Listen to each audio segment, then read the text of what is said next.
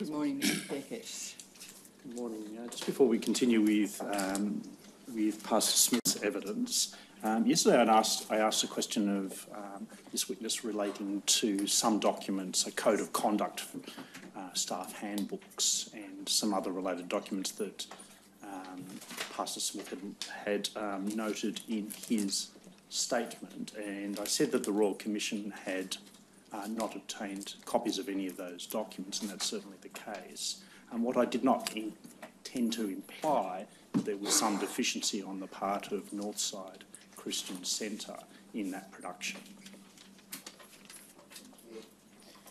Pastor Smith, I still rem- uh, remind you that you're still bound by the oath that you took yesterday.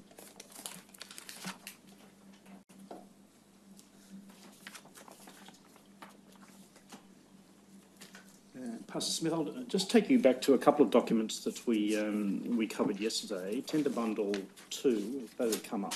This is the letter of the 29th of April 1983 that um, you wrote to Ken Sandilands after his period of probation. You recall this letter from yesterday? Yes. And um, now, prior to Mr Sandilands joining um, the college at Northside Christian College. Um, did you know him? No, Had he been a member of the church prior to that time? not of my church, no. Um, what about his wife, Olwen? Had she? Did you know her prior to this time? I first met her in 1968 when I was the assistant pastor of the church that she attended. And um, you, what was your relationship with her between 1968 and 1983? She was a member of the congregation. Right. And uh, was she a, a friend? No, When, when you assumed responsibility as the senior pastor in 1981, she was there as a member, was she? not at my church, no. Right. Um, did she become a member of Northside Christian Centre? No, And did you attend services there from 1983 onwards? no, Um, but I presume that uh, Mr Sandilands did at that stage. no, Did he not attend? Uh, sorry, I withdraw that. Um, I understand from uh, Pastor Spinella that he frequently attended uh, prayer meetings that I think were held at the college. There was a staff prayer meeting that was held, yes. Yes. And um, did he also engage with the church in the sense of attending on Sundays or No, other occasions? no. Right. And were you friends with Mr Sandilands? Only as a teacher. Did you see him outside of the school setting? No, Did you see his wife outside of the school No. setting? Yesterday I also took you to uh, letter tender bundle five. It was uh, a handwritten letter from the principal, Mr Ellery, to you dated the 30th of December 1986. Do you see that? yes, Um, and you'll, refer, you'll recall there, there were, con, um, there were concerns about uh, Mr Sandilands' conduct, weren't there? as expressed in the memo, yes. And that, um, that um, Mr Ellery had reached the position that there was no case proven. Correct. Um, and then he said he was prepared to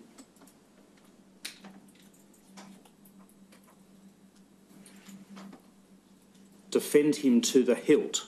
Do you see that term there? Yes, To- So you understand that to mean that that meant defending Mr Sandilands to the hilt against allegations of imprudent conduct.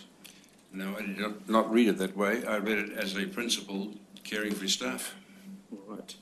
Um, and what did you understand that to mean in terms of investigating allegations of um, child sexual abuse or conduct that may have appeared to be such abuse? That didn't enter my mind at that stage. Excuse me?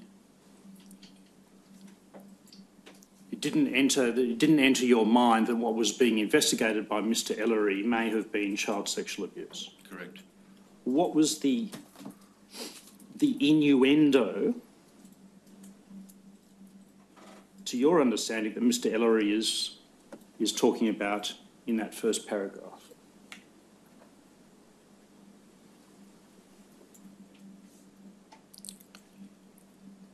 My knowledge of that was that he was uh, in close proximity to children uh, at that point of time. Um, further, uh, he wanted to establish a or reinforce from his point of view that the relationship between the teacher and the student should be well maintained. And essentially, that's how it was expressed to me. What was the innuendo in your mind caused by that close proximity to children? It certainly was not sexual at that stage.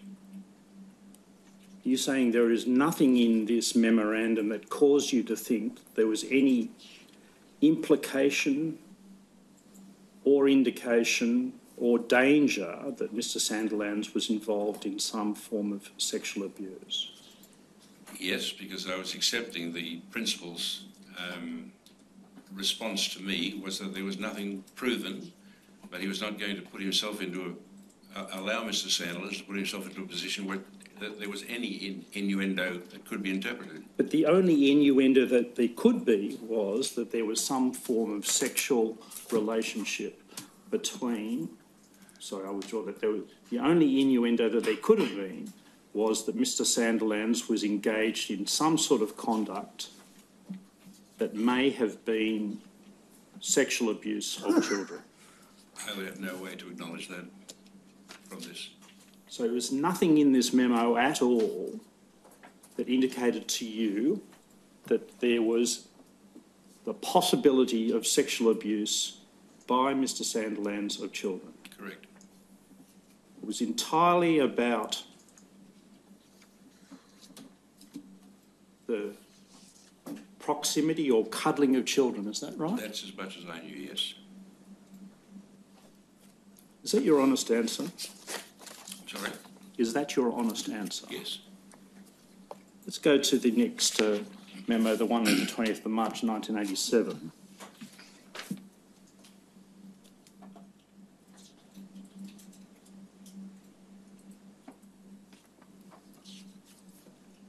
You recall I took you to this yesterday, Yes. and you'll see that the allegation was that he had a child on his knee. First of all, you- do you see that?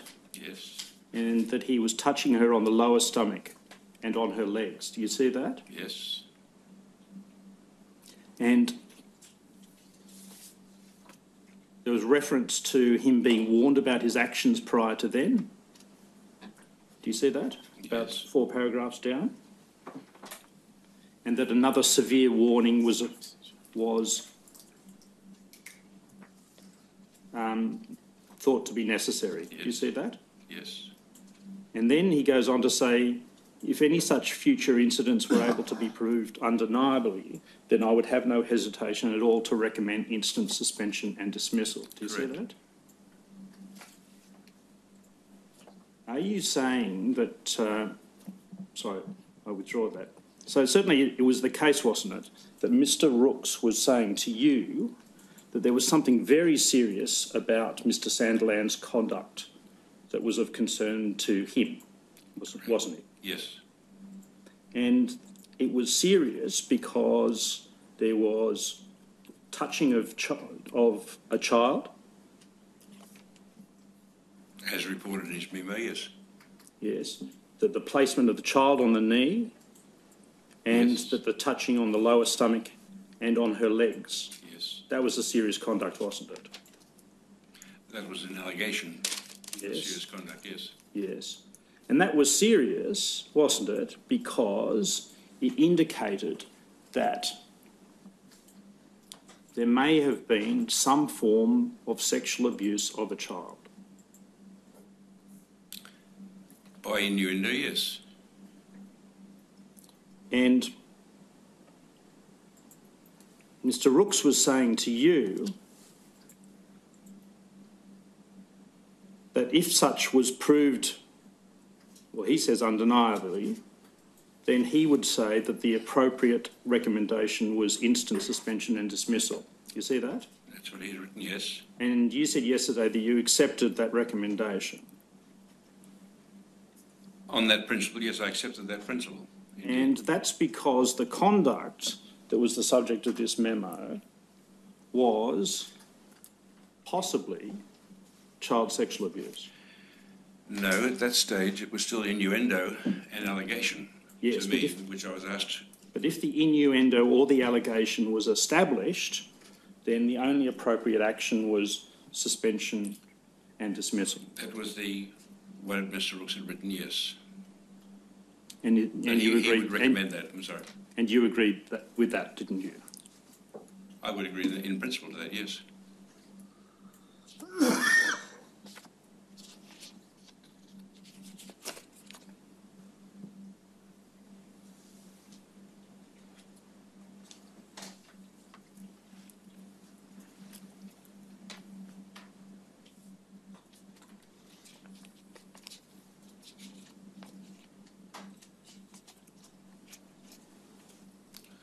You see from that memorandum that, first of all, you see the second, sorry, the first paragraph, that um, the three grade five, six girls had spoken to um, um, a Miss Abdul Messiah. Do you see that at the top? Yes.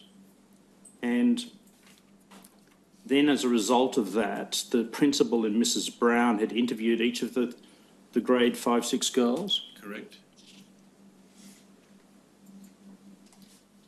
And that Mrs. Brown had then gone further to talk to the child involved, who said she had been on Mr. Sanderland's knee, Yes, but denied being touched apart from being cuddled. Do you see that? yes. So it's clear from this that a form of investigation in the nature of interviews of children had taken place by the time that this memo came to you. Correct?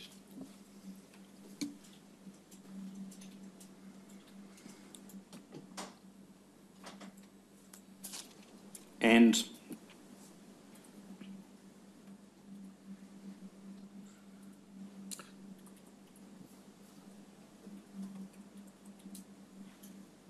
Mr. Rooks was worried about the school's reputation um, if those incidents were allowed to continue. Do you see that?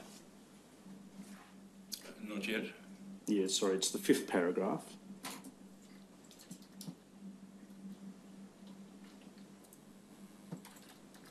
Yes, damage the school's reputation, yes. And you were also concerned about the same issue, were you not? Yes, And the reason for being concerned about the school's reputation because, was because the conduct of Mr Sanderland, or the allegations of that conduct, were or implied that he was involved in some form of sexual abuse of children. at that stage, no. You don't think that those matters, if proven, implied some form of sexual abuse? Indeed, if they were proven to be sexual allegations, yes. But if they were established, so I'll just um, go to it. He says in that same paragraph, if any future such incidents, do you see that? Yes, And that's a reference to the incidents that are set out in paragraph one. Uh, correct. Yes. And he's referring to the child seated on the knee and the touching of the lower stomach area and legs. Do you see that? I do. And he's recommending suspension or dismissal if those matters are established. Are proved undeniably. If they approved, then those actions warrant suspension and dismissal. Do you see that? And that would have been the recommendation, recommendation I would have expected from the principal. And you'd agree, wouldn't you, that um, the reason, the reason, sorry, I withdraw that, the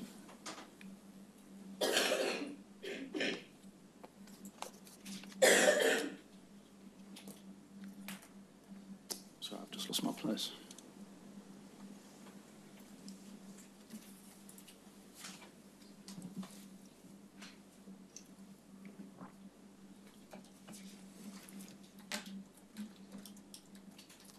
He's not saying at that point that if child sexual abuse is established, then he would recommend suspension and dismissal, is he? He is saying that just the incidents as reported above were continued, as I read that.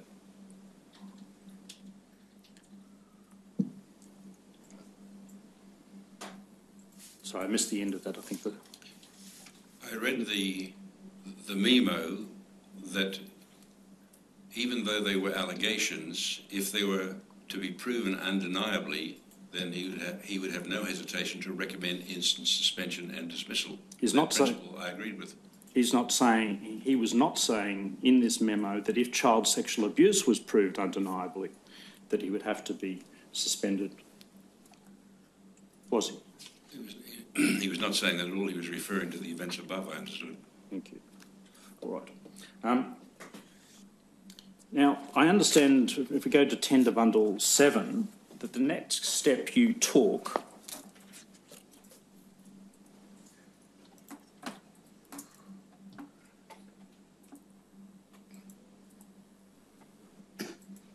and maybe you can assist us by reading um, what I presume is your handwriting.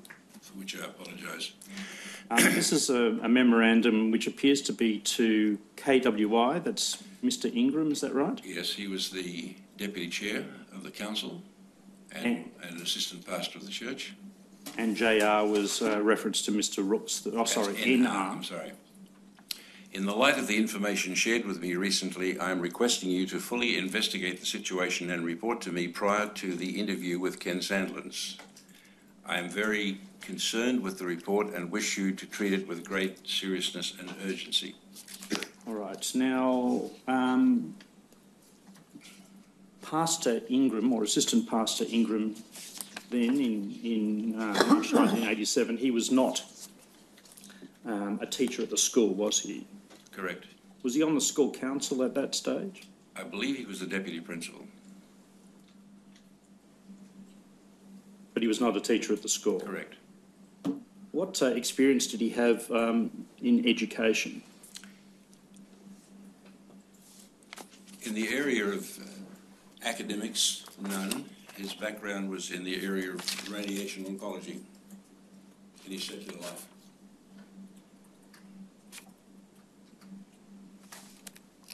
Given that you had um, an experienced principal who had investigated the situation, why did you provide the matter to Pastor Ingram to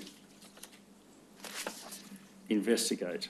As the chairman, eventually I would be called upon at some time to make a decision, and as they were only allegations at this point of time, I asked them to go back and recheck the incident and give me a further report.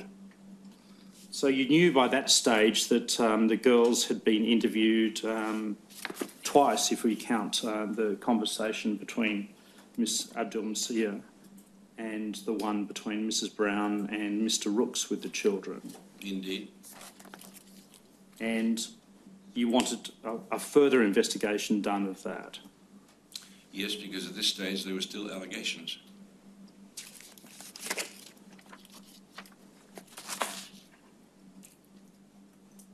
If we go to uh, tender bundle eight, you then received a report from um, Pastor Ingram.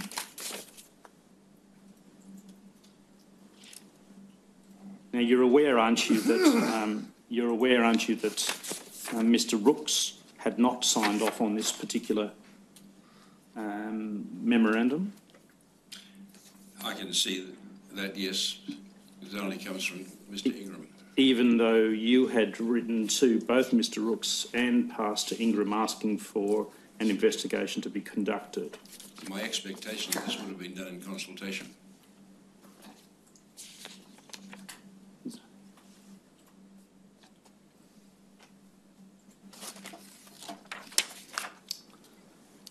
Now, if we go to that incident, that uh, report, we see at point one, it says that the incident spoken of was largely embellished by the girls concerned and certain connotations put upon it that were constructed more on their imaginations than fact. Do you see that? Yes, And so you took it from right at the start of this memorandum that there was a question about the, the veracity of the material provided by the three grade five, six girls. I took it exactly as it says. I didn't add anything further to that paragraph as it stood until I continued to read. Now, you knew from paragraph three that um, Mr Sandilands um, did have a child on his knee, or at least beside him as he was sitting on the chair. Do you see that? Yes, And while there was some discrepancy, there was also some corroboration of that, namely, the girl herself says she was sitting on his knee. Do you see that? yes, So you were, you knew as a result of this investigation that, that at least that part of the um, matter had been proven. Yes, you see that um, at five, Mr. Ingram says that the scenario that actually took place would be quite normal in a teaching situation, although there is some question whether a child be allowed to sit on a teacher's knee. Do you see that? yes, Now, this is Mr. Ingram, and I think you said did not have educational qualifications at that stage, yes, and was not an experienced teacher, was he? correct.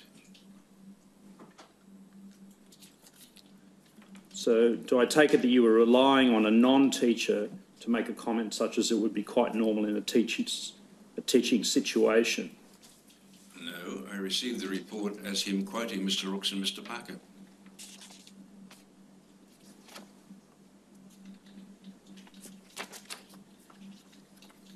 Now, I see that Mr. Sandilands specifically in Category denied any untoward action. Do you see that? Yes,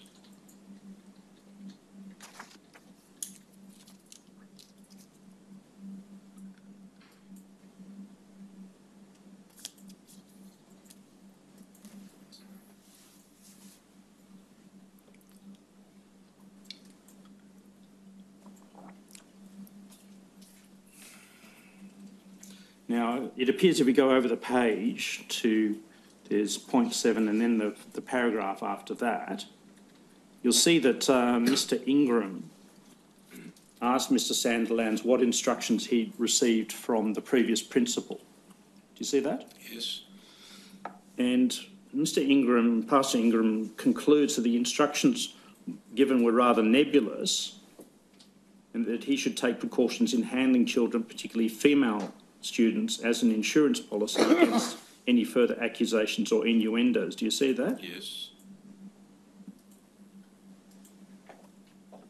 And he says that no specific instructions, such as not to have children on his knee, were issued according to Mr. Sandilands. Do you see that? yes, And then Mr Ingram goes on to say this probably agrees with the memo of the 31st of December. That's the uh, handwritten letter that you'd received. Do you agree with that? yes, Uh, the date is slightly out. It says a memo of the 31st of December, whereas the letter is dated the 30th of December. Do you, do you accept that that's the same document he's referring to there? yes, and that in that letter, he, that is Mr. Ellery, had told Mr. Sandilands to avoid studiously any situation where anybody could possibly impute evil or put an unfavourable construction on it. Do you see that? yes, All right.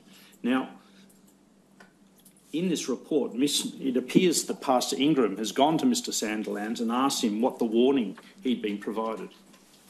Is that right? as I read that, yes, Yeah, and that he hadn't gone back to Mr Ellery to establish what exactly he had said to Mr Sandilands by way of a warning. I'd say that would be correct because Mr. Ellery had left the school. Did it cause you concern that Mr Ingram was relying on a warning? Sorry, I'll withdraw that. Did it concern you that Pastor Ingram was relying on Mr Sandilands, the man against whom allegations had been made, was providing the source of the warning given to him? I dare not accept that. I think that uh, Mr. Ingram would be looking at the file, the, the staff file, and reading the information contained in it. Was held by the principal. But he didn't speak with Mr Ellery, did he? Mr. Ellery had gone He was not at the school, Was there a telephone at the school? indeed. Did you not expect him to ring Mr Ellery and ask him what was the warning that he had provided to Mr Sandilands? No, I did not, because the information I had was that he had spoken to him not to have, not be cuddling children, and have children on his knees. That's as I understood it. That's what you understood the warning to be? Yes, What's nebulous about that? nothing's nebulous about that. Well, let me go back to that first paragraph there on the screen. You'll say the instructions given were rather nebulous, according to Mr Ingram. Well, they weren't nebulous, were they? Well, that is Mr. Ingram's response, not mine, and I, uh, I can't interpret his response. Yes, but this was a report to you in Indeed. which he had said the instructions were rather nebulous, and you have just told us that the instructions were quite clear about that fact. The instructions were clear to me that he was not to persist in cuddling children and putting children on his knee. That is as much as I can remember. But that's what he had been found to be doing in April of 1987, wasn't it? It appears so, yes. Contrary to a warning that Mr Ellery had given him at the end of December 1986. Yes. And you didn't take any action at that stage to suspend or dismiss Mrs Sandilands, did you? No, I would be dependent upon the principal's recommendations to me because he was the expert in education, not me. Well, you were relying here on, on somebody who was not the principal. You were relying instead on the associate pastor of the church to provide you with the appropriate way forward. With respect, the memo also states that he'd be in consultation with the principal and a teacher. But the recommendation is not from him, it is from Associate Pastor Ingram. Agreed? And he says no disciplinary action. Do you see that? Yes? And you accepted his recommendation, didn't you? Yes?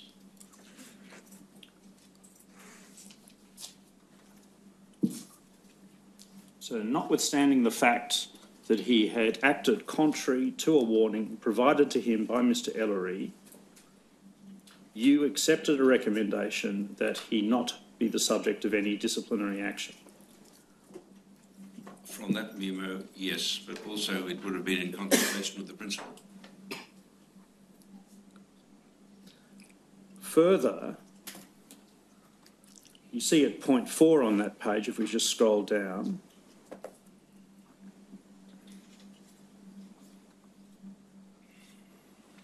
that the three grade five, six girls concerned were to be given a firm lecture as to the dangers and implications of their stories. Do you see that? Yes, I had. Now, you knew from Mr. Rook's memo that he had a different view about the veracity of the children's um, account. I'll just go back briefly to tab six of the tender bundle, in the second paragraph there. You see that he- and Mrs. Brown interviewed each of the three grade five, six girls. Yes? Some inconsistencies in their accounts, but perceived an element of sincerity and concern. Do you see that? Yes?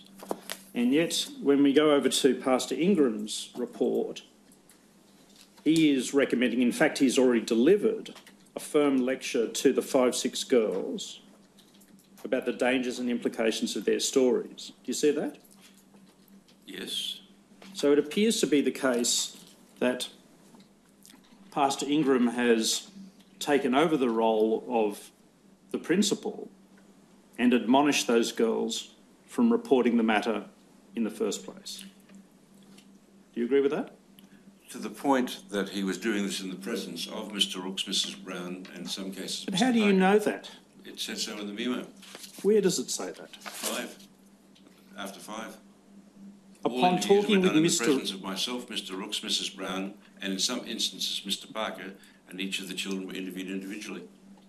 Yes, but it doesn't say the admonishment at four on the second page was given in the presence of those other people. That was my interpretation of it. And he says, I have already taken the liberty of doing this. Do you see that? Yes, I do. He doesn't say we have, does he? Again, I linked that paragraph four with paragraph five.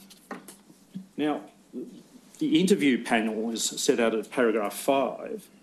All the interviews were done in the presence of myself, Mr. Rooks, Mrs. Brown, and in some instances, Mr. Parker. Do you see that? Yes, And each of the children were interviewed individually. yes, So I presume that means that each child came in one at a time and was went before this panel of teachers and church members. Is that right? I have no idea how it was conducted. Well, it says so there. I can presume that. And by my count, if Mr. Parker was in the room, you had three men and one woman with one child of about ages 11 or 12 being interviewed. Yes, Did it cause you any concern that the child may have been intimidated by the number of adults in the room who were interviewing them? it did not because my trust was in the educational leader that he would be handling this according to his own capacity and knowledge. But you hadn't given it to the, sorry, I withdraw that. It wasn't the education leader, it wasn't the principal who was providing this report. It was Pastor Ingram. Pastor Ingram was providing a report, but my memorandum went to both the principal and Mr. Ingram. And my expectation was But that this they handled report, it this, sir, uh, this Sorry, report, I I was wondering if the witness could just finish. It's probably better for the transcript in any event. sorry, sir, please continue. Did you finish your answer? I think the transcript may have picked it up. You'd like me to finish, sir? If you, if Okay. you had more to say, yes, Nothing from what I just said, no. thank you. But this report was from Pastor Ingram, wasn't it? Indeed. Well, I object to, you know, the, the recommend, the document says our recommendation. It doesn't say my recommendation, it says our recommendation.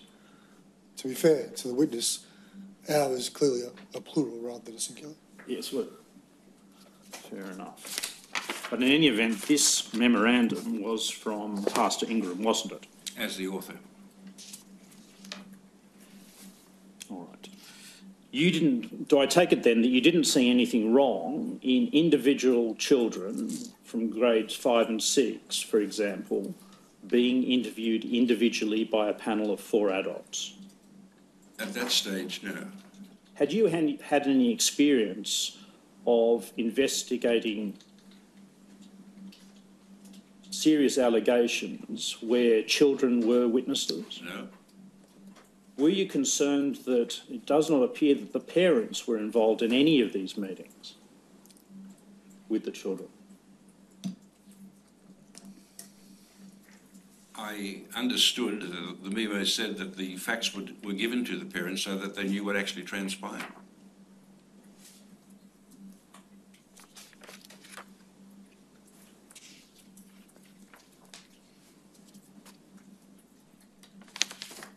I'm asking you about those particular interviews with the children. There's no indication there that the parents were present during I what had occurred. I assume that to be correct, yes.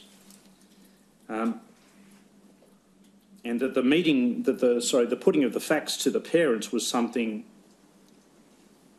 recommended by Pastor Ingram, but which had not occurred at the time that you received this memorandum.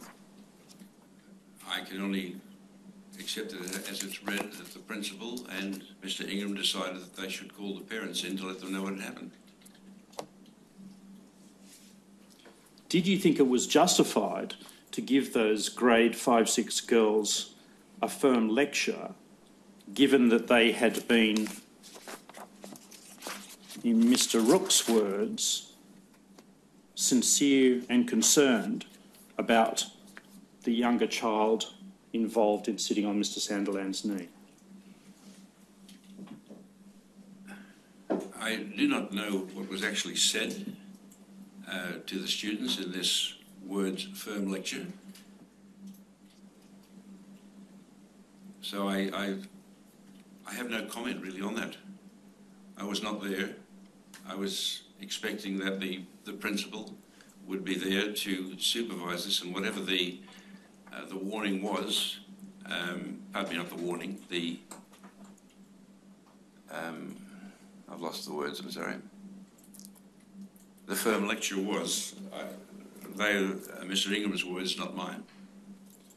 Is it right to interpret this memorandum in any other way than effectively what occurred was that the school rose to defend Mr Sandilands against allegations made by some grade five, six girls? That was the recommendation of the meeting between the principal, Mr. Ingram, and Mrs. Brown.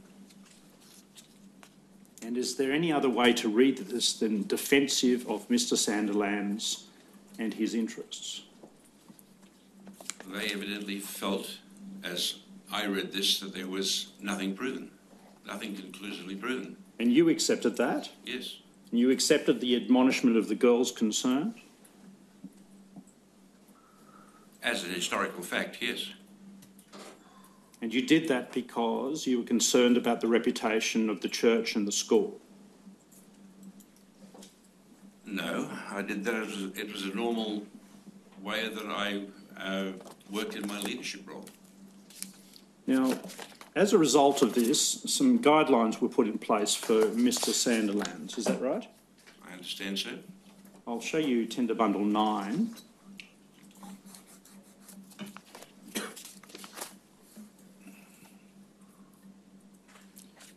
Now, these were the guidelines that Pastor Ingram had recommended you, you impose upon Mr Sandilands and his work, is that right? My presumption was that they came from the principal. I don't know that Why they was- were, what I was the do not know basis? that they were attached to any other memo. All right, well, let's go back, sorry, I'll go back to tender bundle eight, point two at the bottom of the page. Our recommendation is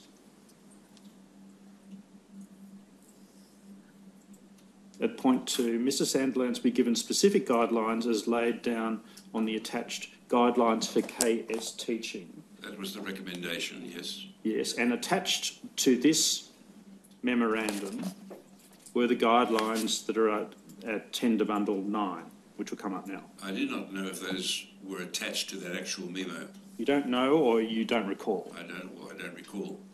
but you, I know that they came into existence, but I don't know when. all right. And you know that guidelines were imposed upon Mr Sandilands? Yes, And those guidelines were imposed by you? by the principal. Well, the recommend, Endorsed by me, but So- I, I agreed with them, yes. you agreed with them, but the recommendation was made, that is, it wasn't a reporting from the principal to you that guidelines had been imposed, was it? No, it was giving me what they were, Yes. what the guidelines And it was recommending to you that the guidelines be imposed. Indeed, And you accepted that recommendation. yes. And you imposed the guidelines upon him. No, the principal did that. It was his responsibility, not mine. The recommendation is that the guidelines be imposed upon him, and this memorandum was given to you for decision, wasn't it? Indeed, but it doesn't say how it was to be done. My understanding was that this was given back to the principal, who himself uh, produced this. This is, these are not my rules. And I was informed that these were the rules and they had been in, enforced, or not enforced, Well, but they had been given to him. Well, they may have been given to him.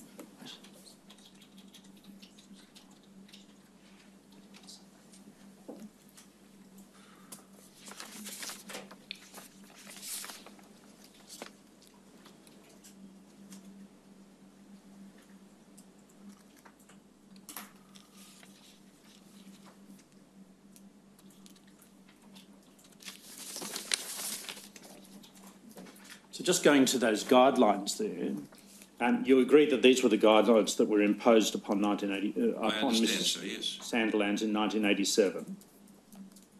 And you were aware of the guidelines, Yes, and you were aware of the terms of the guidelines. yes.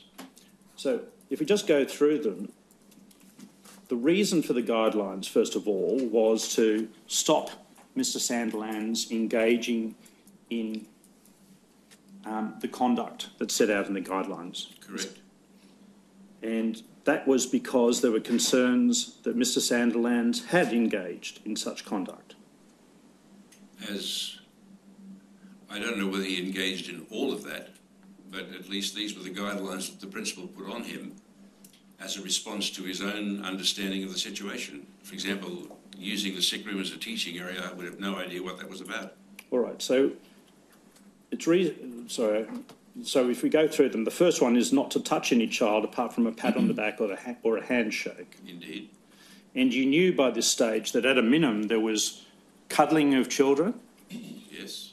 and there was the placing of children on his knee in the classroom.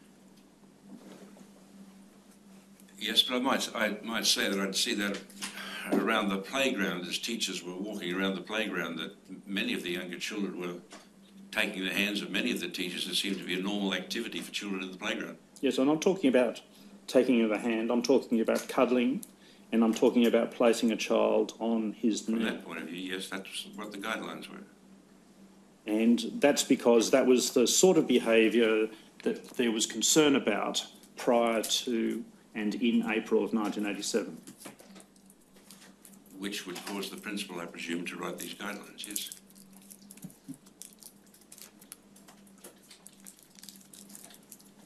And which you were concerned about as well as a result of the memoranda given to you by Mr Ellery and by Mr Rooks.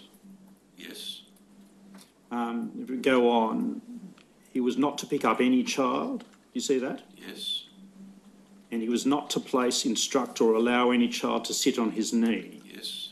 It's fairly unambiguous, isn't it? Correct. Um, he was not to remain in any room with the child on his or her own. Do you see that? I do.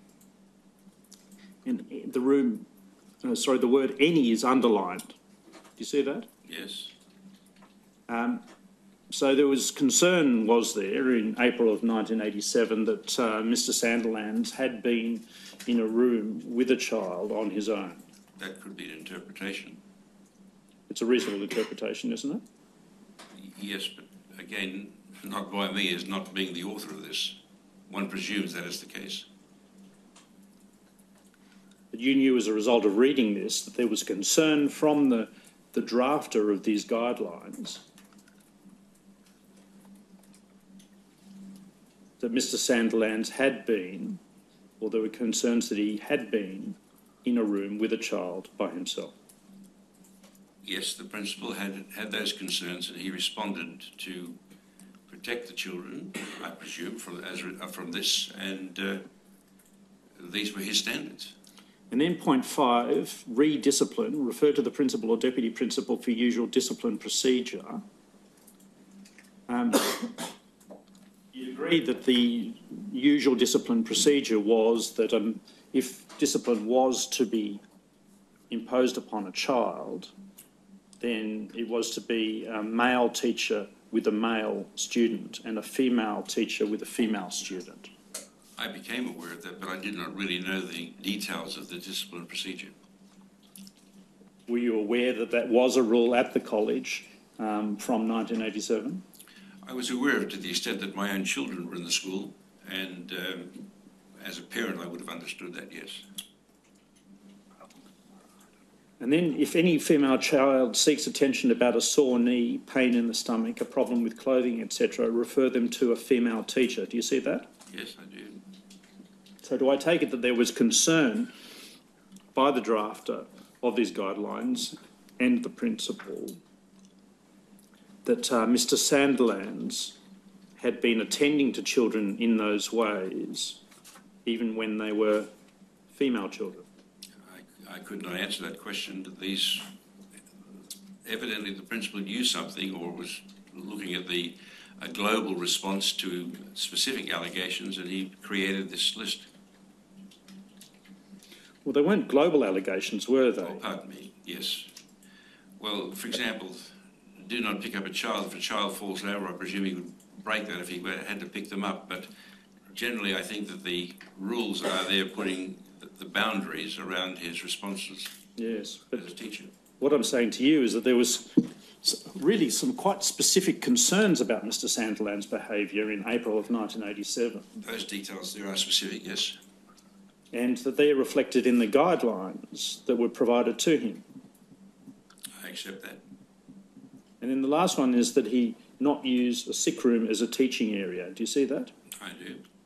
And is it reasonable to assume that's because Mr Sandilands had said to perhaps Mr Rooks, perhaps Pastor Ingram, perhaps to somebody else, that he had used a sick room as a teaching area? I, I have no idea. Have you, did you hear any allegations about him being in a sick room No. with child, with a No. child? No.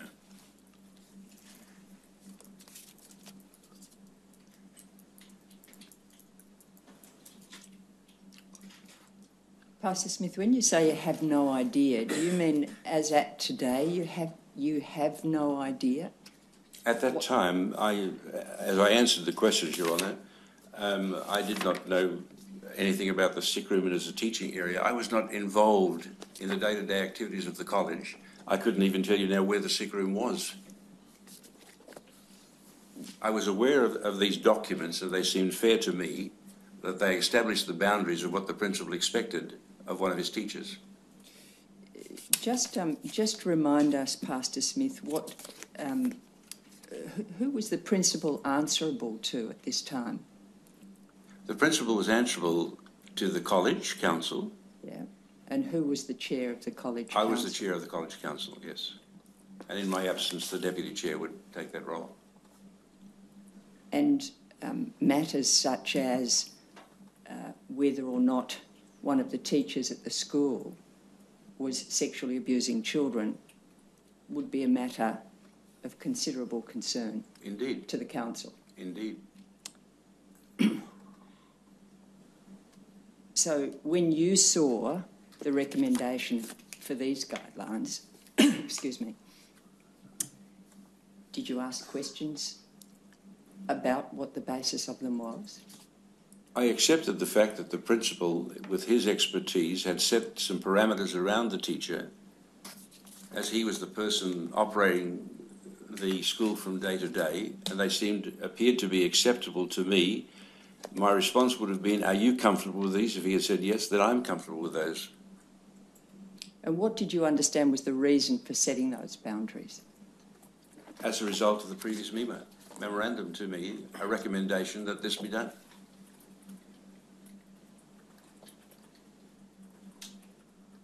But these, these guidelines have arisen as a result of um, concerns, haven't they, that have been uh, that have been uncovered by those investigating the reports. Indeed, but my response to your, your question was that the previous memorandum was that they do set up some guidelines for him, and I understand these were the guidelines that were set up. Yes, but the question is, why were the guidelines? Why were they set up? What were the concerns that you understood them to be directed towards? The principal was putting a putting boundaries around the teacher because of his concerns expressed to me in the memoranda that were sent to me. Yeah, I'm not asking you about the principle, I'm asking you about you, what your understanding My understanding was I read these, and as they were at this stage all allegations, nothing proven in, in, in any form of concrete, that this was a uh, an adequate safeguard to protect anything further happening. What was the safeguard against? The uh, kind of allegations that had been unproven allegations that, that had been come across my desk, And what was the nature of those allegations? as stated in the the cuddling, the the whispering into the ear, and those kinds of things, which the principal felt was um, unworthy of a teacher to And what, and what did you think? I had to agree with him because he was the educationalist. I, and I, I still Did agree you with him. have no separate, did you have no separate concerns, no separate um, reflection yourself about what you were hearing? Your Honour, I'm, my style of leadership is I'm not a micromanager. I trust the staff that, that are there. I empower the staff to do their job. And I had no, um, as the two pieces of information that were given to me were, were that they were unfounded, I accepted the report from the principal, the deputy chair of the council, that they indeed were unproven allegations. But as a response to that, the principal required some boundaries to be set around the teacher so that there was no way that anything, any other allegations would reoccur. That's as I understood the document to be. Thanks, Mr Beckett. Um, I wonder if uh, tender bundle 40 could come up. Uh, this is a police statement made on the 17th of March 2000 by Mr Neil Rooks, the principal at Northside Christian College. And if you go to paragraph 9 of that statement, it's on the third page, ringtail 82. You'll see there, it says that um, the detective showed Mr. Rooks document titled Guidelines for Ken Sandilands. Yes. Upon reading this document, I, I can say that I contributed to the substance of the guidelines. These guidelines were explained to Ken in person by Pastor Smith and myself. Ken agreed to these guidelines and told us he would abide by them. Do you see that? I do. Do you accept that you were at that meeting? Yes, if the, if the, if the uh, that, that's the statement of the principal, yes. All right. Now,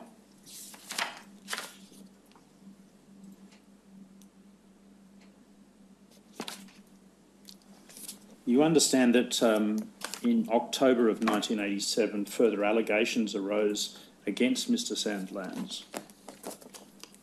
You're aware of that? If you could show me the document, I'd, Or just from your memory, do you recall there being further allegations in 1987? I'll have to accept that from your records, not mine, I'm sorry. So you don't recall it? I, at this stage, I cannot with def- definiteness put that date on, it, but I accept that. I'll show you a, a, another police statement, this time from Keith Ingram, dated the 6th of March 2000.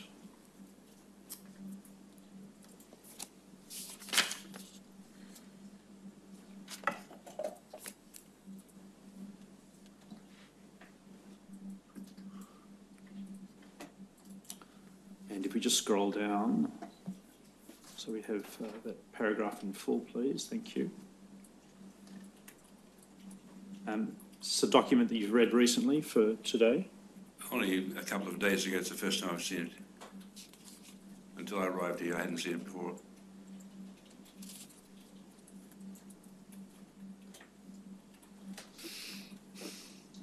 We'll see there in the middle, in the middle that um, a redacted. A child said one of Mr. Sandilands' students, AGB, was standing in front of him between his knees. Yes. I, I read that, yes. Um, and further that um, AGB was sitting on his knee. Indeed. And then the further allegations that had arisen in, in March 1987 are dealt with. Do you see that? I, I, I read it, yes. Then if we go down to the down the page to that last paragraph.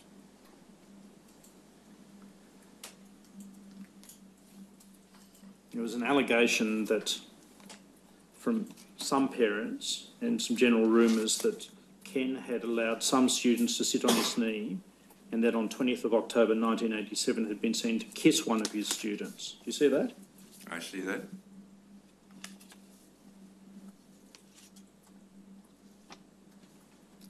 and that on the 22nd of October, he and Neil Rooks spoke to Ken, Ken Sandilands about the allegations, Yes. and was, he was in, he was told that he'd breached the guidelines. You see that? By Pastor Ingram, yes.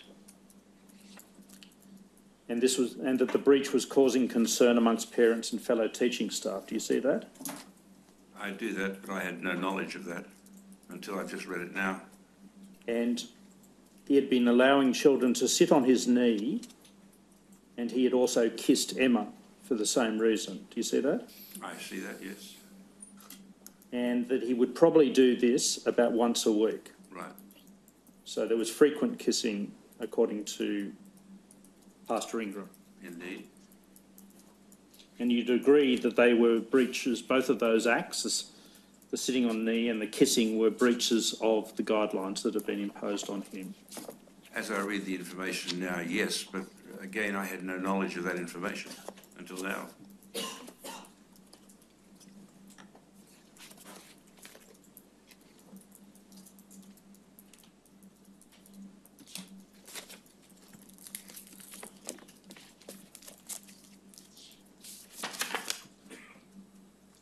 I'll take you a further document, Tender Bundle 19.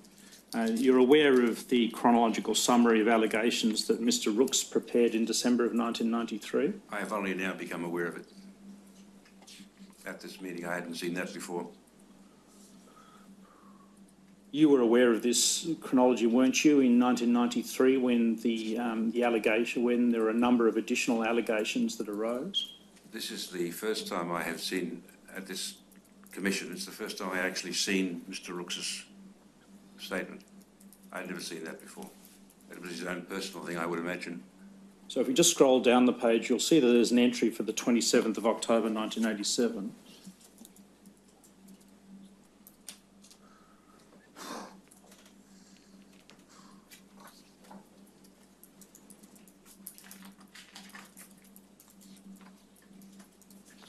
You'll see there NR and KWI, as Neil Rooks and Keith Ingram. Keith Ingram reported to, to DVS of further allegations ag- against Keith Ken Sandilands. Do you see that? Yes, He had been seen to have children on his knee and had kissed one of the girls in his class. Do you see that? I, I read that, yes. Yes. Do you accept that uh, that report was provided to you in October 1987? Not the details of that report. Now, as I said, that's the first time I had actually seen this. I had not seen that before. Do you not recall? I recall the fact that the, the allegations were, were brought against him, but not, not those details of those children. Right. So let's just establish what you do remember. I You do recall remember there was a so- meeting, I'm sorry. You recall there were allegations that had come forward in October of 1987, Yes, and the allegations were against Mr. Sandilands. yes, One of the allegations was that he had children on his knee again, yes, and another allegation was that he kissed one of the girls in his class. no, You don't recall that? no, You recall Mr. Sandilands admitting to breaching the conditions of the guidelines? I would have imagined, uh, yes, I think I would have. And do you recall him also admitting kissing um, Emma Hayes, as she then was? No,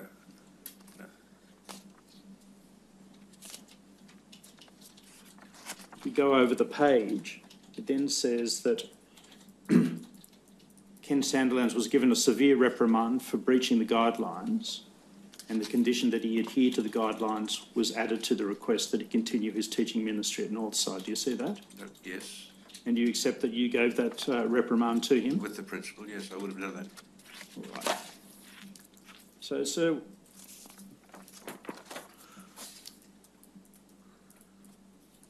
it appears to be the case that we know in 1986 that uh, Mr. Sandilands had been given a warning um, by Mr. Ellery. Yes, By March of 1987, he had breached that warning, yes, that there'd been an investigation, hadn't there? yes, The investigation had established that there, there, that he had children on his knee, on his knee, yes, that he had been cuddling them, yes, and that uh, as a result, um, relatively restrictive guidelines had been imposed upon him, correct, and the guidelines included uh, prohibiting him from having children on his knee. Yes, um, and prohibited him from having other than incidental contact with children.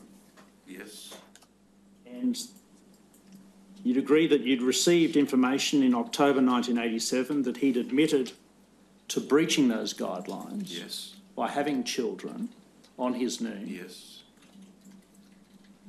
And perhaps also you accept now, wouldn't you, that it was known then in 1987 that he'd also kissed one child in particular. I had not heard that before. Do you accept that now, that that was, that um, first of all, that happened in 1987? I had, have no knowledge of him kissing children. All right. I have him. Do you, do you accept that you did know in 1987 on the basis of this record kept by Mr Rooks?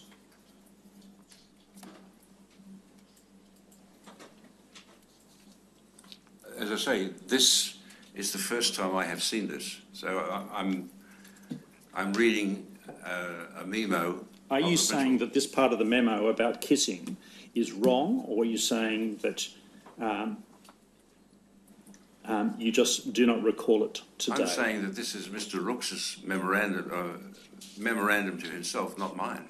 And I'm reading what is written there. I cannot prove one way or the other whether he did or he didn't. I wasn't there.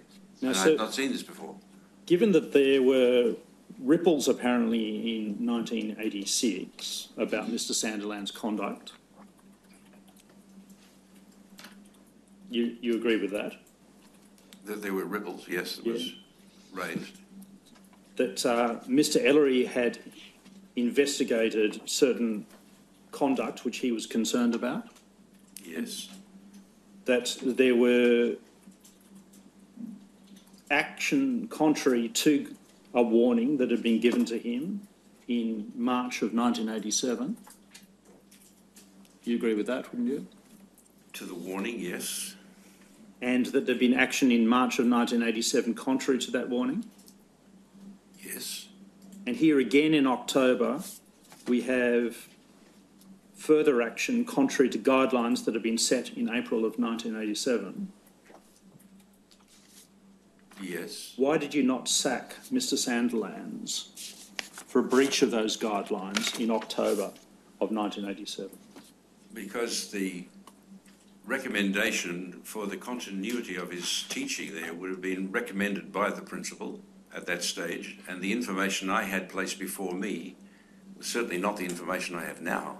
But the information I had then was that there were unproven allegations, and there was a breaching of his um, uh, the guidelines, but there was no recommendation that that was serious enough for him to be fired. He'd breached a warning in March of 1987 and he'd breached guidelines in October of 1987. You accept that, don't you? Yes. And whether or not there were proven allegations of child sexual abuse, there were certainly breaches of conduct warnings and guidelines, weren't there? Indeed. And you'd had now the Ripples 1986 allegation, that's two, the March 1987 conduct, and now the admitted October 1987 conduct. Didn't it occur to you that this man was completely unable to abide by warnings or guidelines imposed upon him by the school or the church? To answer that question, the way I operated was that the principal was empowered to run his school, and if he had made a recommendation at that time to conclude him, I, I would have done so. So you're, you're the chair of the school college, aren't you? Indeed. And you're the chair of the church board, Yes. aren't you, at that stage? All of these matters are coming back to you in the sense that Mr Ingram is reporting to you and Mr Rooks is reporting to you. That's correct, isn't it? Yes. Why could you not, of your own volition, see that this man was not to be trusted around children, to abide by the guidelines that had been set? The fact was that I, in hindsight, I can see that, but at that point of time, according to the information that was given to me, that the principal evidently felt that it was still insufficient uh, reason because he had broken these guidelines to sack him. And I had no recommendation to do so, and I normally only worked on those recommendations at that stage given by the principal.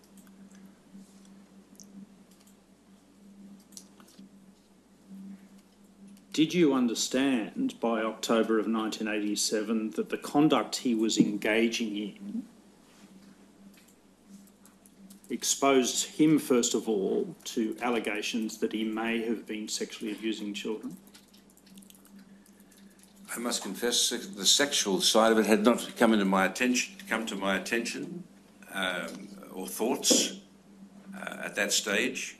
When it did come to my attention, I requested the principal contact the relevant authorities and find out what he should do under the circumstances. When was that? I cannot tell you the exact date, but certainly at one of the times, um, if not both, I requested the principal to contact the um, authorities, and I understand that in the first case, and if not the second, that the principal contacted an authority, whether it was the education department or the police, I cannot be sure. This was- This was not in 1987, though, was it? No, in, Did you take a note of that? that he'd contacted them. Well, did you take a note of asking him to contact them? Or did you get a memorandum from him about those matters? I was informed that he had contacted the relevant authorities and was told to, if there was no proven allegations, he was to conduct this in-house as a principal. And uh, yes, I noticed you said that in your statement. Um, doesn't seem to be any reference at all to referring matters to the police in any of the memoranda between 1986 and 1993. Do you accept that? That was the information I was given from the principal, yes. Well, you've recalled that now, have you? Some, some many years later. I can recall that then. Yes, that was the case.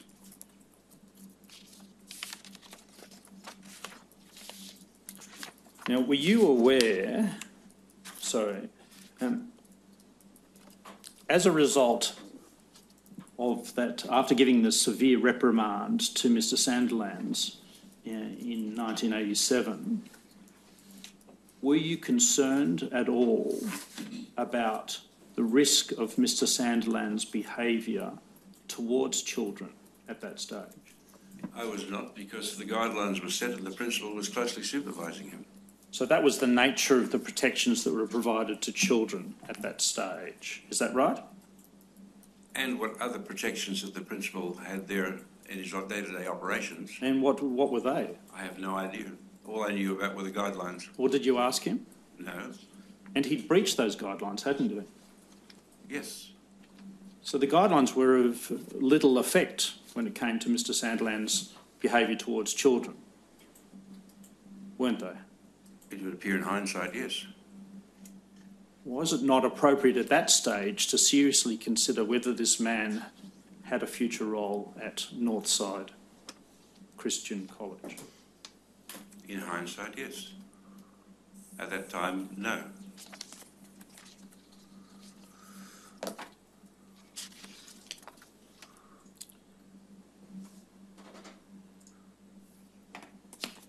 Now, I understand that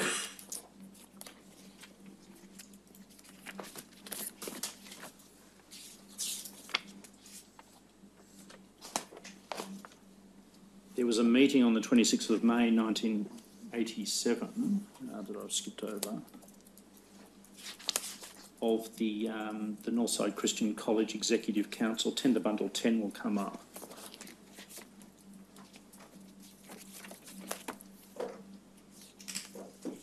Now, I think we've established that by April of 1987, the guidelines have been imposed on Mr. uh, Sandilands. Yes, Um, and you'll see that there's no mention at all of Mr. Sandilands in this particular report to the, I only have the first page, so I accept that what you're saying is correct. you know the document I'm referring to though? No, no, 687. Yes. The one that's on the screen. I can only see screen. the first three paragraphs, so I- Yes, I, if you're saying he's not mentioned, he's not mentioned. all right. And you'll see if you scroll down a bit, there's mention of Anne Brown and there's mention of guidelines on discipline and so forth. Yes.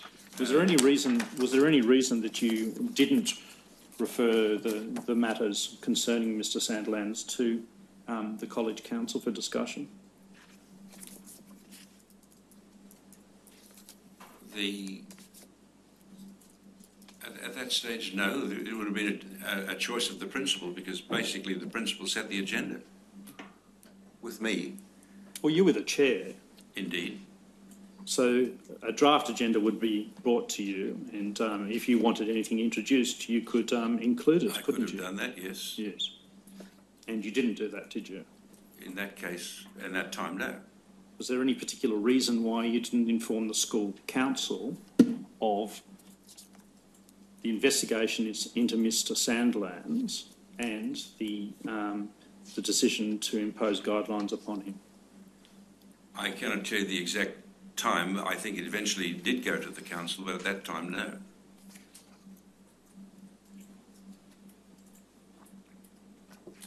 Now, I understand you may not have been in, in, in the hearing room when um, Ms. when Ms. Furlong gave evidence. Is that correct? I have not been in any of the hearings. All right. Now, Ms. Furlong said that um, she received um, allegations of touching by Mr. Sandilands, which she passed on to Mr. Rooks, and I'll go through them. First of all, that um, Mr. Sandilands had touched AGV in 1987 and informed Mr. Rooks. Were you ever informed about that? no. Um, in 1988, Emma Hayes, as she then was, Emma Fretton now, told Ms. Furlong that Mr. Sandilands had touched her, and she and this was passed on to Mr. Rooks. Were you aware of that at the time? No. And in 1989, um, AGW, you may wish to have a look at the pseudonym list there.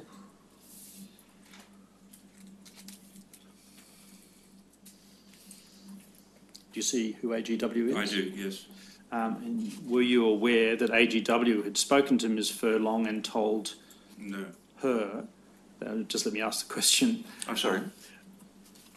AGW had spoken to Ms. Furlong and told her that Mr. Sandilands had touched her, and then reported that to Mr. Rooks. No, I was not aware of that. Were you? Did you have any discussions in that period, 1987 to 1989, with Mr. Rooks, where he um, told you about touching of children by Mr. Sandilands? No. Did you later become aware of those allegations? Only after I had read reports, virtually after I had left, and, and what I've read here. All right, so in, we come to 1989, and if we go back to Tender Bundle 19, there's an entry of the 20, for the 22nd of August 1991.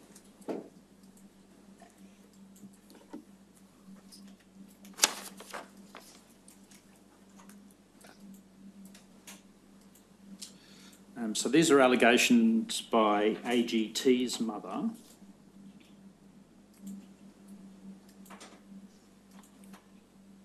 about four girls frontally embracing Mr. Sandilands, wiggling their bodies, and also um, one or some of them embracing him from behind and touching his genital area. Do you see that? I see it. And uh, you received that allegation in about August of 1991? I did not receive those details, no.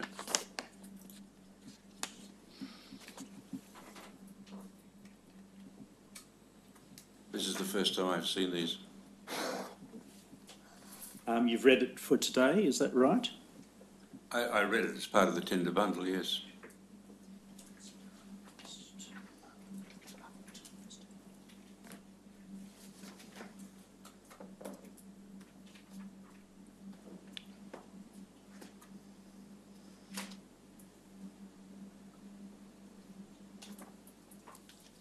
I can take you to the relevant part of it, but um, Mr. Rooks says in his police statement that there was a letter um, from you to AGT's mother saying that the situation is being monitored.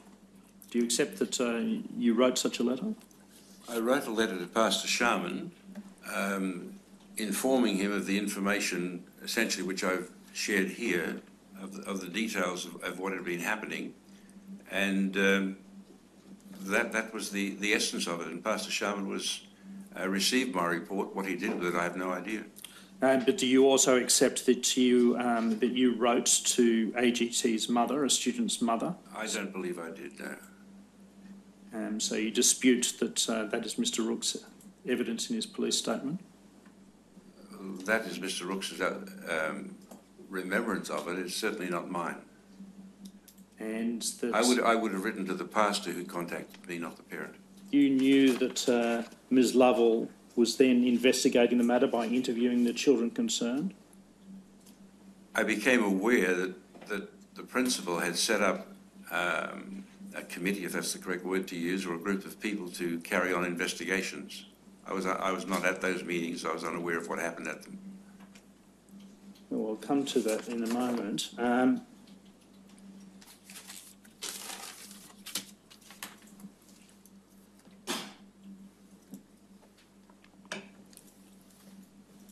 that Ms. Lovell hadn't investigated the matter and certainly determined that there had been cuddling by Mr. Uh, uh, my, by Mr. Sandilands of children. Do you recall receiving or being told about that report from Ms. Lovell? The only report I received would have come from the principal, not from Ms Lovell. Um, did you know that he was basing his um, uh, his knowledge on uh, a report that Ms. Lovell had provided to him? I was aware that he had set up a, a group within the school to investigate this, yes. But I did not know the details of it, Well, let's, uh, let's, are expressed here. so if we scroll down this page and we'll come across to the next page, it's Ringtail 33. See that a meeting of DVS, NR, KWI, and SM discussed the whole matter and agreed that although he had probably no, not broken the legality of the guidelines, he had in fact broken the spirit of them. Do you see that? Yes, I can read that. Um, and do you recall that there was a meeting between those um, four people, including I have you? to accept that if that's Mr. Rooks's uh, recollection of it. All right. So you knew by that stage that um, that it had been confirmed that Mr. Uh, Mr. Sandilands had been cuddling children again, It would appear so. and you knew that there was an allegation of genital touching by children. No, I did not know that. Did you know there was an allegation of that? No, Um, did you read Ms. Lovell's report of what had occurred? no. Were you, sorry. So when in this note it says discuss the whole matter, are you saying that allegations were kept from you by some of those present? My only comment is that this is Mr. Rooks's uh, remembrance of the meeting, not, not mine. In any event, you knew that Mr. Sandilands had engaged in cuddling of children Yes, and that that was a breach of the guidelines yes, and it was a breach in fact of the guidelines, not just the spirit of the guidelines. Uh, if I comment on Mr. Rooks's words, probably not broken the legality of the guidelines, but the spirit of the guidelines. I, that is his response. What was your response? Well, my response to this is now as to what he has written, I accept. If I'm commenting on his, his response. What was, first of all, what do you remember about the conclusion you reached when you were told he had been found to be cuddling children again? I accepted the recommendation of the principal. Well, before we get to the Concerning these things, recommendation of the principal. No, sir, can you please concentrate on what, on my question, which is what conclusion did you reach Thank you. as a result of that particular matter, namely the cuddling and the breach of the guidelines? My conclusion would be that he had broken indeed the spirit of the guidelines, to quote these words here. You accepted that the guidelines say that he was not to have physical contact with children. Correct? He was not to have children on his knee. Yes. what part of that? Sorry, I withdraw that. The um, had, knowing that he had been cuddling children, how are you able to say that that was not a breach of the legality of the guidelines? I'm first of all commenting on Mr. Rooks's words. Um, I am being advised by the educators as in this in this whole matter. But Pastor Smith, it was just wrong, wasn't it? What was wrong, sir? He'd been cuddling children, and that was a direct breach of the guidelines that had been imposed in April of 1987. My response is technically it would be indeed wrong. However, um, it was a, a, common thing I saw the, the, few times I was around there where uh, teachers would put an arm around a child and hug them and cuddle them and, and, and so forth. And so at that stage, I accepted that as a, a normal part of life.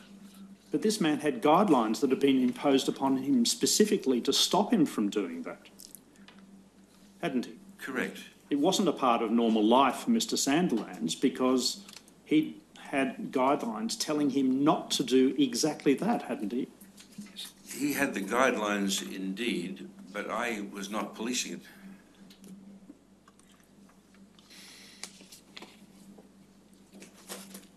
Well, you were sitting at this meeting at which um, Mr. Sandilands was being considered, weren't you? Being considered for what? Well, considered for admonishment, for suspension, for dismissal. Yes, I agree with that. Yes. And so, as a result of, as part of that activity, you had to impose that, you had to um, consider the breach of the guidelines that had been put before you. Yes. And it's simply not the case that the guidelines had not been breached. That was the conclusion with consultation with the principal as to what I should do as far as keeping you on the staff. And you agree now that that conclusion was entirely wrong. In hindsight, absolutely. And now you have a posi- we have a position now that in 1991, this is the third occasion on which warnings or guidelines have been breached by Mr Sandilands. It would appear to be yes. This man had no capacity, that is, Mr Sandilands had no capacity to abide by the warnings or guidelines that were imposed upon him, had he? With respect to favouritism and soliciting affection, as I read here. Well, do you agree with what I've just put to you? no capacity to abide by warnings or guidelines that were imposed upon him. In hindsight, it would appear to be so, yes. And you knew that at the time, didn't you? I knew that to the degree I was informed concerning that, yes.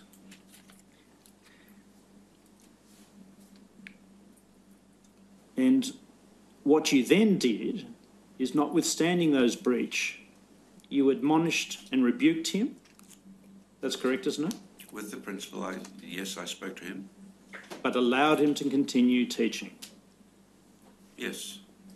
And what steps did you take to ensure that the children concerned that he had been cuddling and touching and so forth were protected? That would have again gone back to the, the, the school, the, the structure of the school. Well, and so the structure of the school, first of all, there was the principal who was sitting over the teachers concerned. That's right, isn't it? Indeed. Um, but there was nobody at that stage that was in his class, was there? Could you say that again? There was nobody monitoring his behaviour in his class, was there? Mr. Sandilands? Yes. I believe that, that a parent or a teacher's aide was put in his room, yes. Well, that comes later, doesn't it? I'm it? sorry. At that stage, evidently not. So all that there was were guidelines given to Mr Sandilands not to engage in such behaviour. Yes. Which he had breached on now two occasions. Yes. Do you not accept that the imposition of guidelines and the oversight providing, provided by the principal had completely broken down by 1991. It would appear to be yes. And you, you realised that in 1991, Yes. but you determined to keep Mr Sandilands on at the school. That would be with the recommendation of the principal, yes. Yes.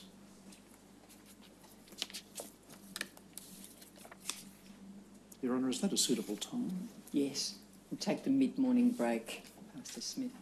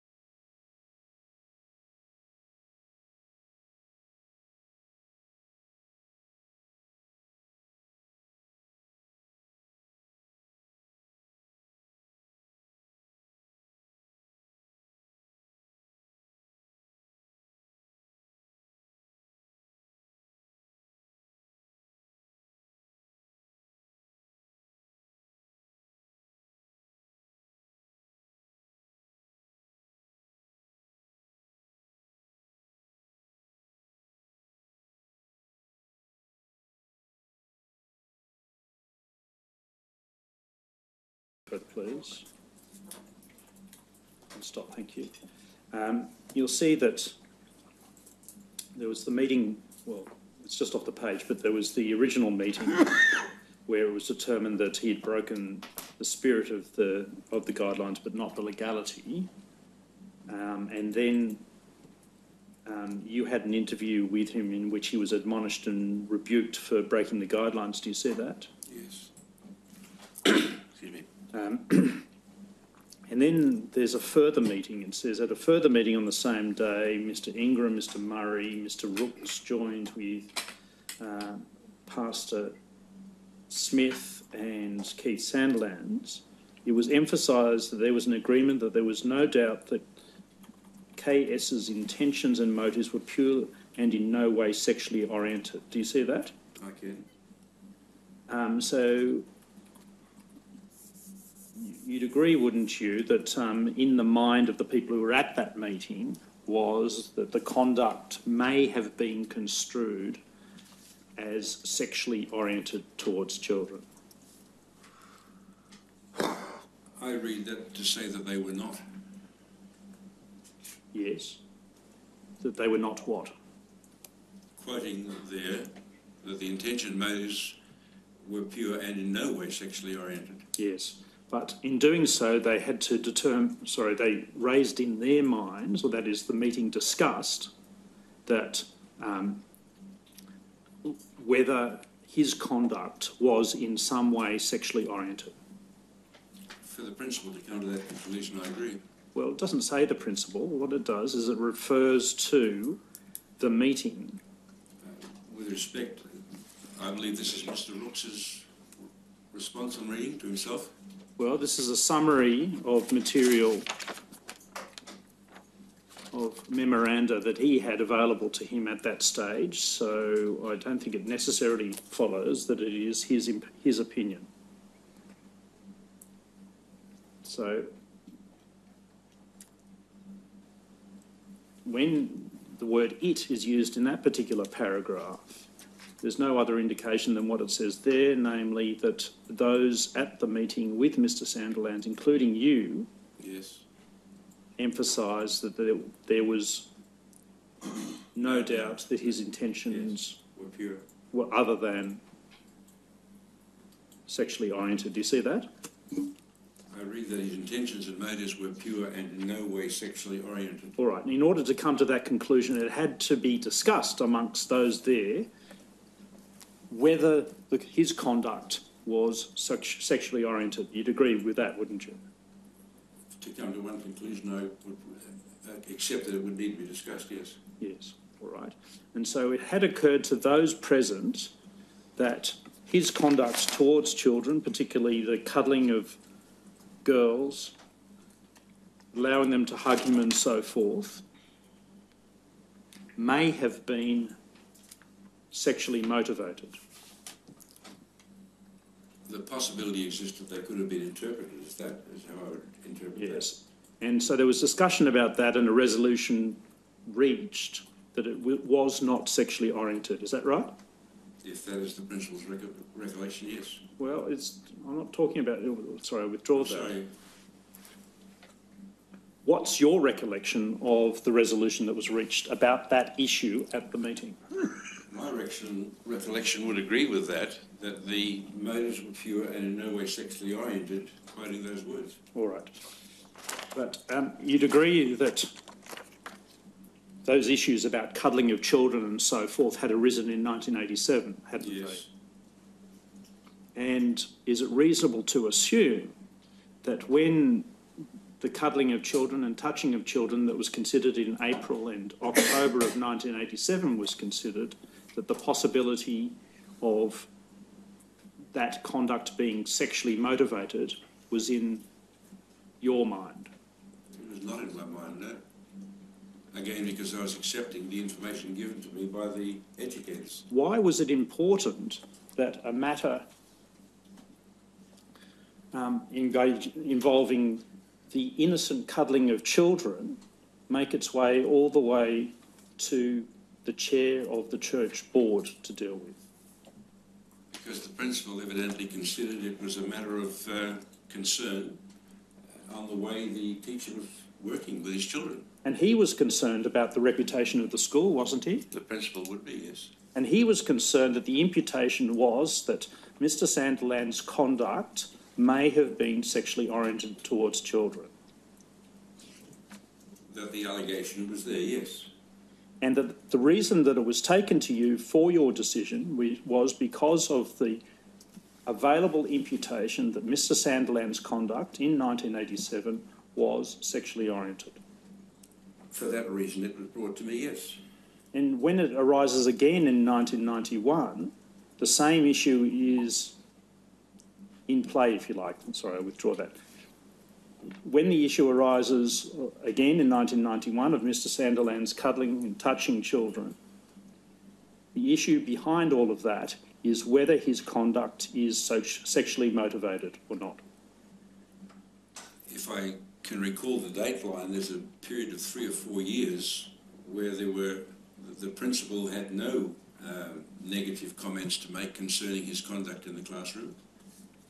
But at the end of the time, it came up again for a number of reasons. One of them were these allegations. Now, you'd expect during that period of time, the 1987 to 1991 gap that you've just referred to, you'd expect that the, um, the chair of the church board and the school council would have such an allegation, or sorry, would have any allegation of child sexual abuse against a teacher brought to uh, his attention. That is your attention. If there was anything in those four years, yes, I would have expected that. Yes, and you expect the principal to bring that matter to you. Yes.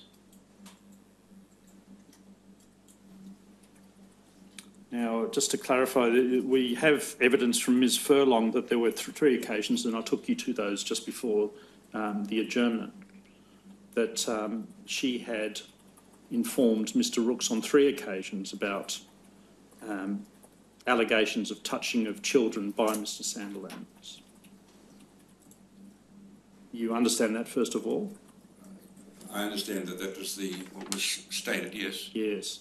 And um, you, it's your evidence, isn't it, that you were not told of any of those three occasions? That, that was the first I'd heard of it this morning. All right. Now let's um,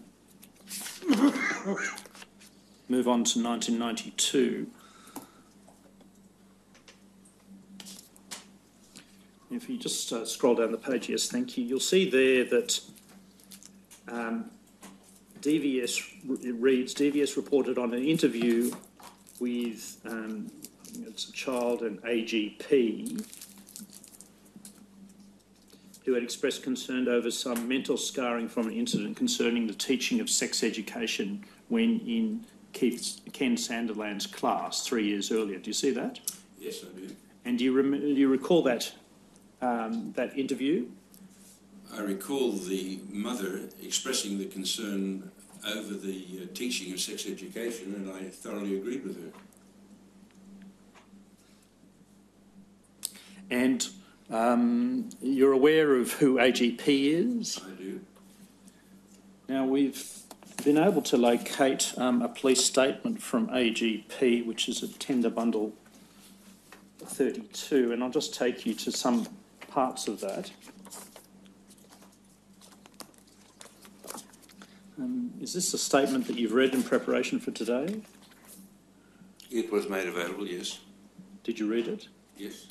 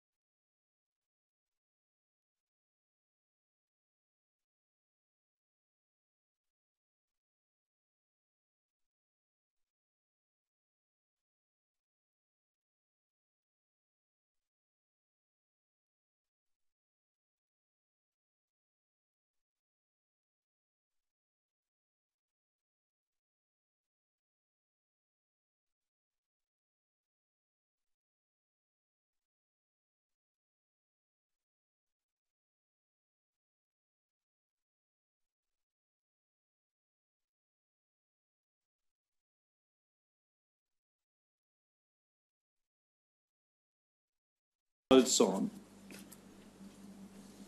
The child was then asked what photos or something, and the child said, no, they look like they come out of a magazine.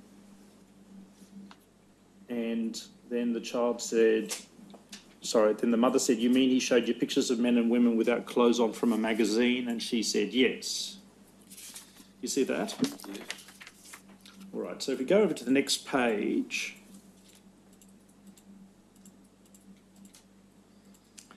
Um, it says that I, it's a reference to AGP, went and saw Pastor Denis Smith after one, after school one day, uh, and they met in your office. Do you recall that? Yeah, vaguely, yes, but I do remember that, yes. Yes, and is that the uh, is that the occurrence referred to as sex education? Do you think in the uh, in, in the earlier document, the one of the second of April 1992, by Mr. Rooks? That would be my presumption. And if we continue on this, and you said Pastor Smith went on to tell us how children can make up things. Do you see that? Yes, And do you agree that that's what you said to her? yes, And then she said, I then went on to tell him that if he didn't do something, we would go public with the story. Do you see that?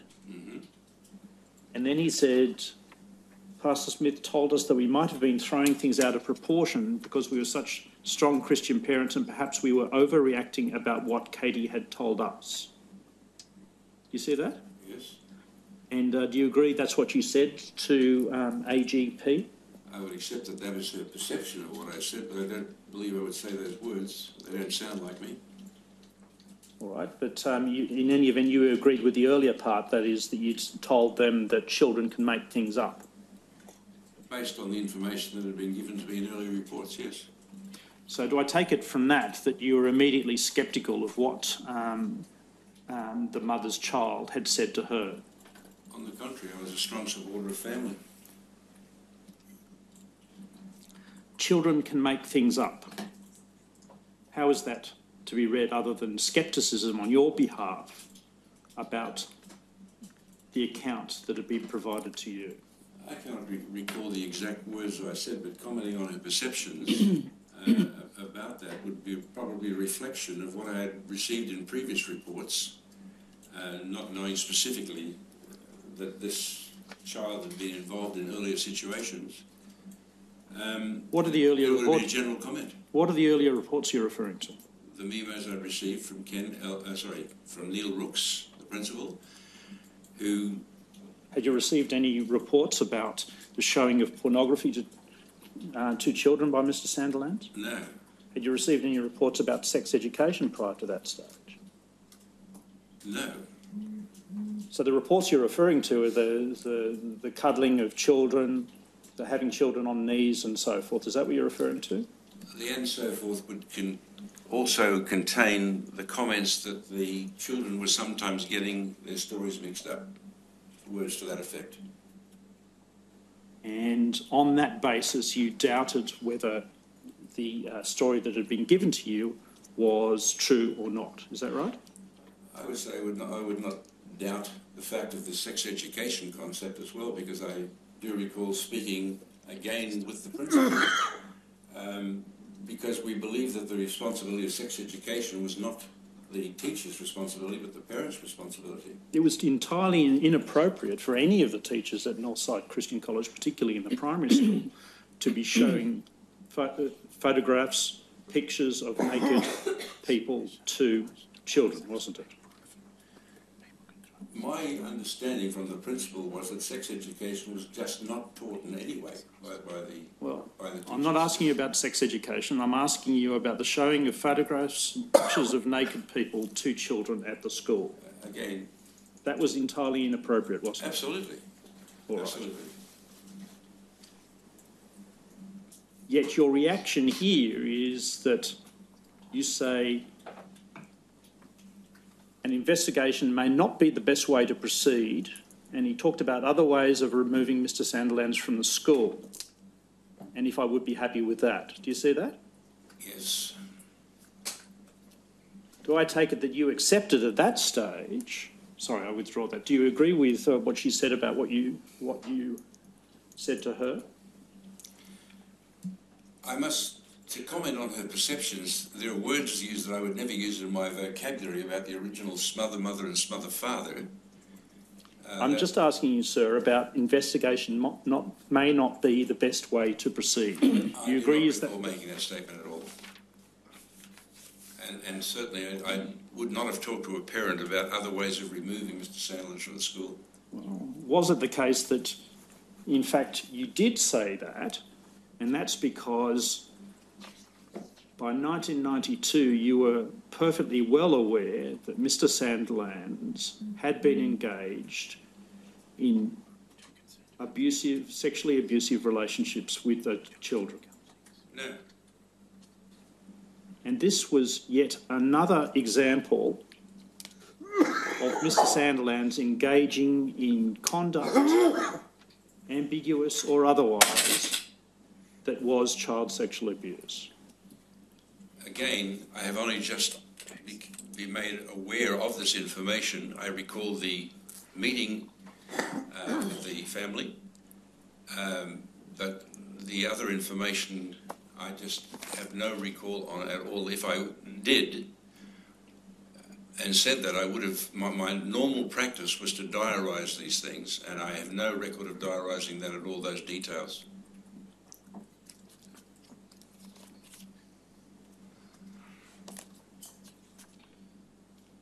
Now, if we could go back to tender bundle 19.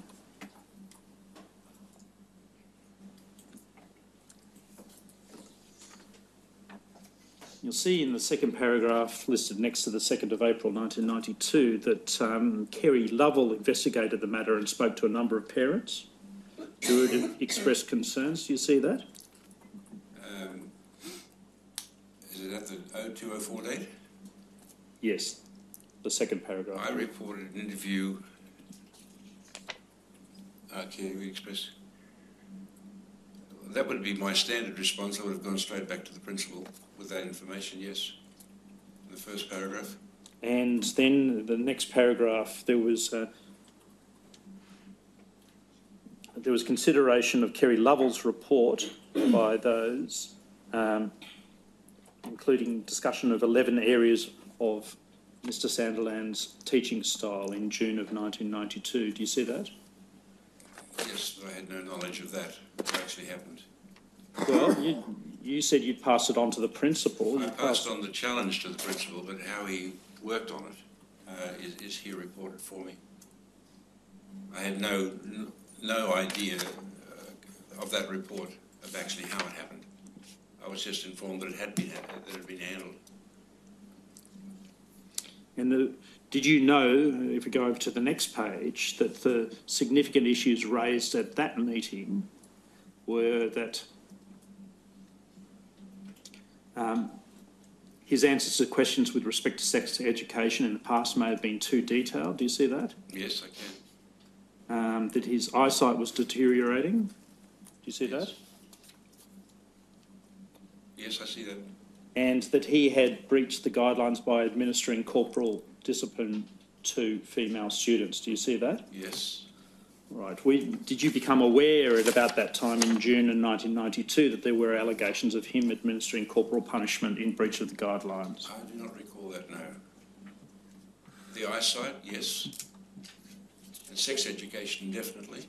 But I, I, the, the corporal discipline, I did not know that. So, being aware of that sex education, what, uh, having referred it to Mr. Rooks, do you receive a report back from Mr. Rooks about whether um, whether he also concluded that such sex education had been involved in? The report I would have got back from was that he would have spoken to Mr. Sandland and told he was not to do it. Now, did you not speak to him yourself? To Mr. Sandilands, Yes. no, Why not? Because my style of management was always through the those in authority. But you knew that this was the second concern. Sorry, I withdraw that. That you'd had those earlier breaches of the warning and the um, guidelines in 1987, hadn't you? Concerning the cuddling and putting children on his knees, yes. and that you'd had further allegations in 1991 of him engaging in cuddling and so forth in breach of the guidelines. Yes, after four years of not hearing any reports. And in 1992, you'd received further concerns about him engaging in um, some form of sex education with children. Through the parent, yes. Yes. And you'd had that interview in about April of 1992. I think you agreed with me earlier. I, I'm unsure of the date, so I'll have to accept that. Why didn't at that stage you take action to remove Mr. Sandilands from teaching at the school? Again, it was, the information was passed on to the principal. It's beyond my capacity. I strongly disapproved of it, and I told the principal that, and I told the parents that, because we always believed that is, that responsibility was the responsibility of the parents, and I understood that the principal followed that through. I'm talking about your position as the head of the church board and the chair of the school council. What steps did you take following these new allegations of sex education or showing of pornography to a child to consider Mr. Sandilands' employment at the school? At that time, I had no knowledge of your words pornography. Uh, the information I had was from the parent saying that her child was scarred because of this sex education. I took it straight back to the principal and said, What is this about? Please investigate this and don't let this happen again. So you agreed that um, Ms. AGP, the mother, had told you that she had shown, that is, Mr. Sandilands had shown her child pictures of men and women without clothes on from a magazine. I was, no, I'm unaware of that. You're unaware of that now, is that right? Well, I have not been aware of. I've been aware of the sex education concept, that he was teaching sex education in those terms. But the actual details of how he was doing that, I had no idea. But you'd had a meeting with AGP, hadn't you? She'd come to see me, yes. And she'd told you about Mr. Sandilands showing her daughter pictures of men and women without clothes on from a magazine. Again, that is her perception. I do not recall that. And you deny that she told you that at the meeting in your office with her and her husband. I have no recollection of those details. So, what was the sex education that you're referring to earlier? The fact that the parent had used the word that, that uh, sex education has, uh, has come back to me to say that why is sex education being taught in the school? And I said, well, I don't understand that. It's usually the responsibility of the parent to do that. That was my first reaction to that, or response to that. So, you knew that there'd been some sort of discussion about sex with these children, contrary to school rules. From that parent, Yes. And given the concerns that there'd been previously about Mr. Sanderland and his, and his ability to abide by guidelines, what did you do in April of 1992 and subsequently to follow up that issue and determine what appropriate course would be taken with Mr. sorry. I referred the conversation to the principal, asking him to handle And that. what did he come back to you? What did you obtain from him? His response to me was that he had spoken to Mr. Sandilands and reinforced the fact that edu- sex education is not to be taught at the school. And uh, did you consider that was adequate at the time? I would take his recommendation, yes. Notwithstanding the fact that there had been these multiple breaches by this stage of the guidelines provided to Mr. Sandilands. Not concerning sex education, this is the first time I've heard about it. Well, but it's not the first time you'd heard an association between Mr. Sandilands and sex, was it? This was the first indication I had concerning the relationship with Mr. Sandilands with hugging children and putting them on his knees, and the possibility of sex, sex um, sexual overtones. You'd thought about it being sexually, there being sexual overtones in 1991 and excluded that, hadn't you?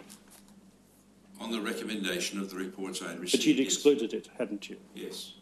And then you're receiving further information about Mr. Sandilands engaging in sex education with children in April of 1992. That's right.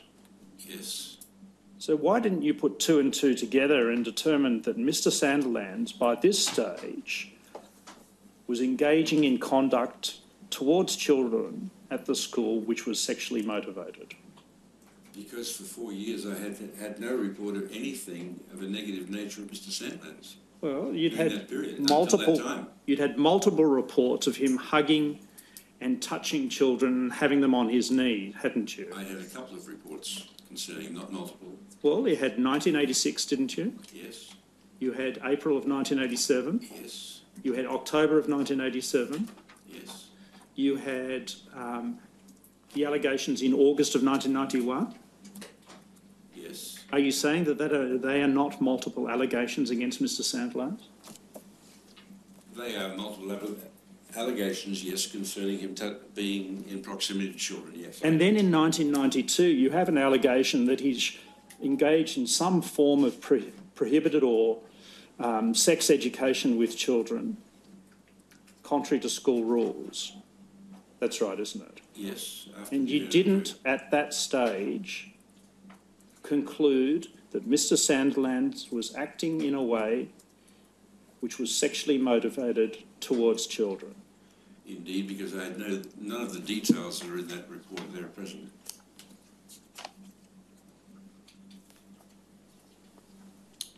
Now, if you go down, you'll see that um, Mr. Rooks says he submitted a recommendation to you.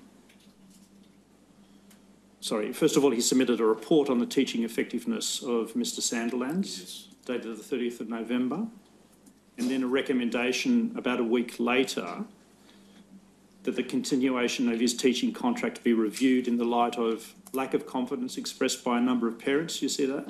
yes, Um, concern for the safety of children in his care. Do you see that? yes, um, his own safety, um, the raising of historical allegations. Do you see that? yes, And that's a reference to, you took it as a reference to these allegations that had arisen in 1991 and 1992, yes, breaches of established guidelines,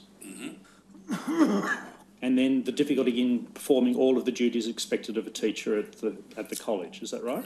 yes, And you agree that all of those matters were put to you by Mr Rooks? yes, and that the lack of confidence expressed by a number of parents was around him um, having children on his knee or cuddling Yes. children. I would say yes, Uh, and a concern for the safety of children was um, a, a reflection of his, um, his, his contact, his physical contact with children, including hugging and putting them on knees. No, I believe that was to do with his eyesight, that he could not effectively see what was happening around him.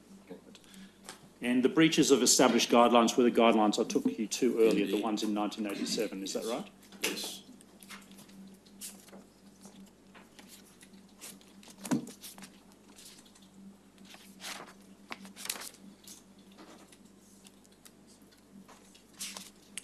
Now, you'd reported to the board, I'm sorry to go back to October of 1992, um, but just there was something I should have taken you to earlier. Tender Bundle 13 is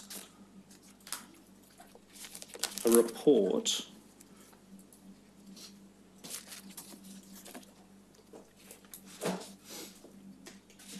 to Mr Rooks concerning the upcoming Board of Directors meeting. Do you see that? And if we go over to the next page, that you'll see at item eight, a reference to an interview you'd had with Mr and Mrs Sandilands concerning his future at the college, yes, and noting that his eyesight is continuing to deteriorate. correct.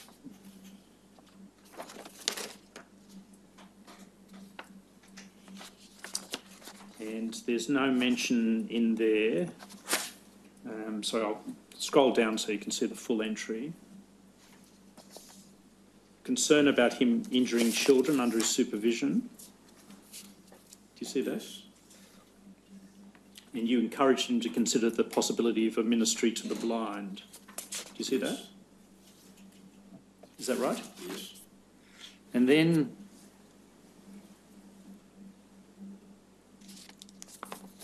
Um, you'd agree that there's no mention in that memorandum to Mr Rooks about concern about his conduct towards children? This memorandum is an extract of the minutes of the board, which affect the college, which is our standard procedure. After every meeting of the board, we extracted the, according to our constitutional documents and incorporation, we sent the principal areas which were discussed by the board, so he was fully aware. So many times the information, right. information came from the principal, but we always informed him of what was happening, yes.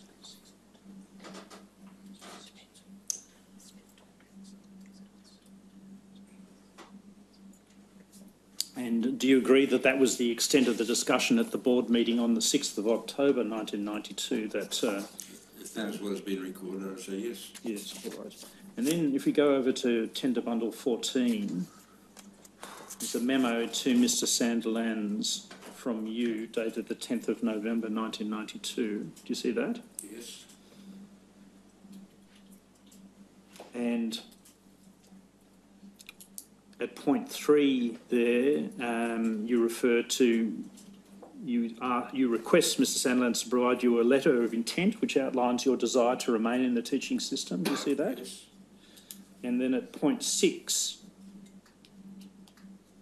um, there's reference to uh, advice from a fund advisor of the possible steps that he could consider if he ultimately chose a disability retirement. Do you see that? And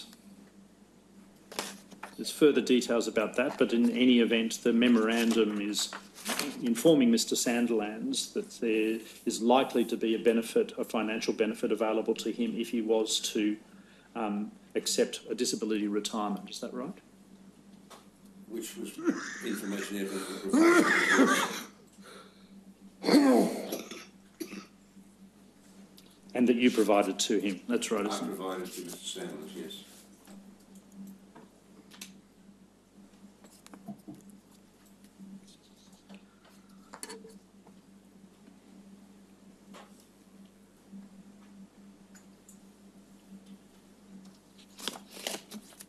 Then there's a, if you go to tender bundle 15, the next document, we have a confidential report to the Board of Directors from you.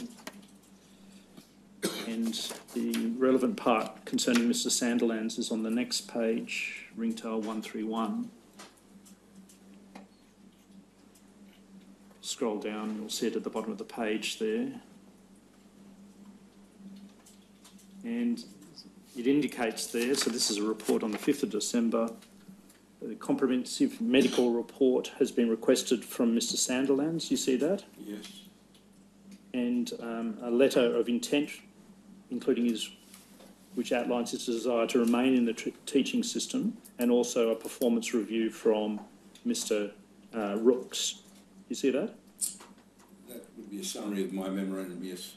And then the next paragraph, it says, I have received this information and further instructed the principal to evaluate the medical report and make and table a recommendation for the 8th of December. Do you see that? Yes. All right. So by that stage, you'd received an indication from Mr Sandilands of his intention Yes. and um, you'd also received the report of the 5th of December 1992 from Mr Rooks. Yes. And that was in, if you go to tender bundle 19, that was summarised under that particular date. Yes, the, that's a summary of those, that information.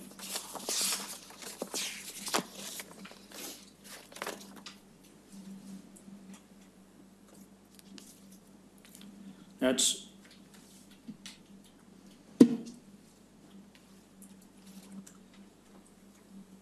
and so on the 8th of December 1992, if you go down to tender bundle 34, we see that he submitted a letter indica- oh, sorry. Submitted a letter indicating that he would be commencing a period of indefinite sick leave because of his degenerating eyesight. Do you see that? Yes. Yes. So, do I take it that, um, as far as the board had been made away, made aware by you, Mr. Sandilands was retiring because of his failing eyesight? Is that right? Yes. And there was no indication provided to the board that there were any concerns about his um, about his contact with children, particularly physical contact with children. First of all, do you accept that? I think so, yes, I do. Otherwise it would have been reported. All right.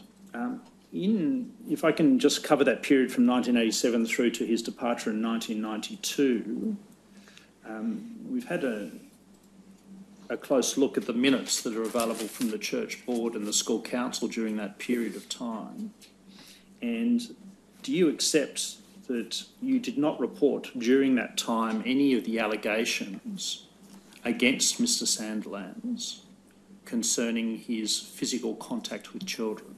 In that f- three or four year period, whatever it was, I had no reason to do that because the principal had made no comment to me as he was supervising him, not me. So, notwithstanding that in um, April of 1987, Mr. Rooks had said to you that um, he was concerned about the reputation of the church and the school, you did not take the matter to the board to inform them of what the allegations were.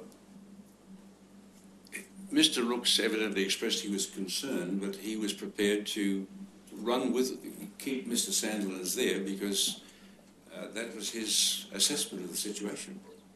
And I accepted his assessment. Yes, and but you didn't consider that it was something that you needed to take to the board to inform them of these allegations against him.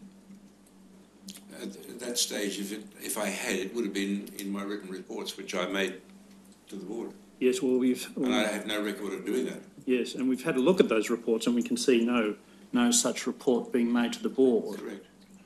And in October of 1987, when he'd breached the guidelines um, set earlier in that year, you also didn't take that to the board to report to them, did you?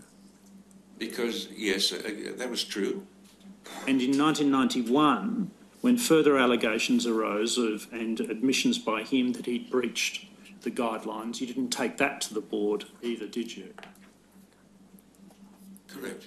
And in 1992, when you were informed about sex education being engaged in by Mr. Um, Sandilands, you didn't take that to the church board, did you? Correct.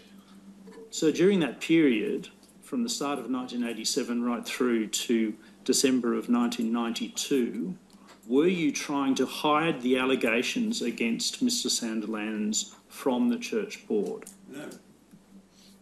Why did you not report those? uh, Sorry, I withdraw that. You accepted the allegations, certainly by 1991. There were concerns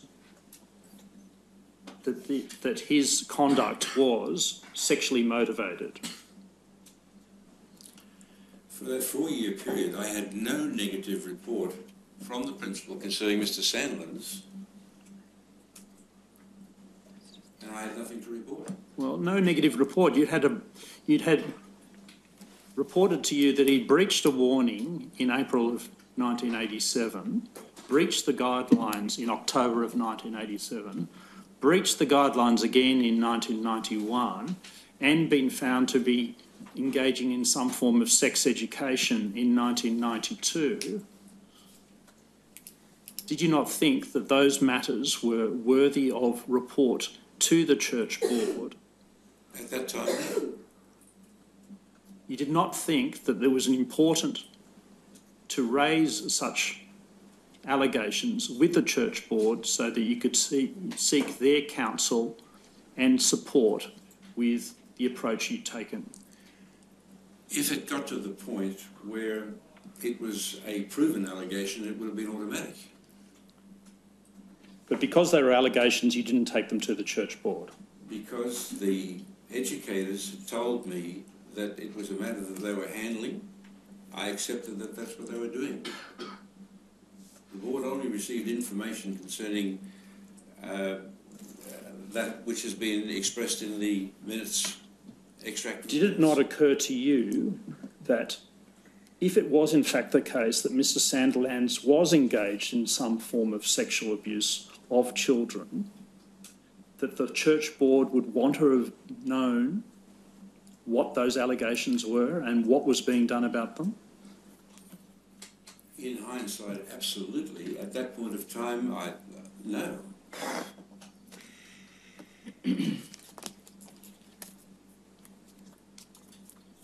At any stage between 1987 and 19 and December of 1992, did you inform the police of any of the allegations against uh, Mr. No. Sandilands?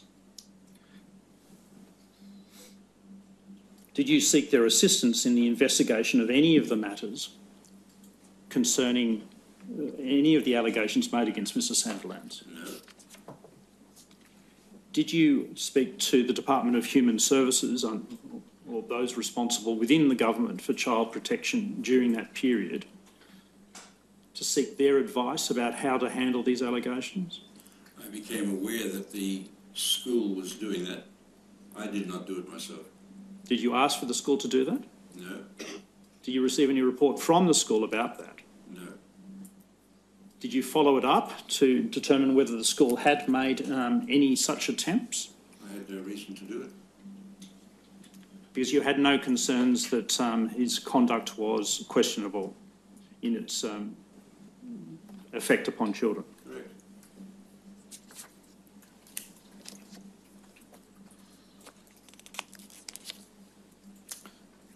Now, Ms Furlong gave evidence um, yesterday um, about an assembly that was called in about December of 1992 at which Mr Sandilands' retirement was announced. Um, do you recall that assembly at all? I was not there. No. Um, and she said it was represented to the uh, to the assembly that Mr Sandilands had retired because of his um, his visual disability. I was not there. I do not know. Does that accord with your memory of what was announced to the to the school community about his resignation? Again, I, I cannot comment. I was not at that meeting, and I, I, I have no recollection of what was said out to the community. All right. Now, in 1993, some further allegations were made against Mr Sandilands. Yes, and they were made by, um, first of all, AGC. You might want to s- check your pseudonym list there. yes, and that Ms Lovell undertook a, an investigation in the sense of interviewing um, that child, AGC, and um, some others as well. Do you accept Yes. that? And um, did you speak with AGC's father, who appears to have brought the allegations forward? I believe I've diarised those meetings. Yes.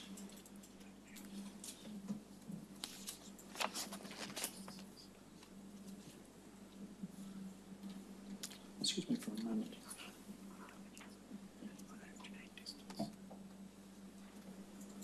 Is that a diary that uh, you have today in the public hearing room? I think there is a record in the bundle. I somewhere I had a, I saw uh, memo to myself that there were I think four parents that had come to see me around that time. But I believe that was after Mr. Sadler's had gone. I'm not too sure of the date. All right, well, I'll just, um, um, we have a memorandum, it's uh, tender bundle 17, if that could be brought up.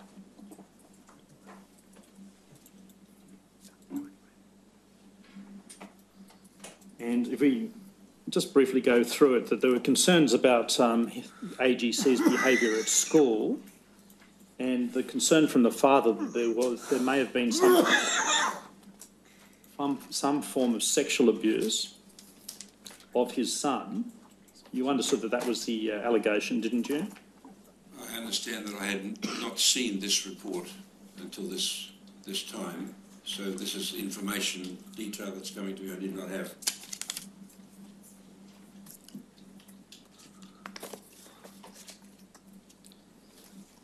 I want you, well, I'll go, I'll go to the next document and then come back to those details. Um, you'll see there's uh, a memorandum to diary dated the 13th of December 1993 at tab 18.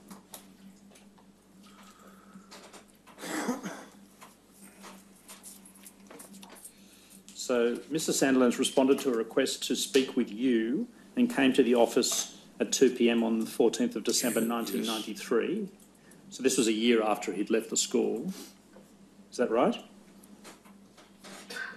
Um, I'm unsure the dates, but I'll say that would be correct. And you see at point three, DVS read the letter and explained the three allegations, and they were against um, AGR. AGR is AGC's father, um, and then AGE and AGX. You may wish to have a look at the pseudonym Okay, I list. I understand that. You know who we're talking about there? I do now, yes. All right. And um, so you accept it was explained to you that there were allegations made um, against three children. Yes. All right. Now, if we go back to tab 17, let's have a look at the allegations that concern AGC, which were communicated by his father, at least to Ms Lovell, and then to Mr Rooks. And we scroll down that page. we'll see that um, touching of AGC's genitals. Um, scroll down further, please. And then AG Ken, Ken touching AGC's penis when he sat next to him.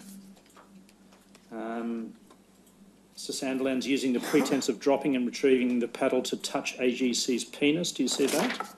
Yes. You go over the page.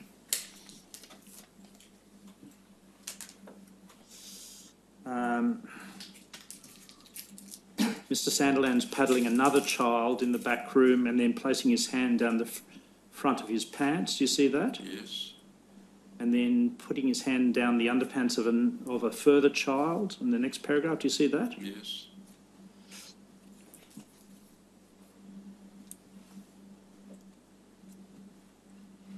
Um, and then Mr. Sandilands in the girls' toilets during the first part of lunchtime, kissing and cuddling um, AGY. Do you see that? Mm-hmm. Uh, Mr. Sandilands closed and AGY with a dress up and pants down, and so forth. Do you see that? Yes. So by the time we get to um, the next tab, Tender Bundle 18, this meeting on uh, the 14th of December 1993, we know that, sorry, you knew that there were allegations of genital touching by Mr. Sandilands of those three children. Is that right? No, that's incorrect. This is the first time I've seen that memo. I had no idea of those, the details of it. This is your memo to your diary. I was referring, I'm sorry, to the previous memorandum I had not seen before. This one I had. What were the allegations at point three Basically, that the- you understood? I understood that the um, allegation was the, uh, at this stage, that Mr. Sandilands was indeed involved in something deeper than I had ever anticipated or expected or even understood could happen. And the conduct that was deeper was the touching of the genitals of these three children. I did not know that, then I just, Are you saying, warrant are you saying that that previous memorandum with the explicit description of sexual abuse of children was not communicated to you by the 13th of December? I have not seen it until this time. That's not what I asked you. I'm asking you whether that, those allegations were was not aware of it, communicated to you. I was not.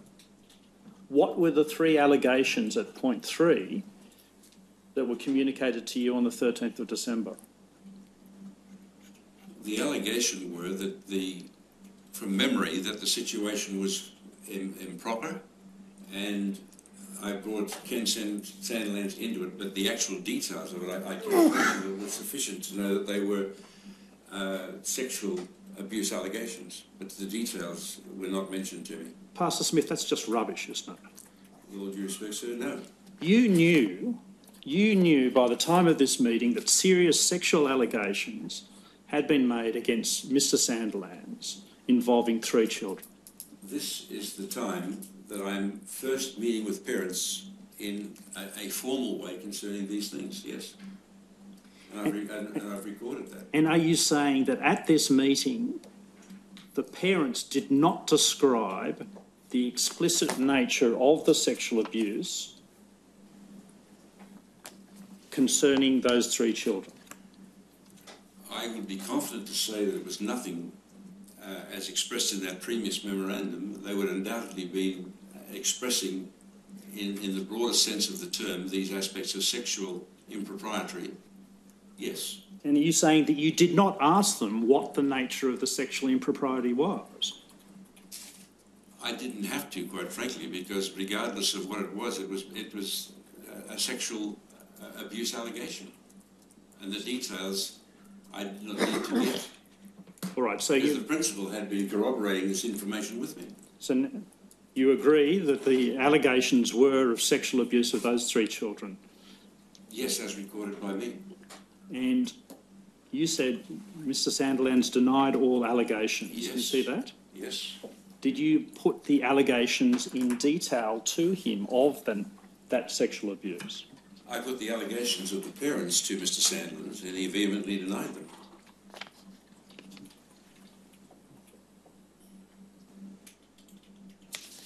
Did you put them in detail to him? Not to those details as previously expressed. No, Why did you not put them to him in detail? because I felt the fact that parents had come there uh, with the allegations was sufficient. I, I did not give him all the details. I said these are sexual allegations against you, And he said, I deny them all. and he's denied them all. And that was the extent of your investigation? Yes, because the uh, that was in collaboration with the principal and the committee that he'd appointed to work with this.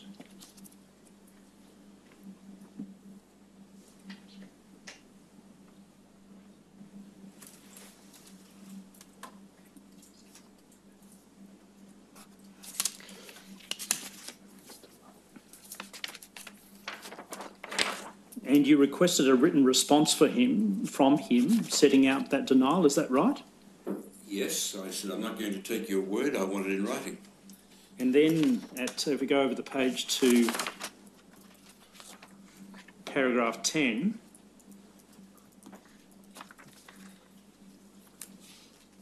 it's a recommendation to BOD, was that the, the Board of directors. board of directors of the church? Yes.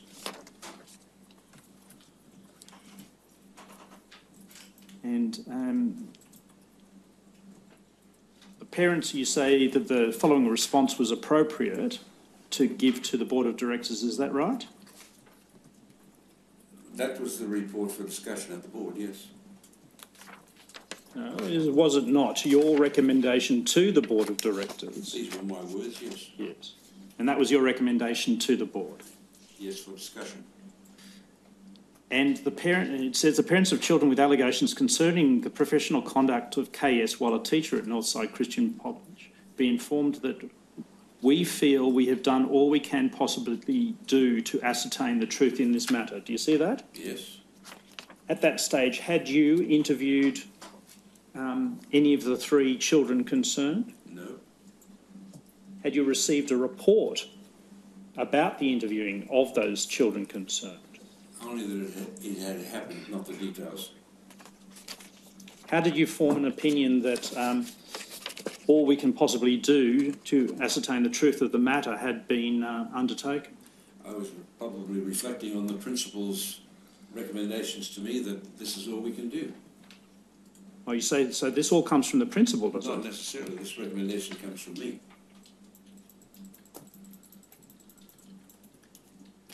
Now you understand that there was uh, that um, the allegations. I think you said earlier involved allegations of sexual abuse of three children. You agree with that, don't you? And you knew in uh, December of 1993 that such conduct was likely to be criminal conduct. I think that the that concept was still evolving, but certainly criminally, yes. And that's speaking Why as did you- not as a professional. Why did you not, at that point in time, refer these matters to the police? Because fundamentally, I believe that it was the parents' responsibility over their children to do what they felt was appropriate to that. Hence, they were given a copy of the letter. As it turned out, they were given the full letter. Um, so, and, and were advised that when it came to the future decisions that they would make, it is theirs to make because they had the ultimate and the highest authority. Is there anything in that recommendation to the Board of Directors or to the parents which indicates to them that they should take the matter to the police? I think one of them mentioned that they would. I said, that is your privilege. There is nothing there at all at point 10 of the memorandum that mentions the police, is there? Correct. You did not at any stage suggest to any of the parents of these three children that the matter be referred to the police. The matter was raised by at least one parent I'm aware of. I can recall that he would be taking the matter to the police, and I affirmed that that is his privilege. Did you support him in that? Absolutely. And how did you, you did that orally, did you? In a conversation with him? I did that orally, and when it actually happened and when the police came, we freely made available all the information we had concerning the situation, Well, in, in 2000, which is you're when it happened. is that what you're referring to? That's if the record shows yes. Well, this record is in relation to 1993, some seven years earlier.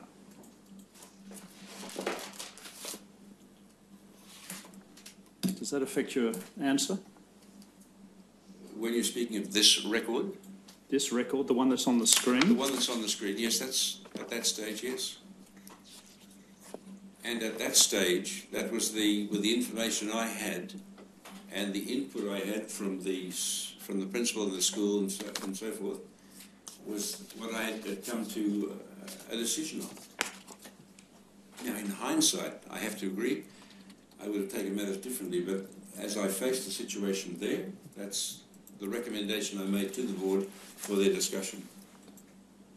I have no knowledge Pastor Smith, you- changed. You understood in December and Jan- in December 1993 and January 1994 that these were allegations of child sexual abuse of children at the school by a teacher at the school, didn't you?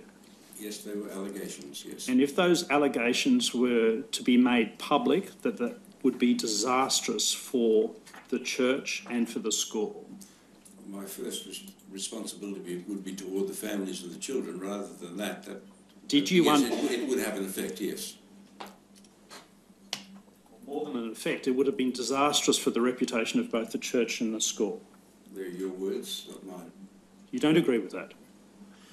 I would not go to disastrous because I think that the church has passed through lots of challenges over its existence and has come through.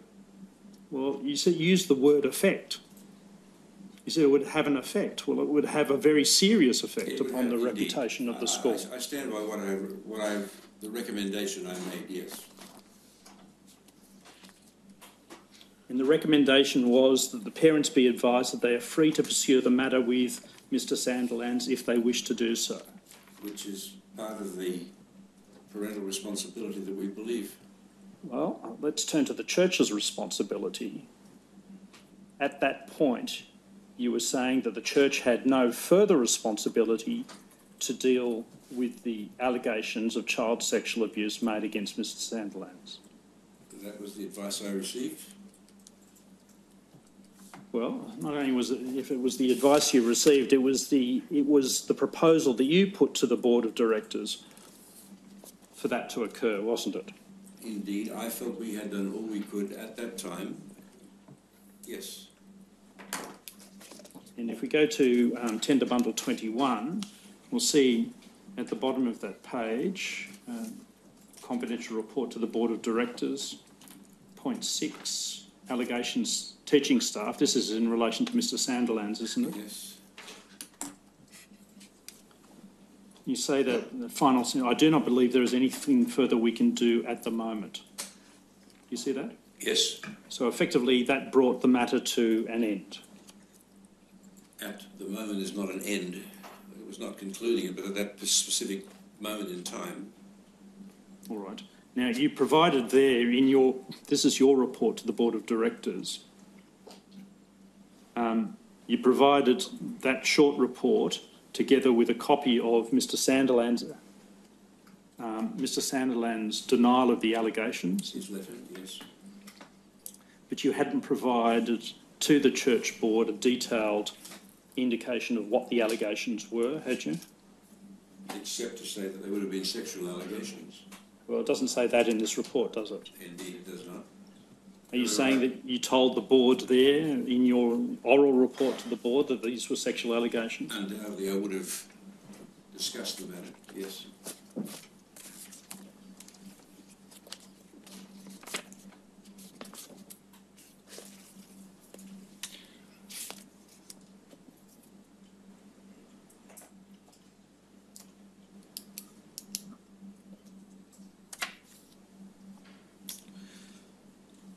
Now, after, in 1993, I should say, um, did, were you still occupying the position of senior pastor of, um, of the church? In 93, yes, I think I was. And did you continue in that role until 1998 Uh, But I handed it over to my associate, yes, to uh, Pastor Spinella, is that right? yes, And then after 1998, you remained on the, on the church board? at the request of the board, yes.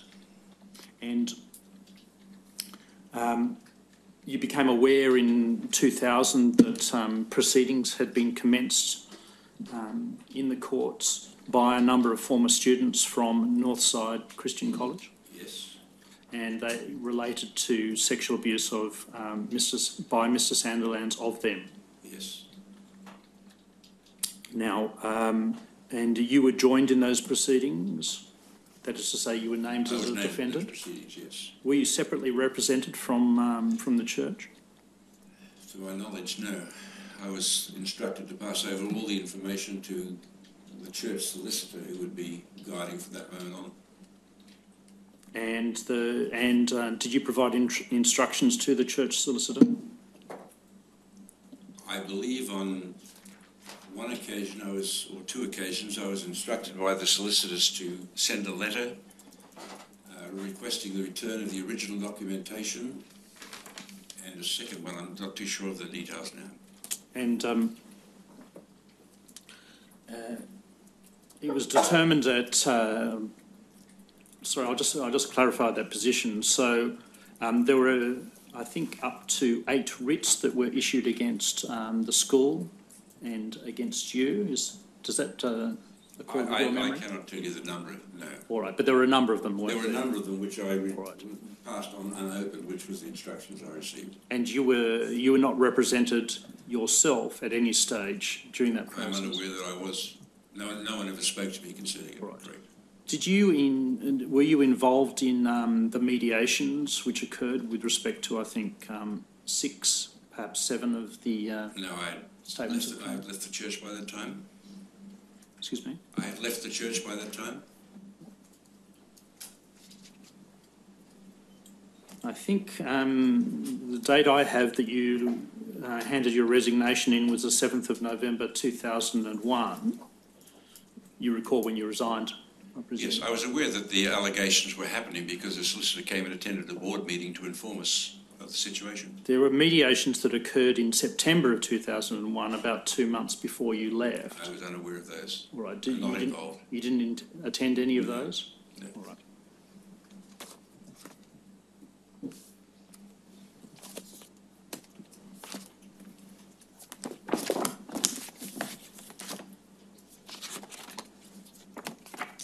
Oh, Your Honour, I noticed the time. I think I'll probably be another 10 or 15 minutes with this one. Thank you. We'll take the luncheon adjournment now, Pastor Smith, until Thank two. you, Your Honour. Thank you.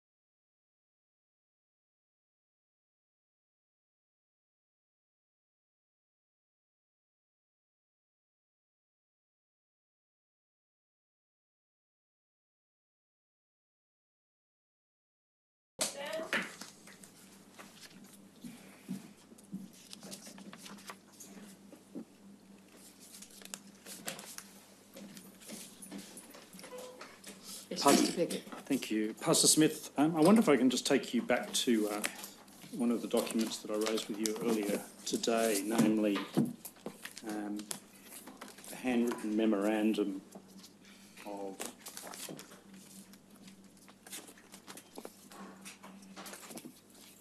twenty-four March nineteen eighty-seven. So first of all, if uh, tender bundle six could come up, please.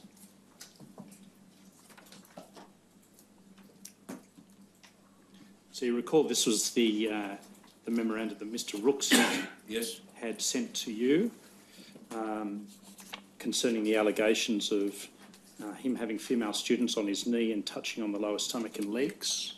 Recall that? Yes. And um, various other matters mentioned there. Now, if we go over to tender bundle seven, your response to that memorandum, as I understand it, is to um, ask Mr. Ingram, sorry, Pastor Ingram and Mr. Rooks to investigate. Is that right? Correct. And uh, you say in that second paragraph, I am very concerned with the report and with you, with And wish you and wish you to treat it with great seriousness an urgency. and great ur- and urgency. You see that? Yes. What was the seriousness and urgency in your Serious. mind? Well, the urgency was asking him to get onto it quickly. The seriousness was the matter that uh, it had the connotations of being serious and to properly investigate it. Uh, was that because it had connotations of child sexual abuse? No, because the, the whole thing had the overtones of being improper and the potential probably would have existed then, yes. The pot- potential probably existed that, that it may have been child sexual abuse. Although that thought never entered my mind, it was sufficient to notice or to note that it needed, that the was sufficient for me to respond to the principal that I needed a fuller report of the investigation, by an investigation. But just specifically, what was what was the seriousness of the allegations that con- caused you to call for that urgent investigation?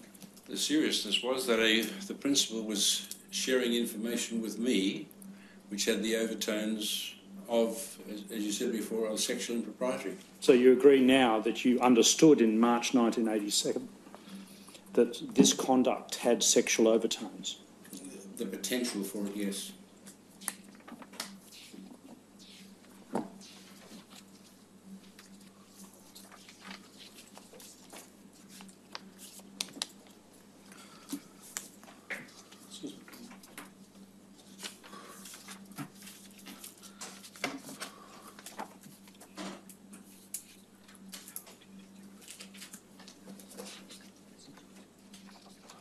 Earlier today, uh, Pastor Smith, I thought you indicated to the to the Royal Commission that that, that behaviour did not have any sexual connotations. That's what I was informed of, yes. After the investigation. After the investigation, but I'm talking about at the time that the allegations arose. Are you saying that your evidence now is that it did have sexual connotations then, at the stage of the allegations, My thoughts But would be later- that- Sorry. but later it was established that there were no such connotations? I saw that it had the potential for sexual overtones, and when I received the report back from the principal and those involved with it, they reported back to me that it was not uh, of that nature. Yes. So it was in your mind in March of 1987 that that contact, that contact with children by Mr. Sandilands may have some form of sexual connotation. The possibility existed, yes. Um, so in October 1987, when he breached the guidelines again, did you consider whether that conduct, the cuddling of children, may also have had sexual connotations? I did not consider that by virtue of the information given to me at that time. Right. Now, just coming to the end of the period, um, let's see. Um, in 2001, this is uh, about the time that um, you resigned. Do you recall there being um, a board meeting where your position on the board was considered? Yes.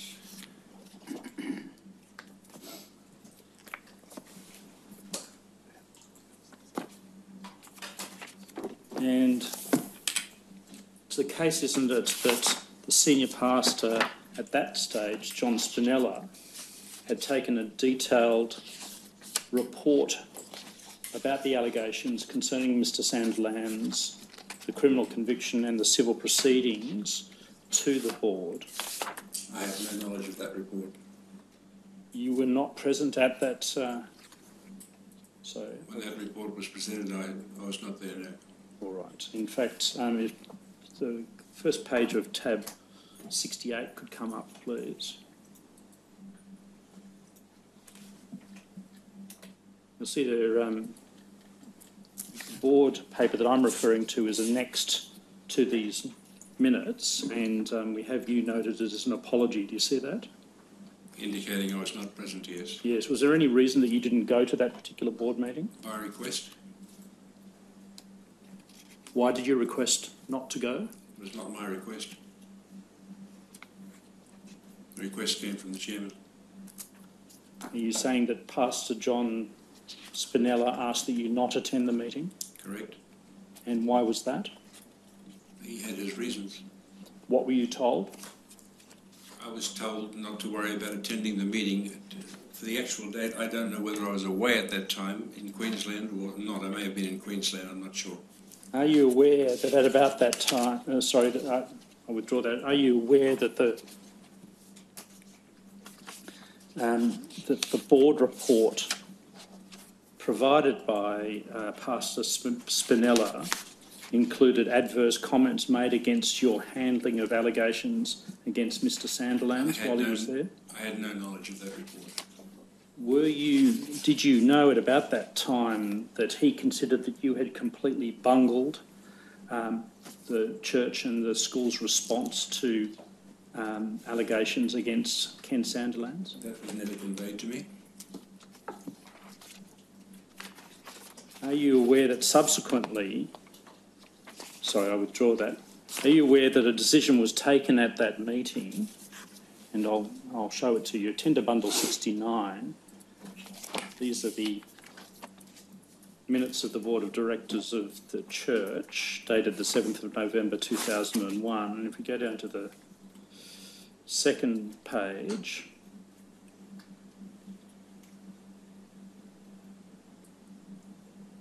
There's discussion of the uh, of the case at point at um, six point three, and then at six point four refers to the implications. Do you see that? Yes? Have you seen these minutes before? No?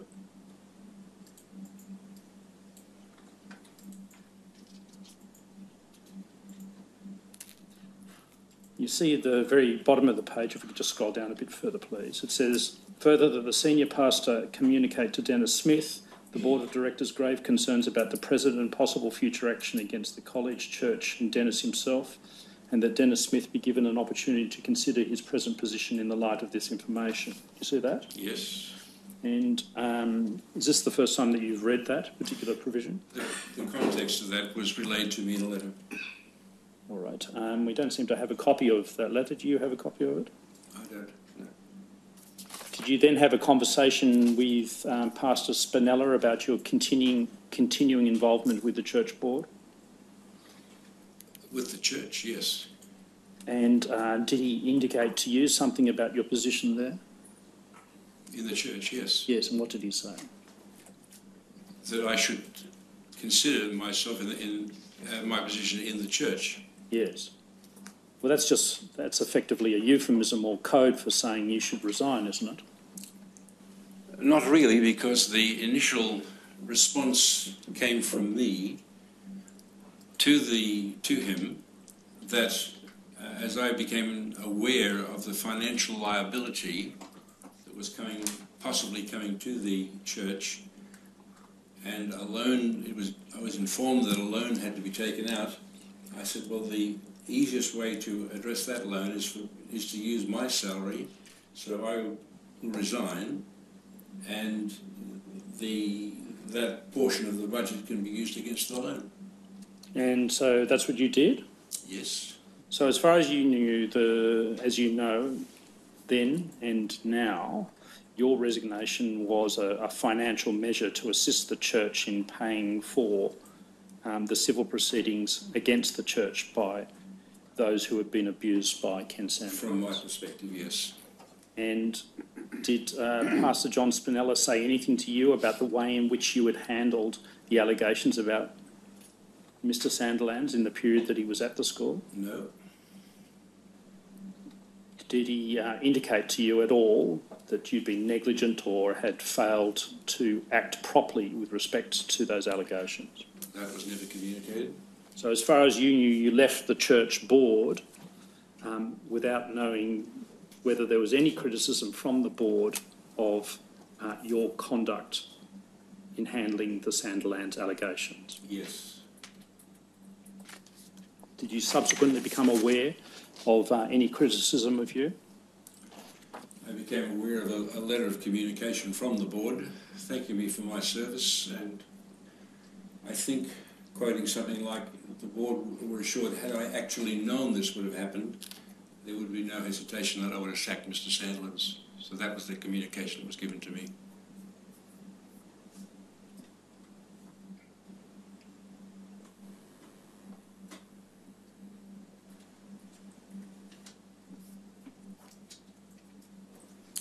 Yes, I might ask Mr. Spinella about that. Um, sir, I understand that uh, from uh, your legal representative, Mr. Pratt, that uh, um, that you have a, a short statement, one page, that you wanted you wanted to read out. Do you have that with you? With your permission. With, uh, with Her Honour's permission. Sorry. Yes. Please go ahead. With your permission, please. I've written it out um, rather than just trust my words. Only on reflection of the information provided through the Commission, I've learned of the harm caused by Mr Sandilands to many children at the college. I am deeply saddened by what I've learned, the harm suffered, and of the deceit perpetrated by Mr. Sandilands. It is my real hope and prayer that all those who have been affected by this tragedy will find a future hope for their lives. I think I'll leave it at that if I may. Uh, Pastor Smith, um, I wonder if um, at any stage after Mr. Sandilands left Northside Christian College, you've provided an apology to any one of Mr. Sandilands' victims. I did not know any of the victims.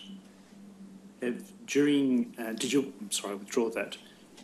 You were aware that there were criminal proceedings against him. Yes, but I was unaware of the names of the people involved. Did you make any attempts to approach the police to tell them that you, you would like to make an apology on behalf of yourself or the church? I do not believe I was in a position to do that. Why not? Because of legal proceedings that were there in which I had no real knowledge of what was happening.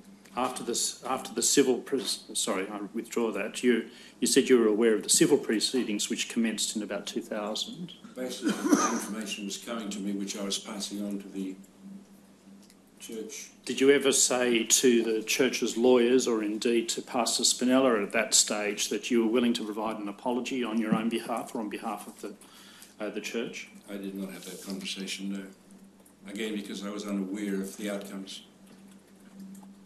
Did you make an offer to any of those victims or to the school or to the church that you were prepared to provide such an apology to the victims of Mr. Sandilands? I did not at that time. So, do you consider you bear any level of responsibility for the abuse of children by Mr. Sandilands at Northside Christian College? In hindsight, yes, And why do you bear that responsibility? because of the outcomes that have been tabled. Again, it's a case of 2020 vision. Had I known this, I would have acted differently. Do you accept that you made any errors of judgment in handling the allegations about Mr Sandilands during the time that he was at the school? I believe I followed all the recommendations provided to me by the educational experts of the, of the college and followed through to the best of my ability. So do I take it that the level of regret is because is more to do with not having been provided with information of child sexual abuse by Mr Sandilands during the time that he was at the school? My level is regret for the hurt that came to the children. Yes, those are my questions. Ms McGlinchey. Thank you. Pastor Smith, my name is Ms McGlinchey. I represent Emma Fretton in these uh, matters. Um, I just want to cover one um, aspect of Ms Fretton's evidence with you. Uh, in your attendance at the school council meetings, do you remember any occasions when children attended those meetings? No, Right. Uh, is it possible that there were occasions when children attended the meetings? I know of no occurrence where that happened. All right. Uh, do you recall any meetings that you were part of with other adults uh, where Emma Fretton was um, present talking about the allegations? No, I, I did not know her and I could not identify her. All right. You've never had a conversation with No. her about the allegations at all? What about any other children at all? None. All right. Thank you. Those are my questions. So I have no questions, thank you. Thank you. No questions, Your Honour. Mr Pratt. Just a couple, thank you.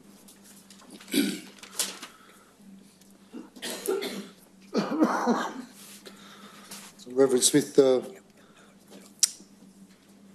Principal Rooks was uh, appointed by you as principal of the college. Yes. What, what type of principal was he? My personal opinion is he was the, one of the most outstanding persons in that role I've ever seen. Was he a, uh, a person that you came to trust uh, in his ability to advise you appropriately as you, Without hesitation. you were shown a, uh, a memo from March of document six uh, is the memorandum uh, relevant to the incident of March 1987.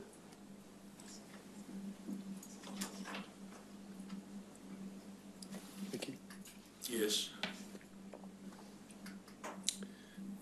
Was it your understanding on reading that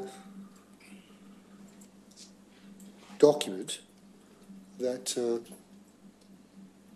the main concern that uh, Mr. Rooks had was the cuddling of the child? Yes. But you've just expressed to Mr. Beckett that your memo subsequent to that was that you were concerned there may have been a, the potential for a sexual overtone. Is that right? I presume that is more in hindsight than the, the time I actually wrote this. Right. Can we just scroll up there?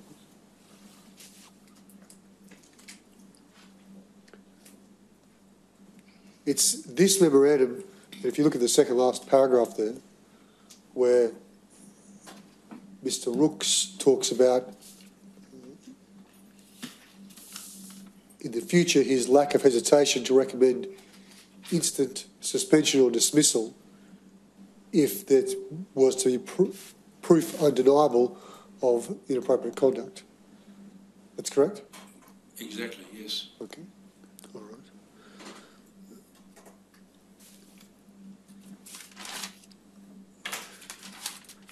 In 19, subsequently in 1987, there was a further report to you in the October. Did that report come with Mr Rooks's recommendation of suspension or dismissal? There was no recommendation. And again in 1991, which is the next occasion you are informed of any allegation against Mr Sandilands, correct? There was no recommendation then either. At that point, there was no recommendation. Yes, that's true. All right.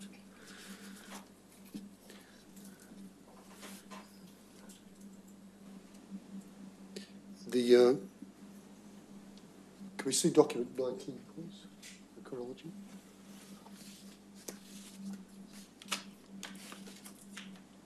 Thank you. The chronology that's on the screen is, is, uh, one drafted by Mr Rooks. Yes. Does the chronology of the allegations, the number of uh, allegations that he has recorded there, accord with your recollections of the allegations brought to your attention? I would say yes. Some of the details I was unaware of, but generally yes. So in that chronology there, uh, Mr Rooks is reporting uh, that there are issues from 1986 to 1987, uh, and then a, a break until 1991, 92 and 93. Yes. They're the allegations that you were aware of? Not during that time, no. They were the ones that were brought to your attention by Mr Rooks. Only the ones that were brought to my attention. Correct. So we, am I correct in saying that therefore no allegations were brought to your attention between October of 1987 and August of 1991? That is correct.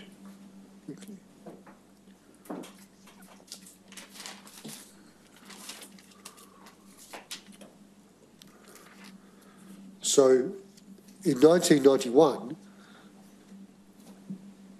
there's a breach of a guideline that was imposed in 1987 brought up. Yes.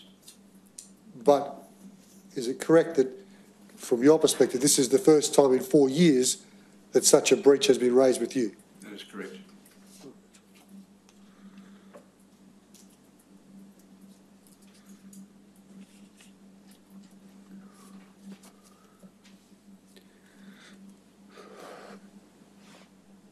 You've spoken previously about being reliant upon the educators such as Rooks in this proceedings. In that capacity, uh, and reflecting upon his memo of March 1987, was it your view that if Rooks held a belief that Mr Sandilands should have been instantly suspended or dismissed, he would have had no hesitation recommending that to you? Yes.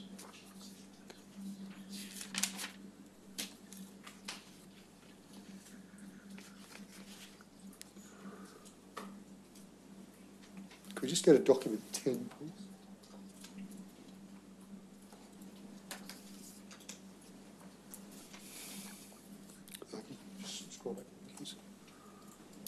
Sorry, go to the top, please. Uh, This is a document that uh, Mr Beckett took you to before.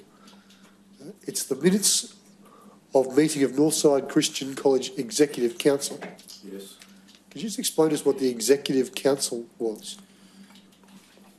Because the college was going through a, a building phase and the council, the full council was unable to meet when required, the council appointed an executive council to handle the matters that needed immediate attention. And that was this group. Yes, myself, Pastor Ingram, Mr Rooks, the principal, and Mr Laureus, who was then the bursar. And you were asked previously whether the issue of Mr Sandilands should have been raised at this meeting. Is it your view that it should have been? No, for two reasons. One, these people would have known about it, and two, that wasn't the major purpose of this executive committee. Just picking up on the first point of that, the personalities who were present at that meeting were yourself, Pastor Ingram, Neil Rooks, and Mr Ellis. It's correct, isn't it, that it, as at May of 1987, all of those people were well aware of the allegations that had been raised in March of 1987 regarding Mr Sandilands? I would say yes. Given that situation, would you agree that it would be unnecessary for that issue to be on an agenda for that meeting or raised at that meeting? Yes.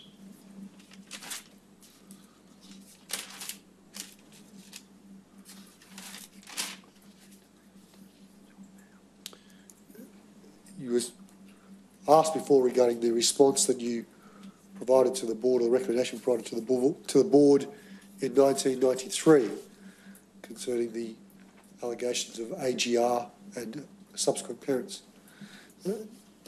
Would you agree that that response could now be more fulsome? I'm sorry, could you repeat that? Do you agree that the response that you provided to the board at that time there, or the recommendation, perhaps could have been a little more expansive than it was? In hindsight, definitely. Yes.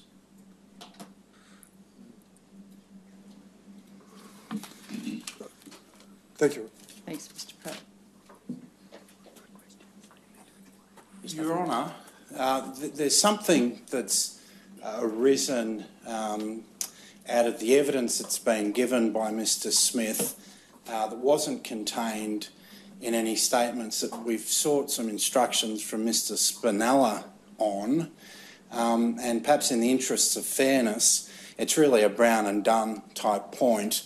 Um, it should be put to uh, Mr Smith, and I'd seek leave to do that now if that's appropriate. Yes, Mr Bird. Um, Mr Smith, uh, my name's Bird and I appear for the Northside Church and College. Um, you've given evidence in respect to some of the discussions you had with uh, Pastor Spinella. You've said uh, that there was a letter, do you recall that? A letter from him. Yeah. That, that would be the best recollection I have, yes. Uh, he will say uh, there was no letter from him, um, but in fact, after that board meeting, what occurred is that he went around to your place to see you. Do you recall that? I think I do, yes. And it's during uh, that meeting that uh, he's outlined the situation to you that's been outlined in the notes of the board meeting. Do you recall that? I do not recall all those details, no. He says uh, the meeting went for about 20 minutes. Would that be right? I have to take his information. And that during the meeting, what is essentially being said by Pastor Spinella to you is that following the mediations, um, it's become very clear uh, that there's a lot of anger towards the way you have handled the allegations of sexual abuse by Mr Sandilands. Do you agree with that? I agree that I've only just read that information for the first time in this report. I was unaware of that. That he had that discussion with you about that. Do you agree with that? I do not recall that. And that he has suggested to you during that discussion that the most appropriate thing for you to do would be to resign. At that point of time, possibly yes, but it was probably a month or so before that that I had intimated to him that I would be prepared to resign to free up the finances of the church. Do you remember uh, Pastor Spinella, Senior Pastor Spinella, talking to you at this meeting following the board meeting at your home, asking you to resign, that it would be in the best interests of everyone if you resigned? Yes, and my, my memory was I thought it came in the letter, but apparently it didn't. Okay. And that as a result of that, you did something to the effect of shrugged your shoulders and said, I suppose that's what I'll have to do then. That's not my style, no. What do you say? I, I accepted that that was the situation and uh, made the arrangements to announce to the church that I was leaving. And uh, he responded formally at that meeting that I was doing that, and that was the end of it. And uh, do you agree with this that uh, you sent a letter of resignation following that discussion with Senior Pastor Spinella? Yes, I do. Okay. Do you have a copy of that letter? Not with me, no. Okay. Thank you, Your Honour. Mr Beckett. Nothing arising. Pastor Smith, did you consider that unfair of the board to request your resignation? That was the way the church was constituted, Your Honour. It had, it had the right and the privilege to do that. And that was basically part of my contract. I could give the church board three months' notice of leaving, and they could give me three months' notice of leaving.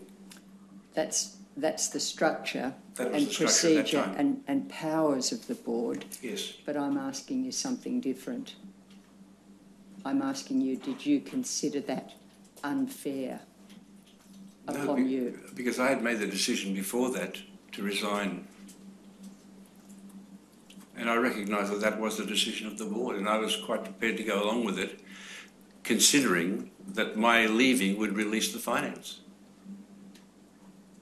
So That was my prime motive. you didn't consider it unfair? No, Did you understand why the board was asking you to do, to um, tender your resignation? at that time, no. So- Except what was re- referred to me verbally and what I have since seen in documentation that I've not seen before. What did you understand was the reason why you were being asked to tender your resignation? Well, the words that were used there, Your Honour, were to consider my position. And evidently, I became aware that my being there was creating some problem for the church in, in that global sense. And so my first response was to willingly leave the church to, so that the church could, could continue into its future. Anything arising out of that for anyone? No, Mr. Bird. Thank you, Pastor Smith. Thank you for your attendance and Thank you, you're Your Honour. otherwise excused.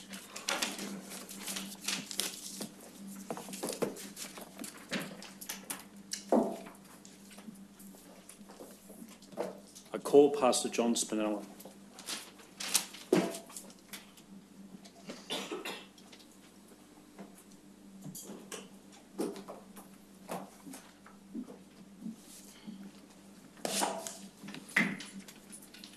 Just before you take a seat, Pastor Spinella, could you raise the Bible? Uh, do you, you wish to take an oath? Can you repeat after me, please? I swear by Almighty God I swear by Almighty God that the evidence I shall give that the evidence I shall give in this Royal Commission in this Royal Commission shall be the truth, shall be the truth, the whole truth, the whole truth, and nothing but the truth. and nothing but the truth. Thank you, Pastor. If you just replace the Bible and take a seat, please, where you are.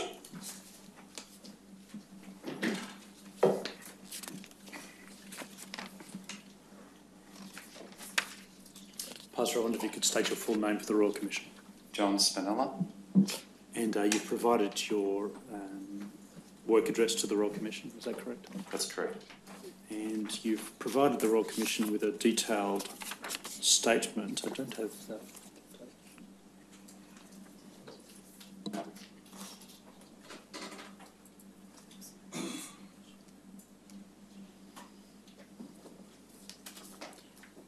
Yes, I apologise, Your Honour. I actually have an uh, unsigned copy of this statement.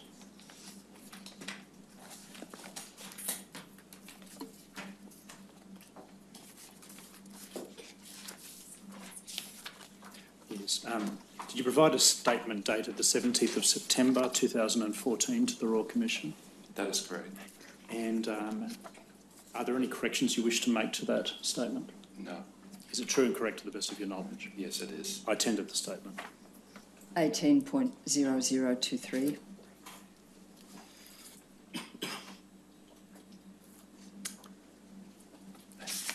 Now, uh, Pastor, I understand that you joined Northside Christian Centre um, in January of 1987, is that right? That's correct. And you were an assistant pastor for six years from 1987, Yes, that is true. um, and then became an associate pastor from 1994 to 1998. That's what happened. Um, from 1987 to 1989, you taught religious education at the college. Yes, Um, did that mean that you, or sorry, I withdraw that. How many days a week were you um, at the school? It was only one or two periods uh, a week, which is 45 minutes And the college and the church are located in the same um, block of land, aren't they? Yes, they are. And um, you would just come across from the church to teach those particular classes, is that right? Yes, that's right. And, and then you ceased doing that in 1989, is that right? Yes. Um, and did you have anything to do with the college in 1990? No. Um, and then, according to uh, your statement, you were appointed. You were appointed to the church board in November of 1991, That is correct. and then in the following year, in 1992, um, you sat on the college council. Is that right? That's the best of my recollection. Right. So during that period, from 1987 to 1989, maybe if we just take that period when you were teaching, Yes. uh, did you have much to do with Mr. Sandilands? Not at all. Um, you knew who he was. I recognised him by sight, yes. Did you go into his classroom at all? Not at all. Did you see him about the school? I would have seen him at the prayer meetings in the in the morning. Did you see him interacting with children at the college? No.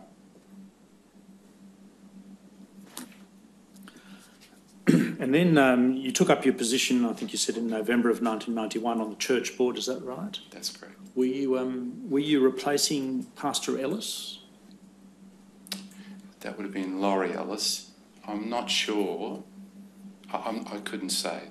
That was the reason I was uh, on the board. I don't think so because I think that Laurie Ellis was still on the college council in 1993 94. That's from what I understand. All right, now, um,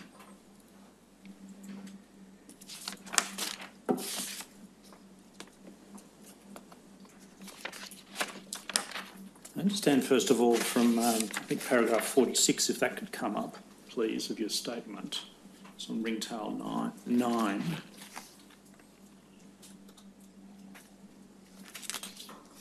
You'll see in paragraph 46 there, you've set out um, a number of people involved with both the church and the school who had children who were in Mr. Sandilands' class. Is that right? That's correct. I think I counted 12 board members and members of either the college council or teachers who had children in Mr. Sandilands' class from 1985 through to 1992. Does it sound right? That sounds right. And no doubt those people would have been concerned about um, their children um, and the welfare of their children. Yes. And indeed, you had one of your two daughters who was in Mr. Sandilands' class in 1992, is that right? That was my eldest daughter, yes. Right. So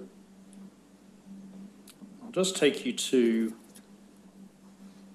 the first meeting that you attended of the church board, which is in November of 1991. Um, I don't suppose you recall that particular meeting.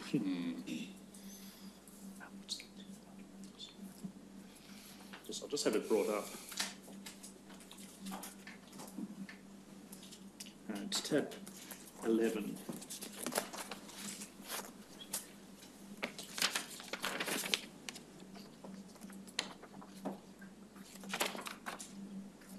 And we see at the second page there, appointments dash board of directors. The actions of the senior minister to appoint Gary Emerson and John Spinella to the board of directors until the next AGM be endorsed. Sorry, that'll come up on the second page, please. See 5.2 there? Yes, I do. So your notice of being present on that occasion with, uh, with Pastor Smith in the chair. Yes, that's that'd be true. All right, now, there's certainly nothing in these minutes which indicates any report from Pastor Smith about concerns about Mr Sanderland at that stage. There was nothing. And were you told by Pastor Smith sorry, I'll withdraw that. Now, as far as we can work out, this is the first meeting since about June of 1991 of the church board. Do you, accept that that's the case? Yes, I do. And in August and September, certain allegations arose against Mr. Sandilands, um, which were resolved by a rebuke. I think you probably heard the evidence earlier today. Um, but that Mr. Sandilands was allowed to, to continue teaching at the school. Um, but in any event, none of that was communicated to you when, at about the time that you joined the board. It was never brought up. Um, in, in 1991, was it ever mentioned to you that there were concerns about Mr. Sandilands' behaviour? Not at a board, no. And until the end of 1992, when he resigned, was there any? Were you aware of any allegations made against Mr. Sandilands? I was not. Um, in those two years that Mr. Sandilands was um, at the school and you were on the church board, were you ever told about guidelines having been sent, set for Mr. Sandilands in 1987 about his behaviour? I, I was not told. I only read them when I was going through the documents, just recently. Um, as a member of the church board from November of 1991, uh, allegations that may have indicated sexual abuse by a pastor of a child at the college, something that you would have expected to be reported to the board? Absolutely. It's a why, Right. why was that? very significant. It's a very significant disciplinary problem. It was also an expectation that uh, disciplinary issues are brought to the board which are of, of a significant nature. I would have expected that. Um, at that stage, was it the case that such matters were dealt with really by the principal and didn't need to be taken to the board? I still would have expected it to come to the board. Right, now there are consideration given to Mr Sandilands' con- continuation at the school in November of 1992 and December of 1992. Do you recall there being some discussion at that period um, of Mr Sandilands' future at the school? Sorry, can you just repeat that again? Yeah, sorry, I've asked you a long question. Um, I'll take you to tender bundle 89, if that could come up. These are the board minutes from 16th of November 1992. If you just can stroll down to the part concerning Mr Sandilands.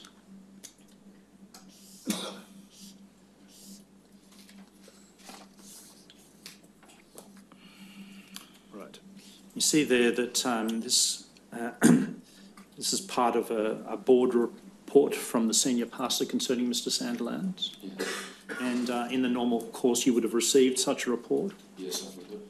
And um, mentions there a comprehensive med- medical report regarding his visual impairment. Yes. And you recall the concern being at that stage whether he was sufficiently able to undertake his duties as a teacher at the school because of that visual impairment. Yes, that came up at the board. It was something that was uh, well known. Uh, his visual impairment was well known. And um, so there was a process in, in, in place for considering what, uh, what his future might be at the college. Correct. And if we go over to tender bundle 19, the entry for, sorry, withdraw that. Um,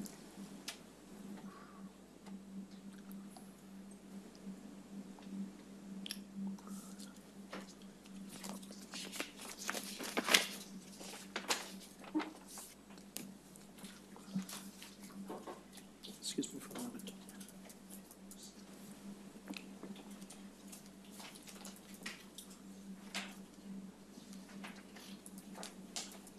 Yes, if tender bundle 15 could come up, please. then there was a further confidential report to the board. If we go down to the next page, point 19.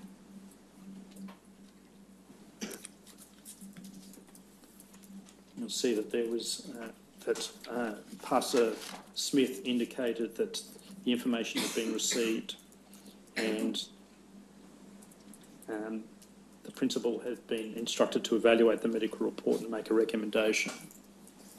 Do you see that? Yes, Um, so, do you recall receiving this report or something like it in, in December of 1992? I do.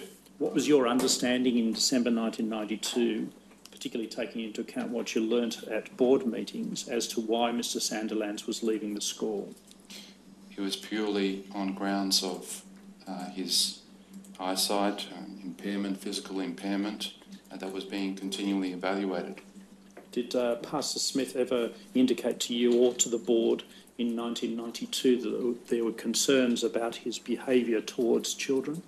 Not at all. Did he ever indicate that there were allegations that may have been construed as child sexual abuse? No.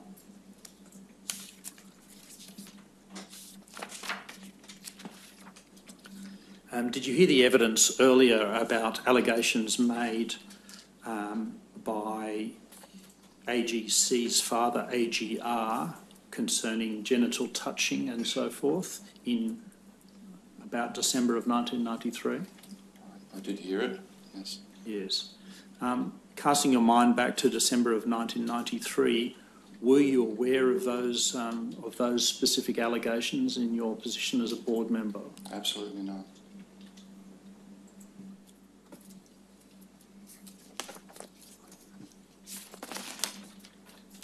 Let's be clear. I'll take you to tender bundle 17. If you just scroll towards the bottom of that first page, or actually, you could stop there. The um, have you ever seen this memorandum from Kerry Lovell to Neil Rooks, dated the 29th of November 1993? I have seen it, but only when I was reading through the, all the documents.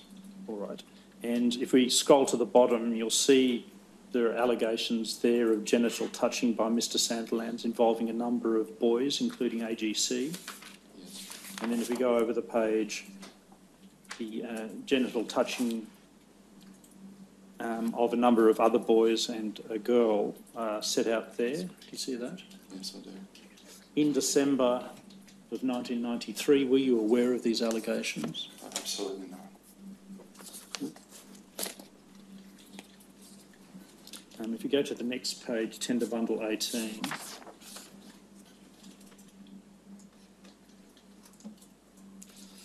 Um, now, according to this, um, Pastor Smith had a meeting with Ken Sandilands on the 14th of December 1993, um, in which he raised the allegations with Mr. Sandilands. Yes. Um, were you aware that such a meeting had taken place? I was not aware.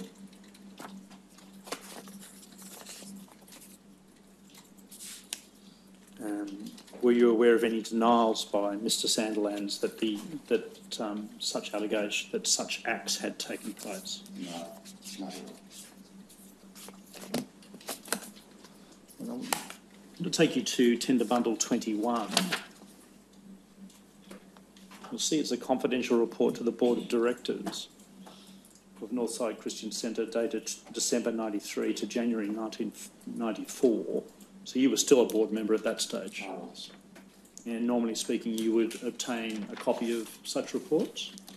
Correct. Normally speaking, that would be the case. There would be sometimes, if it was a, a highly confidential board report, it might be handed uh, handed out to members at the meeting. All right. Um, are you aware of this particular document? I am aware of it now. Yes. And if you scroll down, you'll see it, um, point six, allegations teaching staff. Yes. Um, you'll see there that there's reference to the matter being pursued with the person concerned and Pastor Smith receiving a letter from him denying all allegations. Do you see that? Yes, I do. And then there's notification of the, the state superintendent uh, and that the principal has spoken with the three families concerned. Do you see that? Yes, I do. And a, a further statement that I do not believe there is anything further we can do at the moment from Pastor Smith. Do you see that? Now, having read that, do you recall receiving this particular document in December or January 1994? To the best of my recollection, I do not remember this document. Do you remember any discussions at about that time of allegations against um, Mr. Sandilands, particularly allegations of child sexual abuse? I've tried to go back, and this has been something I've thought about quite a lot. I've tried to go back to that time, and I cannot remember being part of this board meeting. I've tried to look at the agenda, what's been discussed. To the best of my knowledge, I cannot remember being part of that. All right. I mean, they're pretty explosive allegations that you've heard today in the Royal Commission, aren't they? They are. And you'd expect to, uh, uh, to, given their severity and the litigation that followed, the reputational effect upon the school, you'd certainly remember them if. Um, Oh, absolutely. yes. Absolutely. All right. Now, do you think it was the case that Pastor Smith did not provide you with a copy of this confidential report? That could be a distinct possibility if I was not present at the board meeting. It's the only, it's the only way I can uh, have of explaining why I'm not aware of this. Um, do you recall other instances where Pastor Smith kept um, such confidential reports from you? All I can say is that from time to time, if it was something of a really confidential nature, he wouldn't send it out. He could, he would give it at the meeting, and then he wouldn't send it out by post if, if a person would ask. He would just, we would simply receive the minutes of that meeting. All right. Um, now, casting your mind back to both the time when you were uh, teaching religious education at Northside Christian College and then when you uh, joined um, the church board in 1991 and also the college council in 1992, did you, were you able to witness firsthand the relationship between Neil Rooks and Pastor Smith? Yes, I was. And what was the nature of that relationship? Both of them are very strong characters. There is no doubt that uh, Pastor Smith was the leader. He was the leader of the church. He was, even though um, Neil Rooks was the principal, still he reported to Denis Smith. But both of them were competent leaders. That's what I remember. Uh, in your dealings as a, in those positions in the church board and the college council, did you think that uh, Denis Smith deferred to Neil Rooks? In operational matters, I would say yes, but in major decisions, I would say no. So matters involving um, allegations against um, a teacher, which which category would they fall, fall into of those two? Yes, I would say that is a significant matter that uh, Denis Smith would have uh, overseen. And if um, if Pastor Smith didn't agree with a recommendation from Mr. Rooks, would that um, was he was he likely to accept the recommendation, or was he likely to take action to reconsider the recommendation?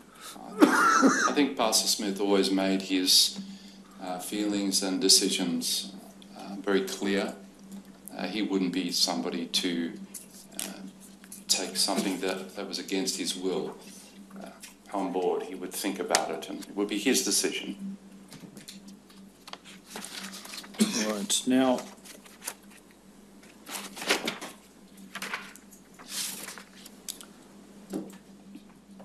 Are you able to assist the Royal Commission at all by indicating why Pastor Smith would not have, or sorry, did not raise the allegations against Mr. Sandilands at the board level? I don't know. I, I cannot say why he did not. Did he express to you that he was concerned about the reputation of the church or the college? No, not at any time in regards to this. Right.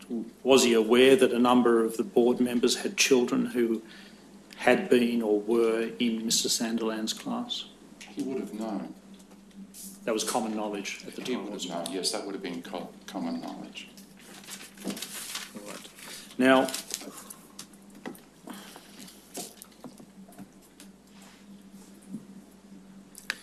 um, you say in your statement at uh, paragraph 48 and onwards that um, you don't recall receiving an allegation of sexual abuse or any allegation for that matter um, against Mr Sandilands by AGF or AGE, her mother. Sorry, the other way around. AGF, the mother, or AGE, the daughter. That's correct. Um, when was the first time you heard of any allegations against Mr Sandilands involving abuse of? AGE?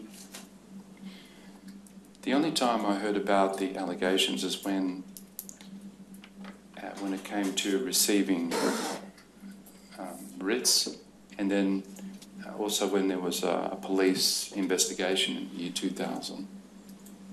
And that slowly evolved in, into knowing who uh, had actually been abused. Before that time, I did not know. So you've now been, had an opportunity to review all of the uh, documentation that was available regarding Mr Sandilands that was at the school in that period, 1986 through to 1992, haven't you? I have. As, much, as, indeed. I, as much as I can. yeah. Yes. In any event, by the end of 1993, you'd been provided with none of that material. Not at all. And you were not aware of any of the allegations against Mr Sandilands. Correct. So I presume when the, when the writ arrived, were you taken by surprise? Absolutely shocked, disappointed, saddened that this had happened in our school. Um, and um, you set out there at paragraph 63 the, the approach to responding to the claims. Now, I take it first of all that you determined to do, the, sorry, I withdraw that, that the, the church together with the insurer determined to do what it could to settle the claims. We did. Um, did you get as far as filing defences in, um, in any of these proceedings? Basically, it was all handed over to the insurers and they took charge. Right. Was there any ever was there ever any discussion about a conflict of interest between the school and Denis Smith um, in the litigation? No, there wasn't actually. Was there any consideration that Denis Smith might be separately represented from from the church? That never came up.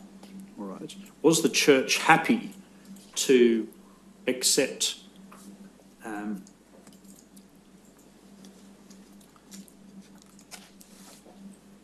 liability for the actions of Denis Smith in handling the allegations against Mr. Mr. Sandilands?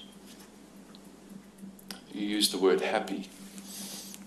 We accepted the fact that he was an employer, employee of the, of the church, and as such, uh, the church had liability. You didn't consider uh, cross-claiming against uh, Pastor Smith to obtain some part of the, uh, the, the ultimate sum from him? No, it, the, as the mediation took place, it became clearer in our mind what had, what had actually happened and the extent to which um, Pastor Smith or Denis Smith had been uh, involved or had not acted uh, appropriately.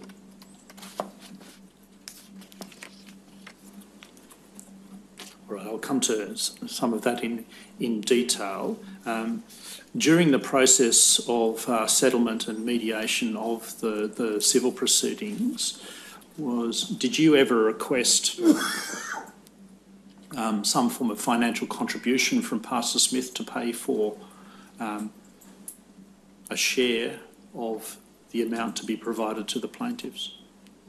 No, we did not. Why was that the case?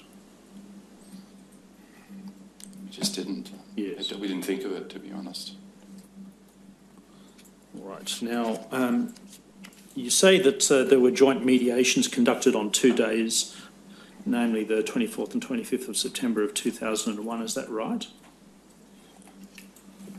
Sorry, can you just repeat that? last- Paragraph 65 of your statement, you refer to um, two days in which joint mediations were conducted. Correct.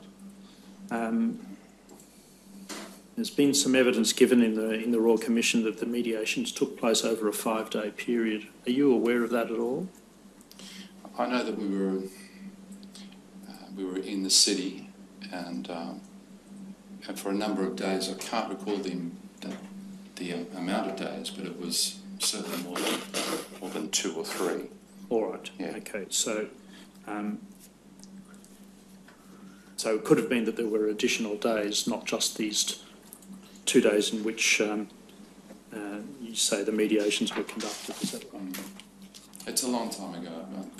But It also appears to have been a long time over which, that is to say, the mediation seemed to have taken a, quite a long time in the scheme of things. Would you agree with that? yes, it seems that there was some that was settled together, and then there was a couple more that, um, over a period of time, were settled. Uh, do you have any interaction with the, the plaintiffs, the, the victims of Mr. Sandilands during that process? No, we did not. Um, now, you say at paragraph 63 that the, that the approach taken by the church was that uh, the church and the college had failed in their duty of care to the victims. Yes, You see that? yes. Was that ever communicated to the victims? During uh, the mediation, there was an opportunity to speak to the to the victims and their parents. Uh, when that opportunity came our way, we we said yes, we'd like to do that. Um, we know that at that time there was a lot of anger, and so only only a few came. None of the victims, but uh, to the best of my recollection, parents came, and uh, we expressed our heartfelt sorrow for what had happened to them and their children. Now, at about this, oh, sorry, I'll withdraw that. Um, was there ever a request made of you as um, the, the senior pastor at the church to provide a, um, a written apology to Mr. Sandilands' victims? There came, there came one request by memory, and yeah, there came one request, and that was not of the five, to the best of my recollection, but was one of the other two. That was settled later.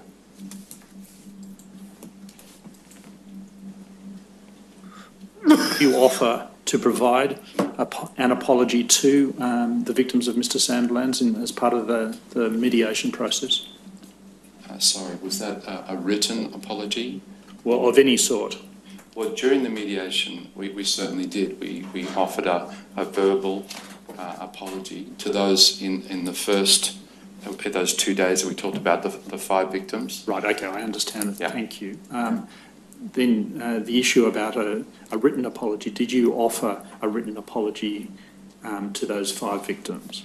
No, we did not. Did you offer a written apology to any of the additional victims? Th- There was one, uh, which I'll bring up now, there was one that uh, actually specifically asked for a written apology. Can I comment on that one? Yes, did you provide Yeah. that written apology? That, uh, that was our failing.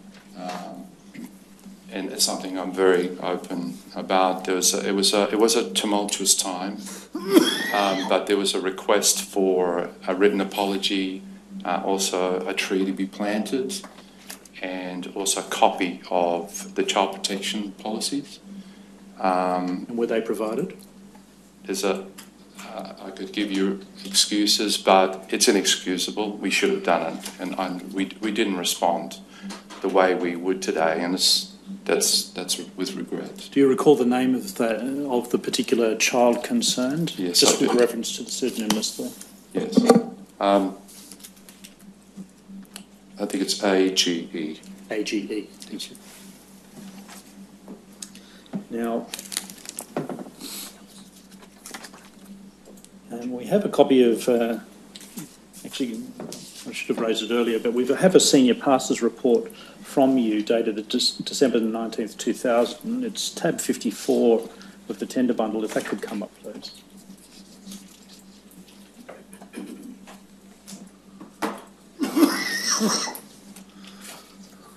And if we could just go to the second page.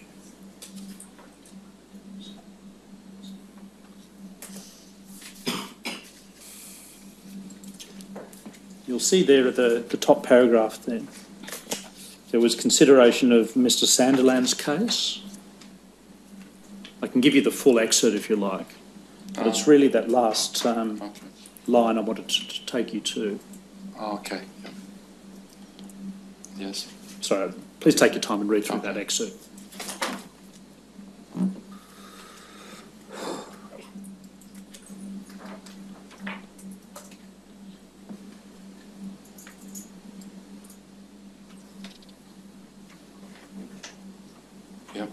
I. Um, so, do I take it then that uh, you were concerned there from that last um, sentence? Thank God that the name of our college has been kept out of the media to date. You were concerned about the reputation of the, the church and the college? Uh, certainly, it was something that uh, we never envisaged that would happen to our church or college. That was a part of the response, yes.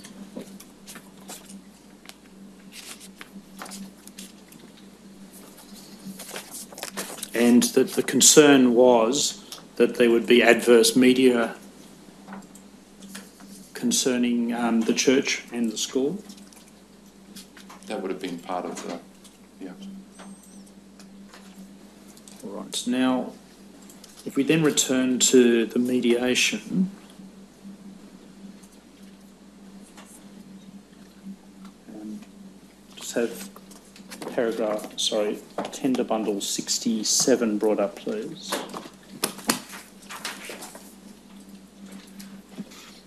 Now, just before we go there, um, as a result of the mediations, you understand that a deed of settlement was entered into between the school um, and uh, the various plaintiffs. Yes, I'm aware of that. And not only did it indicate that a sum of money would be paid to each of the plaintiffs, you understand that, first of? Yes, And also that they would agree to release the church from any further civil litigation. Did you understand that? I understand it now, yes. Yes. Well, were you involved in, in this part of the mediation? Uh, when it came to all of the uh, technicalities of um, these things being drawn up, it was left in the hands of, uh, of, of the lawyers, insurance lawyers, church lawyers. Um, But they were speaking, they were seeking instructions from you about how to, the amount, for example, and the settlement? no, they, they were not. They basically, um, they, they're the ones who led it, directed it. We were just um, there. Our part in the, in the whole of the mediation was to understand the, the severity of what had happened, and that became abundantly clear. But when it came to um, amounts and um, that, that, that, that was something that they settled with the, the other uh, plaintiffs' lawyers. You understand that the effect of this deed, for example, is that it, um, that it mentions you as a defendant, that is to say, Northside Christian Centre as a, as a defendant. You understood that? Yes, I do. And that irrespective of the insurance claim that you'd made, that this deed bound you as much as it did bind the plaintiff. Did you understand that? I understand it more now. Yes. I just wanted to take you to clause 11. It's on the fourth page, or ringtail 77. Just read that clause to yourself, please.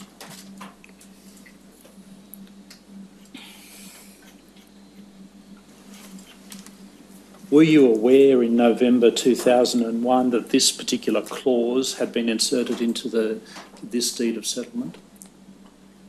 I can't say with any certitude that that was the case. Um, whether that was a standard clause, I'm not too sure, but we left that again in the hands of lawyers to, to deal with it. You say they didn't raise this issue of confidentiality specifically with you? Not specifically with me, no.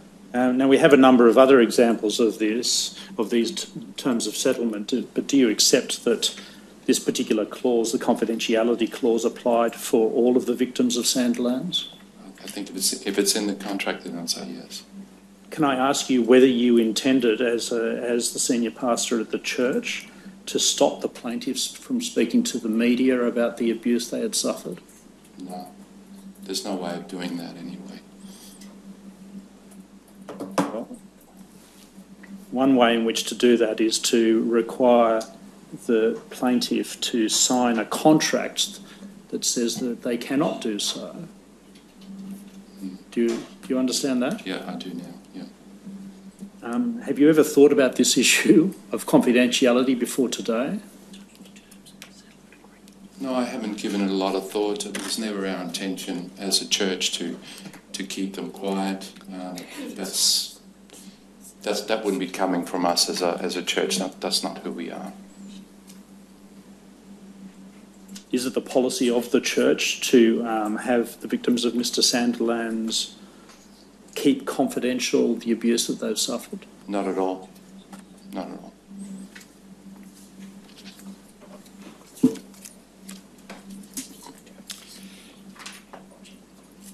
Now, you heard some evidence earlier on about conversations you had with um, Pastor Spinella about the time of his resignation. Yes, I, I did.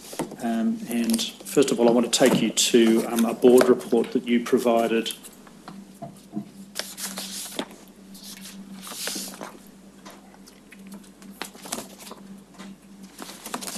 Um, in uh, November of 2001, if Tender Bundle 68 could come up, please.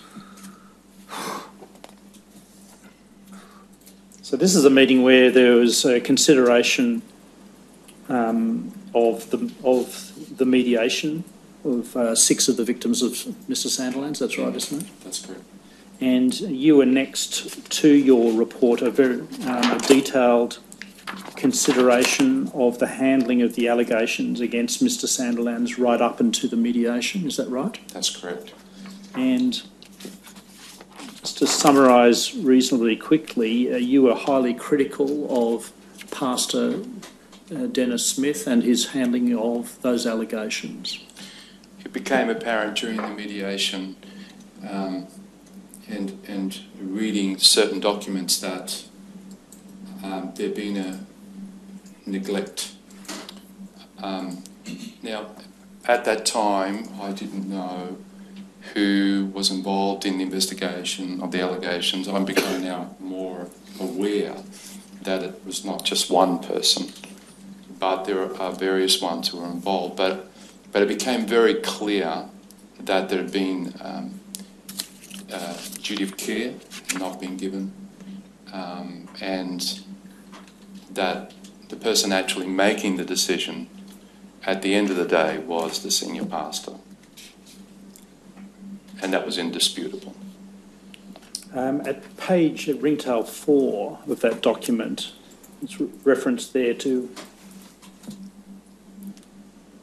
the hatred that parents and children had towards the college. Do you see that? Yes, And the barrister concerned was taken aback by that. Do you see that? yes, I do.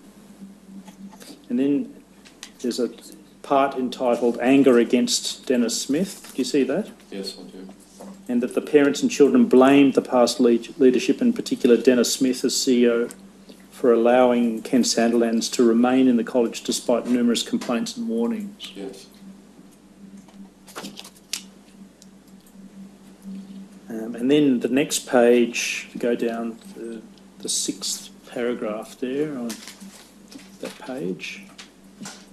Um, there were issues about integrity issues in Denis's statement that don't sit right with me. Yeah. He is in effect calling Anne Brown, Tim Brown, and multiple parents and students liars. I personally would not forget if a teacher was being accused by parents or children of indecent behaviour. Pastor Smith has an excellent memory. Do you see that? Yes. So, do I take it from that you were concerned that uh, Pastor Smith was not telling the whole truth? Yes, that would be true. It was um, examination in particular, if I, my memory serves me correct, uh, was the examination of his police statement um, that just did not sit right with me.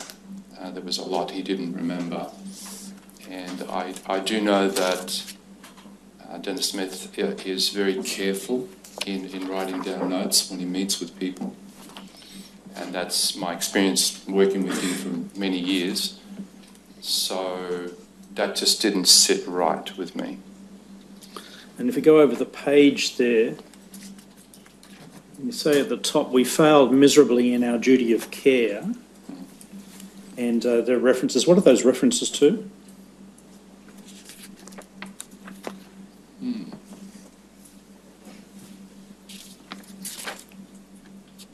I'm not 100% sure on that one. All right. To be And then, then the next thing you say, Denis could have contacted the Education Department for advice, CCS, the Police Department. Do you see that? so you were not aware that any of those steps have been taken by Pastor Smith?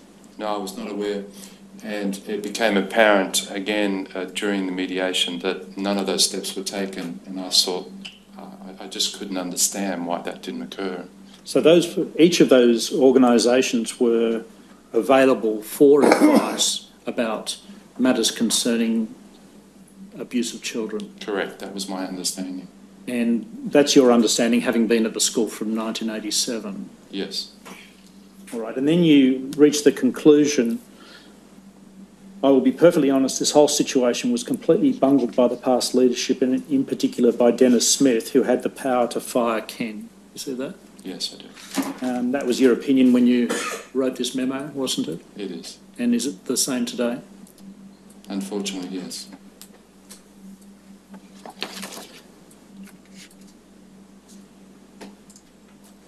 You spoke to, if we go over to page seven, you got some advice from the state president of the Assemblies of God.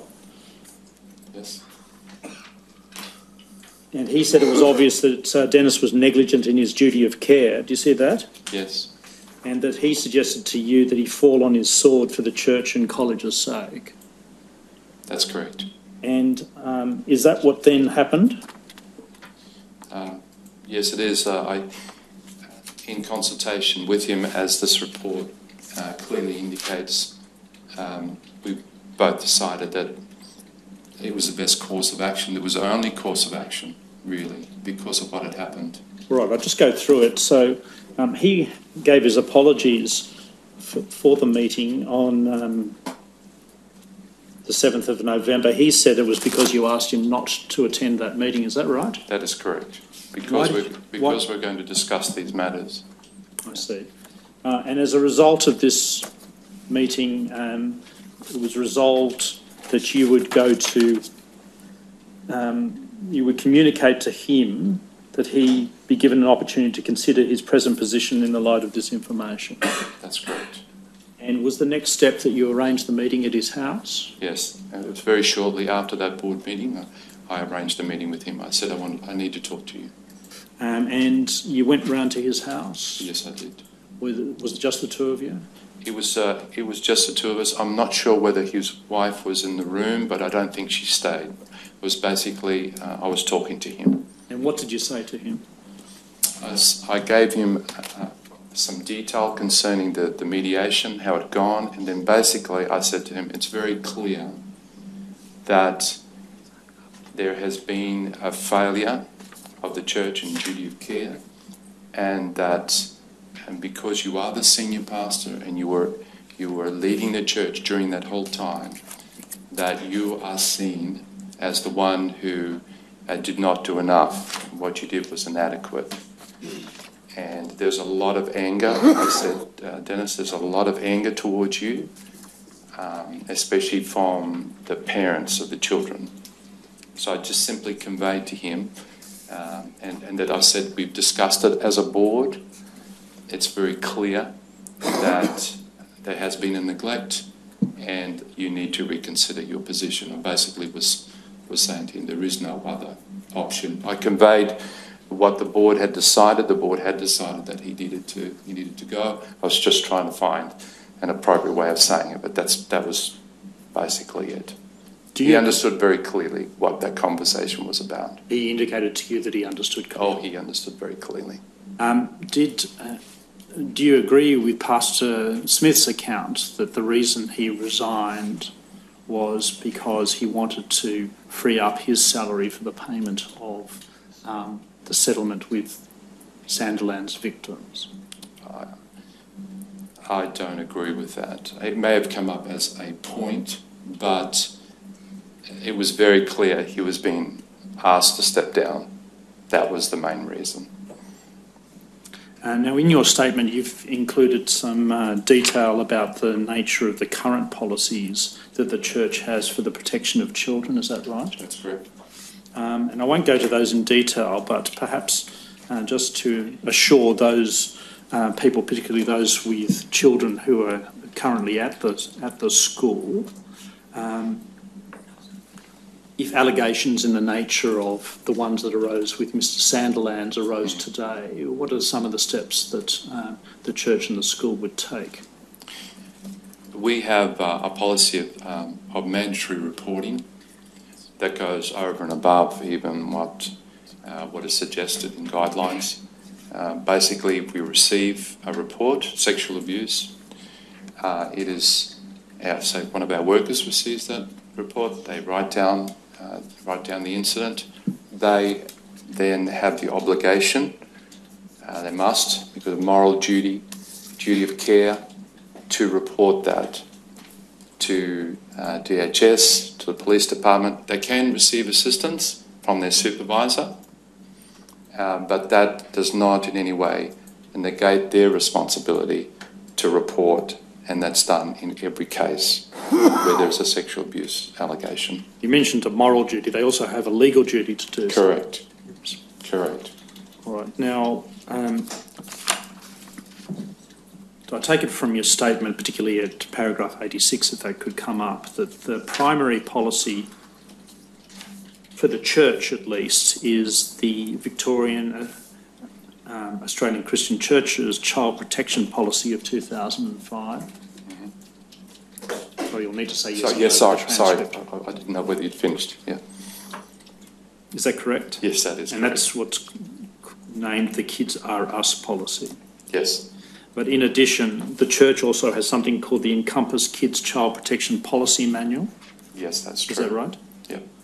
And in either or both of those documents, it specifies the nature, the types of matters um, that would be considered suspicious Yes. or of concern, Yes, it does. um, and that would pick up um, uh, the conduct such as placing of children on the knee, Yes, and the frequent cuddling of children, absolutely. and they're the kind of matters that would be reported through Absolutely. to DHS or Immediately. yes. And what about for more serious allegations? So, for example, we've heard evidence of allegations of Sandilands touching the genitals of uh, of children. What steps would you take in those circumstances if they came to light?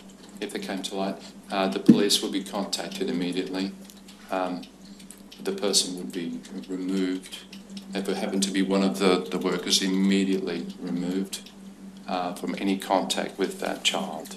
The safety of the child is, is of the utmost importance. So the police will be called. All right. Um, if the, the person involved was a pastor of, of the church, what's the process that would apply there? They would be stepped. Is the senior pastor or one of the pastors? Well, let's start with the senior pastor. the senior pastor, uh, he would be uh, he would be stepped down, uh, suspended. His his role would be suspended. It would then go to the board of directors. Of course, it would go again to the, the police for investigation. Um, it would be reported immediately, and an investigation would take place. He would not be uh, replaced at all until that all that investigation took place. Even then, um, there would be a very slow process in uh, putting him back into into that position. Or are you aware of the process under the administration manual of, uh, of the ACC, Yes, I am. the, the grievance procedure? Um, It'd be good if I could have it here, but yes, yes, I am. Yes, well, generally, generally speaking, you, you're aware that um, the process where there is an allegation against a, um, a senior pastor, particularly indeed any pastor with a credential, that um, the church informed the state executive Yes, of the I'm ACC. I was going to say that. I'm sorry, I missed a step. Yes, because he's a credentialed minister uh, with the ACC, the, um, the state executive would have to know. They would have to be informed, and they would become part of that investigation as well. But does not negate uh, what is taking place with the police. And um, what are the steps taken within the church to advise those, particularly at the senior end of the church, about those policies and guidelines? Sorry, can you just repeat that last Yes. question? What what steps are taken within the church to train or to impart the information that's in both the church's policy and also in the ACC's policy about um, such matters? There's um, whenever somebody um, applies to become a children's worker, uh, they have to fill in uh, they have to fill in forms, but but in particular they have to read uh, the ACC um, policy, child, child policy. They have to sign off that they've read it. Uh, then there's a, a number of questions that uh, that are asked of them, and then there's a, a continual um, re-education, an annual annual re-education of that, sometimes biannual. It's something that needs to be instilled on a constant basis. The, the, um, our mandatory reporting requirements and um, different sections of the, of the ACC child protection policy.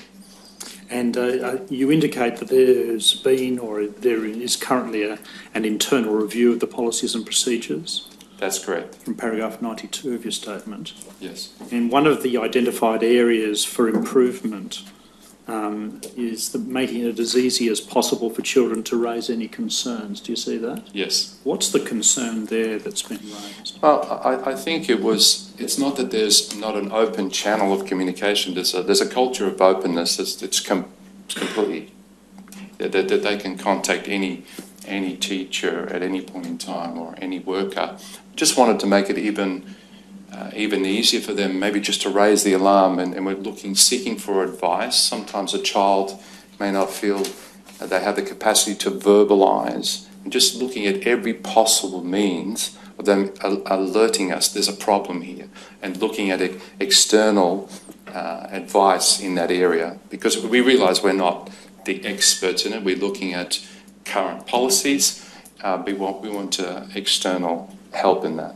All right. And uh, have you been looking to the ACC for that sort of assistance or uh, to other bodies? Uh, we're looking to other bodies. Uh, Childhood Foundation is one we're looking at right now, and uh, it's yeah, we, we become part of that process. All right. And, uh, and in your dealings with the ACC, particularly the Victorian level, have they been of assistance to you in, um, in the development of policies and the handling of complaints? The the oh, so there's two questions. The the development uh, the, the ACC policy, I think, is a uh, child protection policy is a robust one. Uh, we're looking to the ACC in, more in regards to implementation of that policy, because one thing to have a policy, it's another thing to implement it and have practices.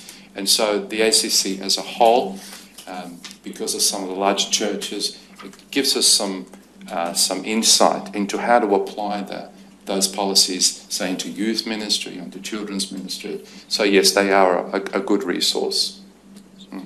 Those are my questions. Thanks, Mr Beckett. Ms McGlinchey. Thank you, Hannah. Um, Pastor Spinella, my name is Ms. McGlinchey and I represent Emma Fretton in these proceedings. Uh, just um, two matters. Uh, uh, the mediation, you participated in the mediation on behalf of the church. Yes. Uh, you were here when uh, uh, Emma Fretton gave, gave evidence about her uh, reaction to seeing a, a, a group of people on the other side praying together. Um, do you recall? Did, do you recall that event? A prayer meeting at the beginning of the the mediation, or a prayer group? I don't, I don't recall that being a prayer group. We may have said it just a quick word of prayer, but certainly was not something um, that stands out in my mind. I couldn't give you a location. I couldn't give you an extent of time. It may have been just, just a simple prayer. But that's all I remember, and I, I I don't want to doubt in any way what Emma is saying. That's just all what I remember. Right. So you don't remember a group when you all sort of stood together and said a prayer at the beginning of that? No, there was only three of us at that time. There was myself, there was my wife, and there was another board member. There was only three that actually came um, together from memory.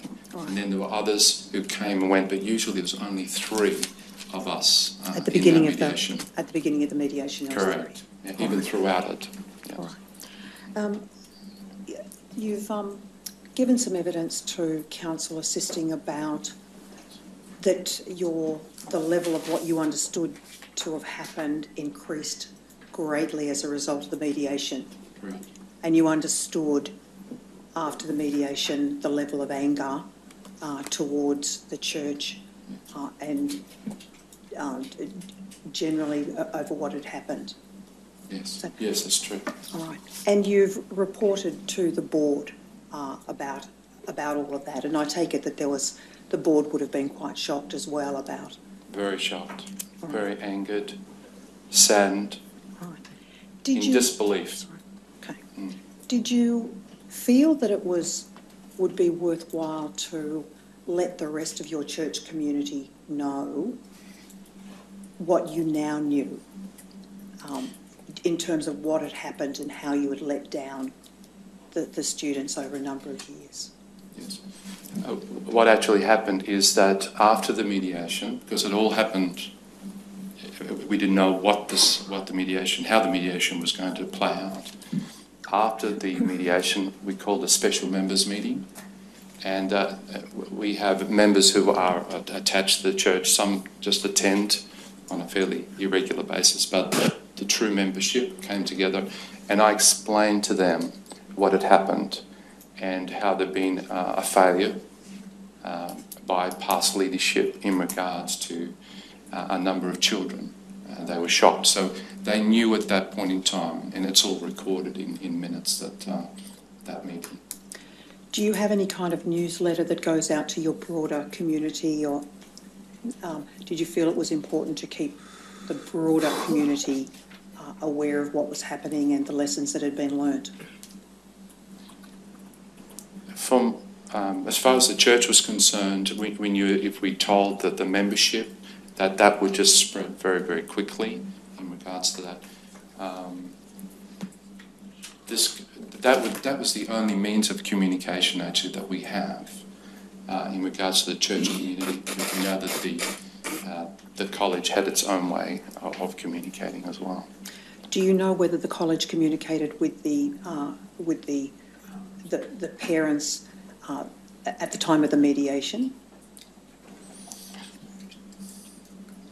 I can't recall exactly what was what was done, but I'm, I know that there, many of them knew. Uh, it was it was quite a common uh, piece of information. It was it, it was out there, yes, but I, I couldn't specifically tell you whether there was a it was put into a newsletter. I, I don't know because they their means of communication is a newsletter uh, with the. Yeah. Thank you. Nothing further. Mr. Pratt. Thank you. Pastor Spinella, my name is uh, Pratt. I represent Reverend Smith this matter. Can I take you to uh, document, well, firstly, can I ask you, firstly, in 1993, at the end of 1993, were you absent from the college? Sorry, could you ask that question again? At the end of 1993 and the beginning of 1994, were you absent from the college, From the college? from the church? Oh, from the church. My apologies. No, no, I, I was in the church. You were there. Uh, from your statement, it seems that you have no recall or poor recall of events occurring at that time there, namely the conversation that Mr. Vaughan says he has with you and the minutes of the uh, December, January 93 94 board meeting. At that time there, had you been there, then if those were correct, you clearly would have been advised at that time there of the issues regarding Mr. Sandilands. I Is that right? So I, I don't know what the I question think it's, is. sorry, so, um, it's a very long con, it's a very long, uh, question and I'm as guilty as the next person of asking those sorts of convoluted questions, but I think it needs to be I'll try again. specified. My question is this, that you say that you were present at the church at the end of 1993, correct? But that you say that you have no recall of speaking to Mr Vaughan regarding allegations he raised? Object, I don't understand that this witness has given that evidence. I think it needs to be put in a slightly different way if um, my learned friend's Well, it's going in the direction that I think he is. I'll t- I'm happy to take your statement. In paragraph 50 of your statement, you talk about, um, sorry, paragraph 48 of your statement um, relates to Jim Vaughan report to me. Yes. You say in paragraph 50 you don't recall having any such conversation with Mr Vaughan. I made it very clear in my witness statement that I, there is no doubt that Jim Vaughan did not speak to me about sexual allegations. So Mr Vaughan is mistaken. Mr. Vaughan. He may have thought so, but he did not. A- a- Again, just for, for the record, this, um, uh, I object to this question on the basis that this reference is taken from a chronological summary, as it's entitled, that was put together by Mr Rooks. So there is in fact um, another stage in the process. So this is Mr Rooks's record of something perhaps that Mr Vaughan may have said, but we just don't know.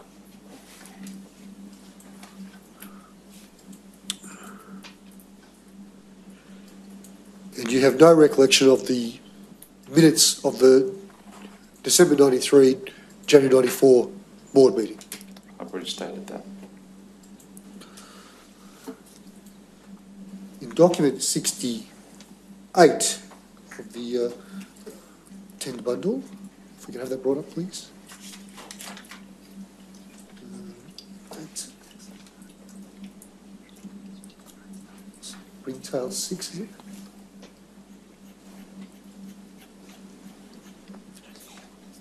Page 6, please. Thank you. And the, the second paragraph, sorry, the third paragraph of that page there, one that starts at, I'll be perfectly honest. Uh, the last sentence is because I know this was not intentional. Could you explain what I meant by that? It's hard for me to go back that far. It was my view that at that time, when I wrote this, that it was not something that he had schemed, that it was an intentional cover up. That it was not an intentional cover-up? I didn't think so. That's not, I'm, i this is only my opinion. But um, the whole thing was handled, I said the word bungled. And the reason I said that is not enough was done. Investigations did take place, but there were not enough. And they failed. They failed in their responsibilities. But was it intentional? At that time, I'm saying I didn't think it was an intentional cover up.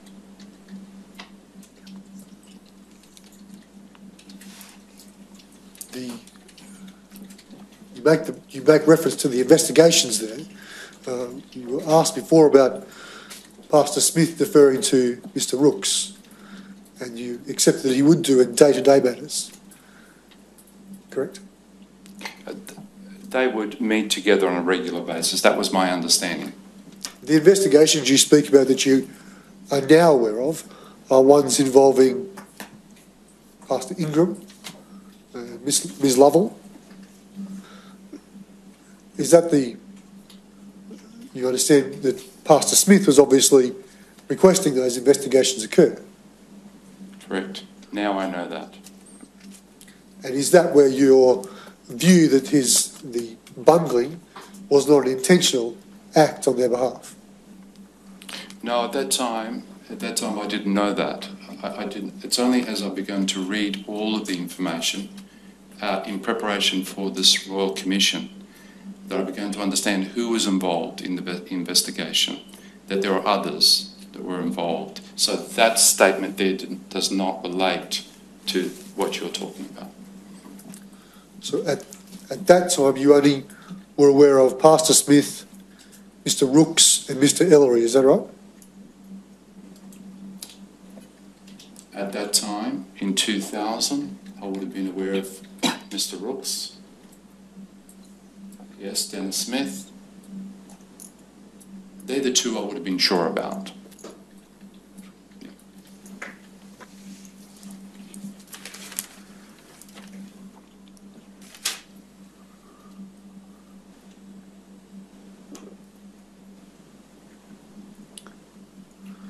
If we scroll down on, this document, please, to the next page.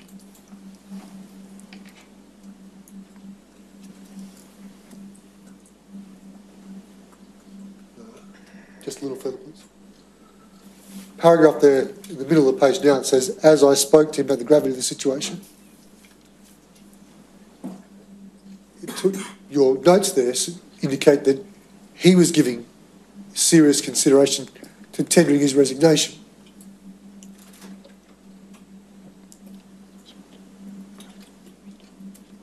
Yes, Was that prior to or after your meeting with him at his home, in which you essentially said he needed to resign? the reference to this is that he knew that the mediation was taking place.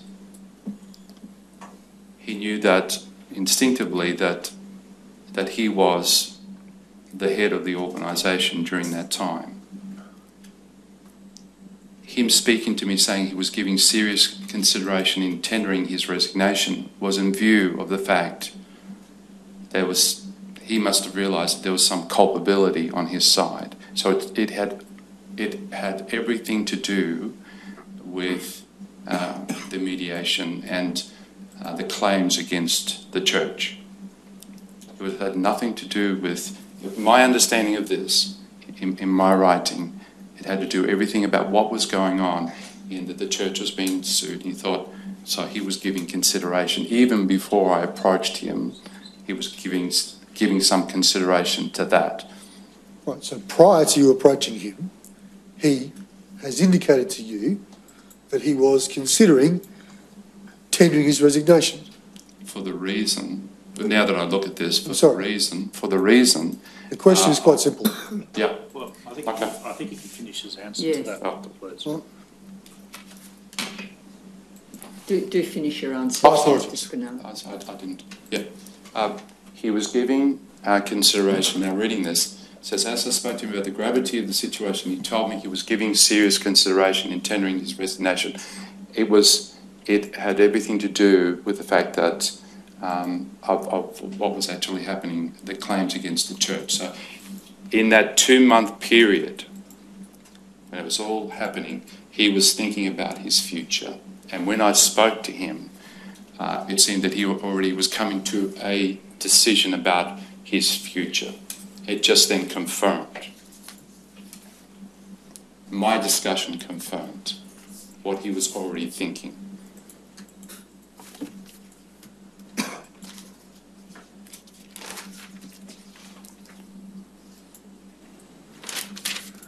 You worked with Pastor Smith for a long time, I did. and you say in your statement that you were, your notes said you've been very loyal to him. Yes. Did you have a, a regard for Pastor Smith? Yes. You held him in some level of esteem? Yes, I did. You believed him to be a, uh, an honourable man, Yes. person who would act in the best interests of the church and its community? Yes.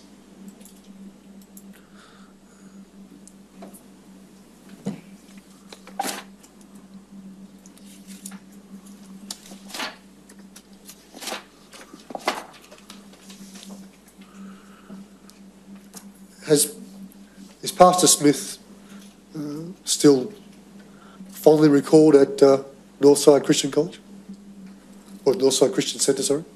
Objection. That's- such a vague question. I think, I'm not sure that that would assist the Royal Commission in its deliberations. Has there been any reason in the, since his departure for Pastor Smith to be invited back to Northside Christian Centre? Yes, What was the uh, circumstances of that? there was a 60th anniversary of the the church, and we invited all the senior pastors who were in, in any way in leadership over the past, those who were alive, and we invited them to come. There's some obviously who are deceased. And uh, you met with him at that occasion? Yes, I invited him. Yes, of course.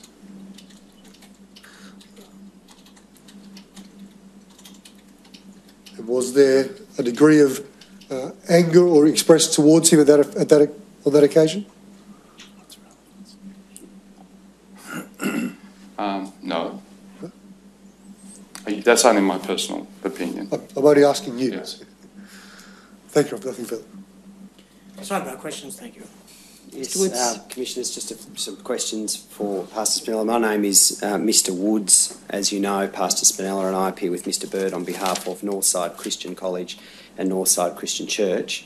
Um, just firstly, by way of clarification, I think um, everyone's in fierce agreement on the transcript that your um, statement is dated the um, 17th of September, and I just, for a matter of correction of the record, I, I believe it is dated the 15th of September. Can you look at page 18 of 18 and Oh, sorry. just confirm that for me? It might be my reading of the It's handwriting. 15th. 15th, thank you. Um, all right, and um, in relation to uh, the civil proceedings, it's correct that uh, there were seven survivors of abuse who took civil uh, proceedings against uh, the church and other entities. Is that correct? That's correct. Yes, and um, is it correct that in those proceedings, each of those uh, seven people were legally represented throughout? Yes, they were.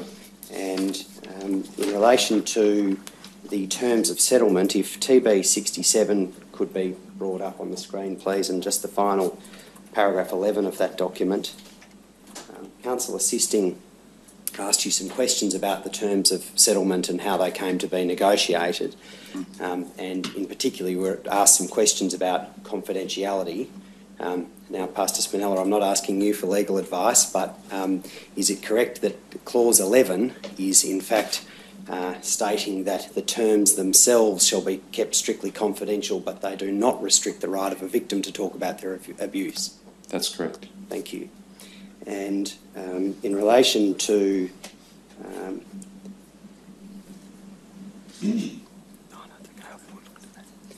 um, you were asked um, some questions about a 19th of December 2000 senior pastor's report in which you um, identified uh, concerns as to um, media and you, as I understood it, you said that was one of the concerns that you had. I'd like to take you to that 7th of November 2001. This is TB, uh, sorry, um, it's the uh, tab 68 of the tender bundle, and at page 5 of that document. Now, um, you gave evidence the media was one of your concerns. Can I take you to uh, paragraph where perhaps if you could scroll down a bit. Uh, keep going. So it's that final uh, paragraph there where you talk about the disregard of children's concerns over a period of up to 10 years as being inexcusable. Was that another one of your concerns? That was very much, very much con- my concern. And you also use the phrase uh, precious little girls as being abused. Was the um, well-being of those precious little girls another of your concerns? Absolutely. And in relation to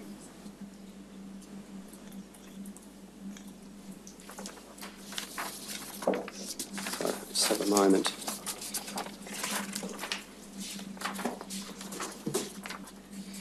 Um, I just want to ask you a brief question about current policies, and you've, you've ad- addressed this in some detail. Is it correct that both the church and the school are, firstly, separate uh, legal entities? Yes, they are now. And is it correct that both of them, both of those entities, have their own policies and procedures on a number of issues? Yes, that's and correct. specifically in relation to protection of children, they have separate policies? That's correct.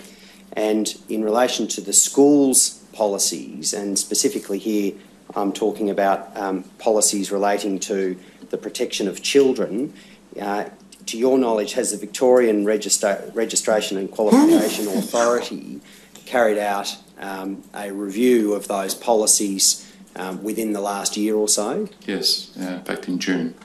Yes, and that's the Victorian statutory authority that ch- that's charged with um, ensuring that education providers meet particular quality standards. That's right. And was the result uh, of that review that the current policies and procedures of the school uh, have passed that review with the VRQA? Yes, they meet all legislative requirements. And um, lastly, I wanted to ask you um, it was uh, abundantly clear, certainly to me, during Ms Fretton's evidence, that it was very important to her that not only um, should there be an apology, and I, I understand your evidence that you offered apologies at the mediation, but only one group of parents took you up on that. Yeah. At paragraph seven, if that could be brought up of your witness statement,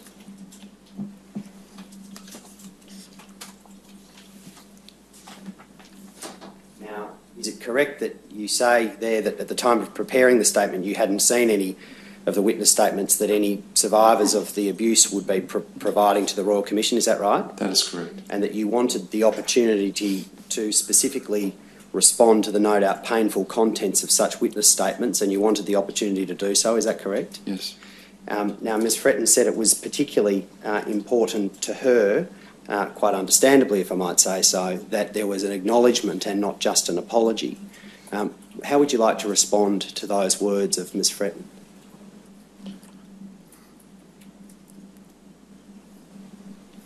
Yeah. What happened at the college was something which is uh, enduring regret. And to, to Emma, to, to many of the other students, I apologize. I apologize on behalf of our church, the failures of uh, Northside Christian College.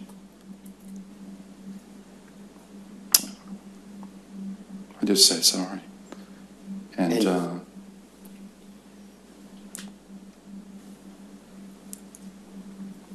it should never have happened. It should never have been allowed to continue. And I apologise to uh, to the victims, and we will do everything in our power, both in the college, in the church, to ensure as much as possible that this will never happen again. It should never happen to little to little children. They're precious. Thank you, Pastor Spinella. No further questions. Nothing arises. Thank you, Mr. S- uh, Pastor Spinella. Thank you for your attendance. You're otherwise excused.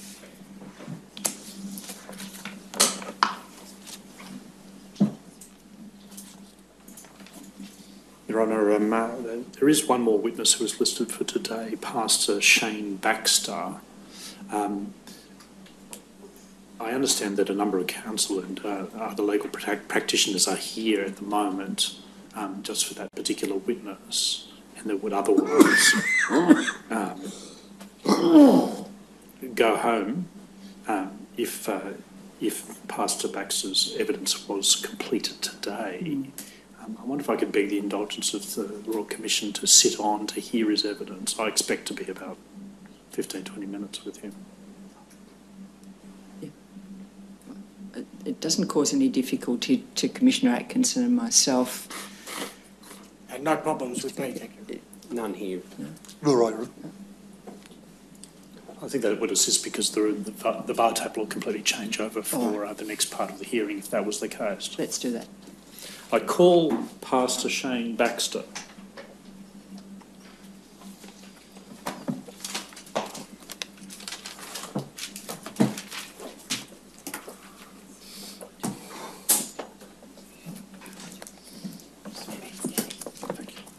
Pastor Baxter, do you wish to take the oath or the affirmation? The oath, please. All right. If you raise the Bible in your right hand, please, and repeat after me I swear by Almighty God I swear by Almighty God that the evidence I shall give that the evidence I shall give in this Royal Commission in this Royal Commission shall be the truth, shall be the truth, the whole truth, the whole truth, and nothing but the truth. and nothing but the truth. Thank you, Pastor. If you replace the Bible and take a seat, please. Thank you.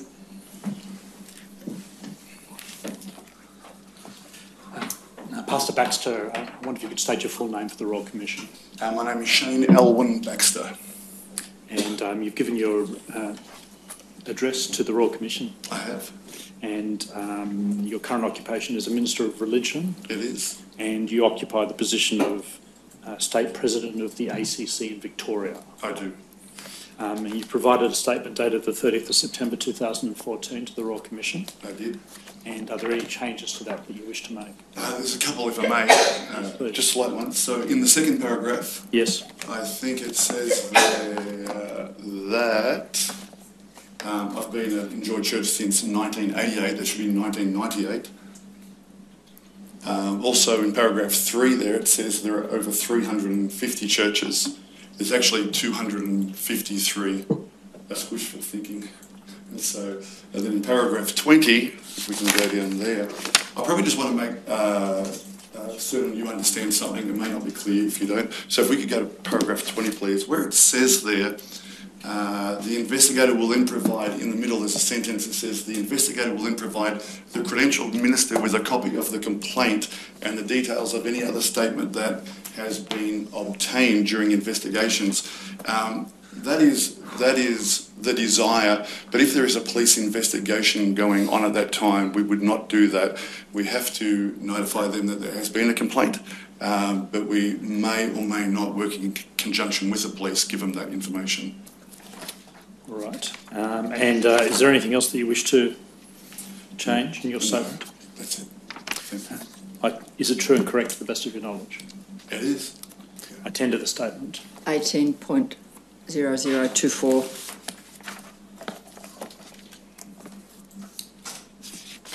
Now, sir, I understand that um, the primary child protection policy that has been adopted um, by the Victorian branch of the ACC is the Kids Are Us Victoria Child Protection Policy of 2005. That's right. Is that right? That's right. And um, we've heard some evidence in the Hillsong part of this case study about a similar policy being adopted in New South Wales. You're aware of that? I am. And um, is it the case that the ACC in the various states and territories around Australia have adopted similar It is. similar policies on child protection? It is. And they occurred at about the same time? I would think so. Yes. And now, you've annexed to your statement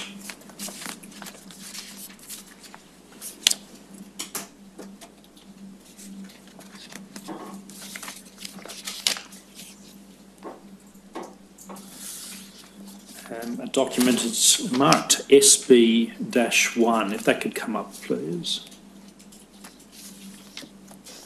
And you'll notice there that um, the Kids Are Us Victoria Child Protection Policy um, was considered at the state executive meeting on, I presume that's, well, I'm not sure what that is, but in, in April of 2005. That's right. Number 226 is that a reference to 26th of April? Sorry. It says 226 April 2005. That's just the number of the meeting, is it? That's right. That's what that would be. All right. So, yeah. Thank you.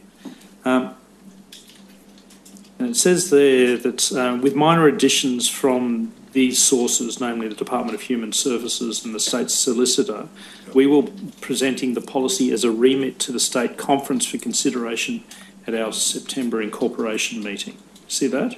I do. And uh, so the document was adopted at uh, the State Conference, was it? That's right. All right. Now, the position of this policy and the way in which the ACC works is that notwithstanding the fact that it's been adopted at state level, um, it cannot be enforced or you do not require your members to adopt that policy. Is that the, the right way in which to interpret the process? Okay. At 2005, when we presented it to the uh, to the conference in Victoria, we strongly recommended that each local church, because they are their own incorporated body, would adopt uh, this policy within their own churches. Uh, to my knowledge, there are no churches uh, in Victoria that have not adopted either this policy or one very similar. All right. How do you know that? Uh, uh, we know that because um, we have a state executive, we have regional teams, and so basically we, we work with local pastors, local churches, and as I say, the best of our knowledge, so we will ask pastors. Um, and um, as a movement, I would say the vast majority of us, vast, vast majority of us, I don't know anyone that doesn't want to protect children. And so this is not an issue which is on the back burner with the ACC. It hasn't been for years. In fact, when in 2005, uh, when we when we actually implemented this policy, made mandatory uh, reporting part of what we do, it wasn't legis- uh, wasn't legislation back then, but we wanted it to be. Uh, so the churches that are with us, uh, we believe, um, on the whole, are wanting to embrace the policies that we're recommending because they want to protect their children. At the end of the day, that's what it's really all about providing a safe place where children can be uh, cared for and grow up in a very healthy, safe environment. Have you received since 2005 any indication from any church within Victoria affiliated to the ACC that they have not implemented this particular policy? No, I'm not aware of any. Well, I'm not aware of one. Are you aware, have you come, sorry, I withdraw that. Uh, Are you aware of any circumstances where the policy has been adopted but not followed within uh, an affiliated church in Victoria? Okay, so uh, am I aware of any? No. Yes. Do I think it could be possible? Possibly. As it, yeah. But am I aware of any? No. All right. So, in terms of the way that the regional offices and those that are dealing with affiliated churches Yep. operate, how do they ensure, first of all, um, that the policy has been adopted? Yeah. How do they do that? Okay, that, that would be, um, there are, there's a number of training days that we have throughout a year. We, we train boards. Um, one, one of the areas that we train boards in is areas of risk. And so we, we particularly look at areas of risk to church. And this is a huge area of risk, obviously, to children, but as, from a board point of view, it's obviously then an area of risk to the church. So Those- And those training days assist with the implementation of the policy, including the 2005 Yeah. policy. Is that That's right? right. The 2005 policy, uh, we will certainly direct them to them as the policy that we would put before them. But as uh, we heard last week, I think it was, with Hillsong, um, they might take that pol- policy, take it to their solicitors, take it to other uh, experts in this field, and get their input in on, on it as well. All right. I want to take you to some parts briefly of the um, of the 2005 policy, and um, if I can do that briefly. Um, uh, tender bundle 42.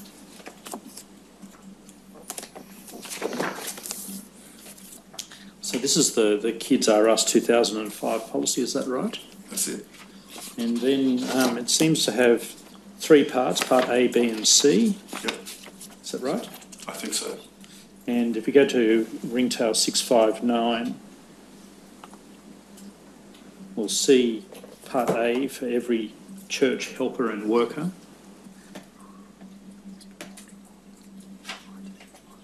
And there's a policy that governs the conduct of, of those in those various location camps, children's ministry, house meetings, and so forth. Yep, Is that right? That's right. So conduct policy, it governs the, how you are to conduct yourself in those That's right. circumstances, is that right? That's right. And then, um, if you go over to the next page, Ringtail 660, we'll see uh, Part B, which is for the children's leader slash worker. Yep. And that governs, I presume, um, pastors all the way down to youth workers who are operating, working with children, is that right? Uh, yeah, in, in the case of the ACC, a youth worker would usually be working for, with uh, grade six up. Whereas, so um, in relation to this policy, we're, we're looking uh, at children anywhere really from six months all the way through to the end of that youth time. All right. So, But uh, in terms of the, uh, the people that it covers within the, uh, within the church, Yep. is it right to say that it covers pastors? absolutely. Um, does it cover members of the church? Uh, members of the church that are working within the context of that ministry, that's right. that work in the ministry? Um, does it also include volunteers? It does. Um, includes, I presume, employees of um, each relevant church. That's right. All right. Um, and we see there, if you go down to B three point four, there are reporting and notification procedures noted there, Yep. and it's divided between where the alleged abuser is not in ministry and where the alleged abuser is in ministry. Do you see that? I see that. And just to finish the, the structure of this policy, if we go over to 662, we see the contents of Part C, which is for the children's pastor, church pastors and elders. Yep. Is- Do you see that? I see that. And some general comments are made about mandatory reporting in the common law there. I see that. And um, then the policy governs screening, induction and training, and so forth at C5 and C6. Is that right? That's right. So, do I take it that the principal policy with respect to reporting and notification procedures is that in Part B? Uh, if we can go back. We could go back to 660. When it comes to reporting, Yes, you see that issue? That's ma- right. mandatory reporting and then reporting and notification procedures. Do you see that? I do you see that. All right. Now, if we just go through to page 27 and pick up where 3.4 falls.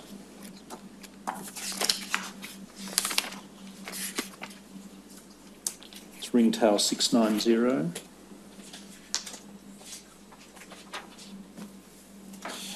So at the, the first paragraph there, it says that the child is the primary concern and all other concerns must be secondary. Do you see that? I do see that. And then if we go down further, that um, it's a requirement of the church that where a pastor, staff member, worker, or volunteer becomes aware of or suspects an incidence of child abuse, that the following actions take place. And uh, then there are three dot points. Um, the first is must be reported to Child Protection Services as soon as possible. Do you see that? I see that. Now, for those who are not Victorian based, the Child Protection Services is what sort of service? Uh, Child Protection Services is part of DHS, so we would go to DHS and uh, or straight to Child Protection Services. Depending on what the issue is, we would also go straight to the police. All right, it doesn't seem to say refer to going straight to the police. No, it doesn't, but I'm saying we would, as in that is that would be the bottom line. This is where it starts. All right. Um, then it's reported up to uh, the senior pastor or department head. Yep, that's right. And then where there are credentials involved, and we've had um, some evidence last week about um, the use of the administration manual, it's also reported to the state headquarters of, well, it says Assemblies of God, but it's now the ACC, is that right? That's right. All right.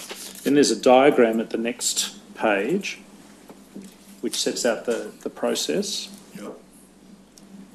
Now, um, if we just follow that through,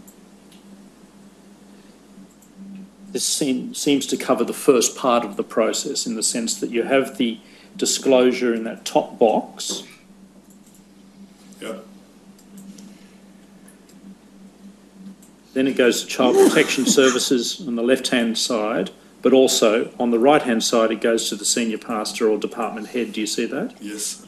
And then it's notified to the senior pastor if they've not been notified, um, and to the eldership board as soon as possible. Yes. And then the senior pastor may also contact Child Protection Services for advice, Yes. and appropriate pastoral care is offered. Do you see that? I do.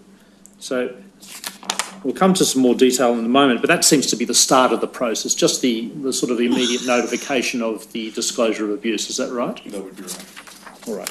Then if we go over the page to 3.4.2,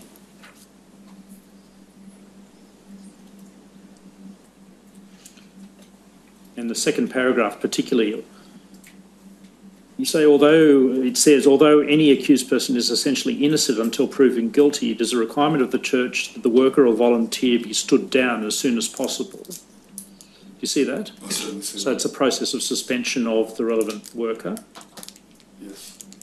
And again, if the perpetrator or the alleged perpetrator is a pastor, then you advise the state executive of that matter. Yes. And then that's, t- if we then go over to 693, we'll see another flow diagram. Um, 693, yes, thank you. So at the, at the top, we have the implication in abuse, which follows from the disclosure, is that right? That's right. And then the worker's superior is informed as soon as possible. Um, and again, allegations to the CPS on the left-hand side, eldership board and senior pastor on the right-hand side. Yes. That seems to be a repetition, really, of the last flow diagram. Does that sound Very right? much so. Then we have that box in the middle. The worker's informed of the allegations and stood down. Do you see that? I do see that. And then these are the parts that I wanted to ask you about. If we could just scroll down a bit further, please. You see in the centre there, Senior Pastor Eldership Board seeks professional advice and liaises as required with the Child Protection Services. Do you see that? I see that. Is informed, the Insurance Department is advised if there are any concerns about that or any claim that, um, Yeah. sorry, I would withdraw that, any notification that should be made of the insurer about the allegations. It's just a notifying. Yes. And then to the right, the senior pastor and the state executive are also advised. Yep. That's right. And then appropriate pastoral care is offered to all concerned under the direction of the eldership board. Yes. So if I can pick it up there, you've gone through that process of taking these serious allegations through to the CPS. You provided them all the way up to the board level. What's the what's the step that's taken with with the alleged victim, or the particularly the child concerned at that stage? What what is the, what, sorry? Yes. What's the policy? What's the policy that's set out here? Uh, it refers to appropriate pastoral care is offered. What's that a reference to? Okay, so what we would do is, um, and it depends, because obviously you've asked me uh, questions in regards to, if we go to the top, there's a, there's a range of different people there, so every scenario is going to be different. So uh, if it's a senior pastor, if it's a pastor, an associate pastor, children's pastor, leader, worker, there is a scale here. Yes. So when it comes to the individual who is now uh, become a victim in this situation, we want to give them proper and adequate pastoral care. Uh, we want to give uh, their family the proper and adequate pastoral care. Uh, we would, uh, as a local church, uh, provide either a counsellor or a psychologist. And then when the investigation begins, and it would depend on who's going to do that investigation, whether it be the police, whether it be Department of Human Services, whether it be the church, we're going to work with all the different agencies to make sure um, at the end of the day that child is protected to the best of our ability. All right, so I, you imagine, also, I won't put it this way, but um, certainly uh, a number of your members, you're over 200 members, some are small, some are large. That's right. Of, of the congregations you're talking about? Church Yes. congregations. That's Church right. congregations. That's right. Yes. Some of them, uh, you know, they might have one senior pastor and a couple of staff members, but apart from that, they're quite small. Uh, no. Correct. Uh, within the ACC in Victoria, Yes. um, our churches in general range from uh, 30 to 10,000. Yes, in terms of congregation, Yeah. but in terms, um, the, the people who work there, that is in terms of the Okay. senior pastor and uh, Yeah, so you- associated staff. Yeah, so you may have um, literally nobody on staff Yes. all the way through to 50 staff. All right. So some of those churches are, are going to have trouble, aren't they, providing. Um, um, sorry, I withdraw that. Some of those, some of those churches, particularly the small ones, Yeah. won't have immediate access to counselling services That's and so right. forth. And so what who, is who do they turn to? For Yeah, what would normally happen is um, if there was an instance like this, they would make contact with the state office of the ACC.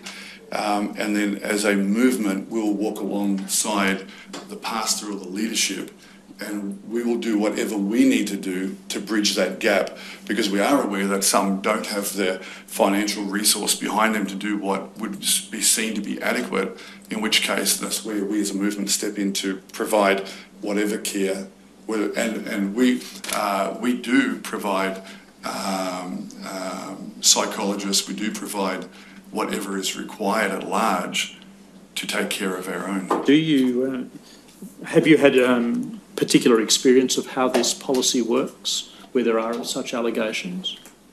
Um, not in regards to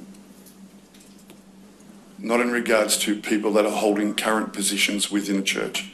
If you're asking me, have I ever been informed about a person within our congregation Yes. who has done the wrong thing by a child? Absolutely. Yes.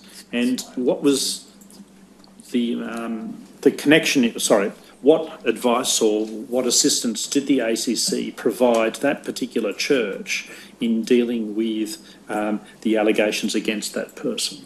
Okay. Okay. So in regards to my previous answer, it was in regards to Enjoy Church, which is our church, and we, we took care of our, our people. All right. So, but that's in relation to your personal church, where you were the you That's were right. or are the senior pastor. Is That's that right, right? which is how I took the All right. question. What, what was the assistance provided by the ACC Yeah. to your church um, in that process? Yeah, we didn't need assistance because we're large enough to be able to take care of our own people. All right. And as far as you knew, was the victim and the victim's family happy with that approach? Yeah, absolutely. Because it, they that's so. Yeah, bottom line, absolutely. They're still in our church. Yeah. All right. Um, and just going to the bottom of that page, you'll see at the bottom it says if the worker is found guilty, the appropriate authority will terminate ministry on the recommendation of the eldership board. So that obviously depends on a number of factors. If the, if the issue is about, if the allegation is against us, a pastor with credentials, then the ACC at either the state or the national level would deal with that matter Absolutely. and they would dismiss the person. Uh, no, because the dismissal. Sorry, I, I, I withdraw that. They would um, withdraw the credential of that.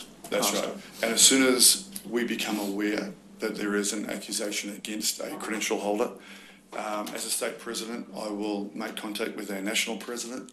I will ask that we um, that I have the authority to suspend his credential, um, and which I've never been told no. Not that it's happened in regards to a child, but um, and then once it goes through, especially if there are legal proceedings and that person is found guilty, uh, if they are found guilty in regards to interfering with a child, uh, they will never and should never have a credential again with the ACC or any other church for that matter. All right. Now, if the um, if the the alleged perpetrator is not a not a minister, then it it falls for the church concerned to take any appropriate action if the person has been found guilty. So, for example, by dismissing the person from employment. Employment. Yes, if they're employed within a church and found to have sexually abused a child, been convicted, Though that local church would dismiss them, I'm certain. All And if- yeah. And what about in terms of membership of a church where it's gone through to that particular stage? Yeah, so we would we would recommend, as it would be at my own church, that if someone was to interfere or abuse a child, then they forego the right or opportunity to fellowship with us. And so if they had been in our church, they won't be anymore. All right. Now, that's um, a policy that your church, Enjoy Church, has. Is that right? That's right. And is that replicated across the other churches in the Victorian uh, section of the ACC? No, I would say when it comes to volunteers and local congregational issues, matters, um, it goes back to uh, the senior pastor and the board of that local church. Um, usually, the senior pastor is the chairman of the board. That's why I refer to him as well as the board. Um, uh, and but it would certainly be the view of I think the majority of us that um, if you know that someone has abused children, that you would not be welcoming them into fellowship and keep them in your church. All right. Is there? Um, I note from uh, paragraphs 44 and 50 of your statement that you um, recommend, I think, to your members that they apply the the discipline pro- provisions of their constitutions. Is that right? Yeah, and if we can turn there, because I think it's in context. If I'm Okay, well, let's look at 44. How a church member is disciplined is a decision to be made by the local affiliated church. that's right. So what You that's offer right. ad- advice and assistance in dealing with those member issues, is that right? Yeah, we do. And and in regards to discipline, uh, that is in regards to what whatever it is. If it is in regards to a issue of sexual abuse, that is one thing. Um, when I put this statement together, we were talking about any number of issues that we have to actually bring discipline to an individual within a local church. So we refer them back to their own constitution because as an incorporation they will have their own cons- constitution and it will talk there about um, um, their own members and behaviours, practices uh, that would require them to be disciplined. Um, the reason I'm taking you to this particular part is that it, it appears that um, you're recommending that the, the, the discipline process that they have in operation in their particular church governs governs whether a member, for example, is to continue as a as a member of the church. That would be right. Yes. Do you think? Do you see any merit in the state um, chapter of the ACC in developing some form of discipline policy for churches to apply in cases of child sexual abuse? Um, yeah, I do see merit in it. There's no doubt about that. Yes. And The reason I ask you that is because it seems that your recommendation is use the general policy that applies in your church. Yeah. Whereas you'd agree that we're dealing with certainly a very serious matter in child sexual abuse. absolutely, but also there's a um, an inequality, if you like, between some churches who are well resourced, can seek legal advice and Yeah. deal with it in detail, and other churches who don't have those resources and have few staff on hand to be able to deal with those matters. yeah, yeah.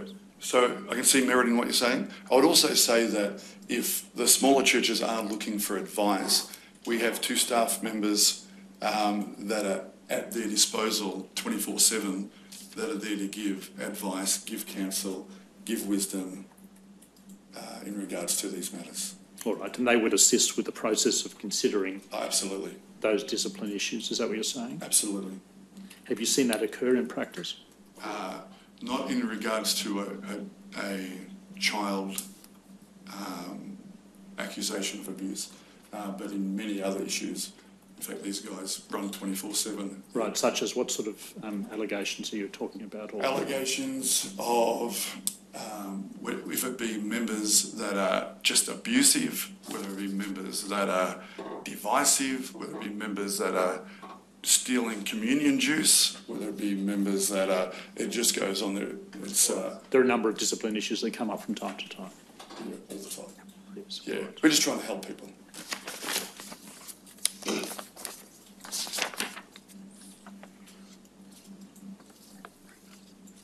And just to, to finish up with paragraph 50, if we could scroll down to that. You say complaints in relation to the conduct of members or volunteers of local churches are dealt with by the local church. I presume your answer is the same with respect to that matter. In other words, it's governed by local discipline policy.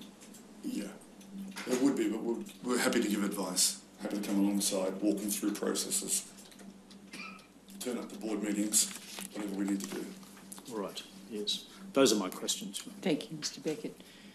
Mr Pratt, Nothing. Mr If I could Chowdhury? go last, right? Yes. Nothing. My turn then. Uh, Mr Baxter, my name's Craig Chowdhury, I act for Australian Christian Churches. Uh, is there some term of art with members of a church? Is there what, sorry? Is it a term of art? That is, is there a difference between a member of a church within the movement as opposed to an ordinary churchgoer? Uh, that depends which church you go to. Right. So, um, because of our constitutions being slightly different, Yes. uh, sometimes a member might be considered as part of the board. Sometimes a member is the legally uh, is the legal member of the incorporation, and other times a member is someone who is committed to be there week in week out, who is a part of that church.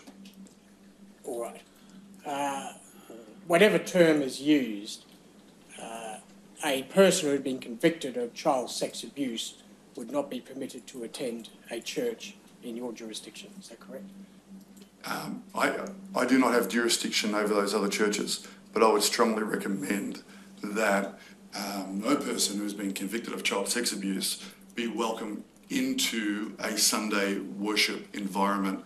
And the reason that is, is because there's just too many opportunities for evil people to turn up and do the wrong thing.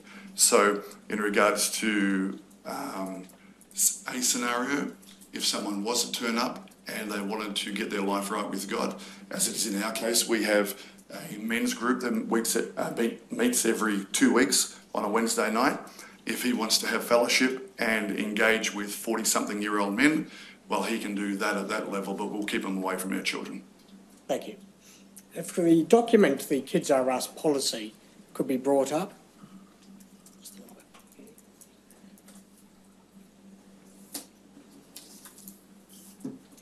Thank you. And uh, the policy, they've taken to page 31 of that, which is Ringtail 0694, heading B 3.5. Now, the policy sets out in some detail, doesn't it, for the benefit of persons wanting guidance, how to notify Child Protection Services. It certainly does.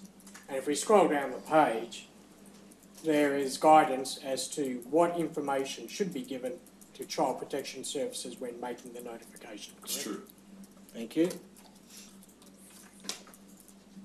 And I think there's also a form within the policy that they can fill out as well. I was going to take you to that. Uh, Thank you. perhaps if we go to uh, Ringtail 0707.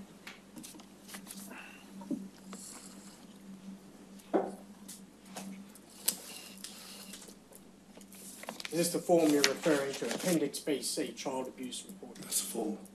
Thank you. And one of the first things on the form is, has CPS been notified? Now, just different state governments have different names for departments. You referred to DHS before. Yep. Do you know what that is? Department of? Human Services. Thank you. If we go to uh, the next page, 0708, there's again a form that offers guidance to uh, persons, volunteers, whoever Yep. in the church as to what details they should provide to Child. Protection Services. Thank you. And if we go to the next page, 0709, the policy document itself lists the numbers for Child Protection Services That's right. and includes both city areas divided into regions, Yep. and if we go to the next page, 0710, uh, country areas. Yep. That's right. Thank you.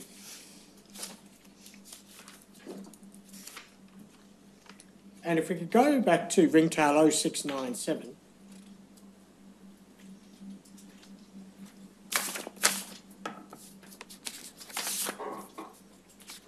there's a series of, well, if we go back to the previous page, 0696,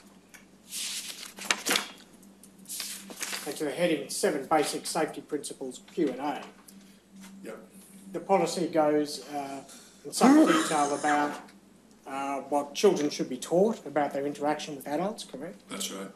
And if we go over to the next page, 0697, the policy goes into some detail in answering what could be termed you know, frequently asked questions. That's right. That's right. And so, as Pastor Spinella said, most of us, when we induct our children's workers, will get uh, the children's workers and then they've got a, a perspective as to what may come their way, and it, it just it's helpful to them. So, How readily available is this policy document to uh, local churches in Victoria? uh, it is there for anybody and everybody. If you go to our website, we can we can go through the website and we can gain access to it. And if a pastor wanted a copy of this, a hard copy, Yep. could they contact your office and say, could I please have a hard copy of it? Absolutely. And you've already indicated that there were training days specifically on this policy. Uh, initially, yeah, and so they continue. Uh, there's a Kids Us national body. Uh, the Kids Us national body have a conference in Victoria every year. Uh, this year we had 550 workers out to that conference, um, and it is an ongoing journey with this policy and the teaching of our workers as to how to work with um, children, and so it is just ongoing. Yeah. Thank you. Just pardon me for my go. Those are my questions. Thank you, Mr Chowdhury. Yes, nothing to ask. All right.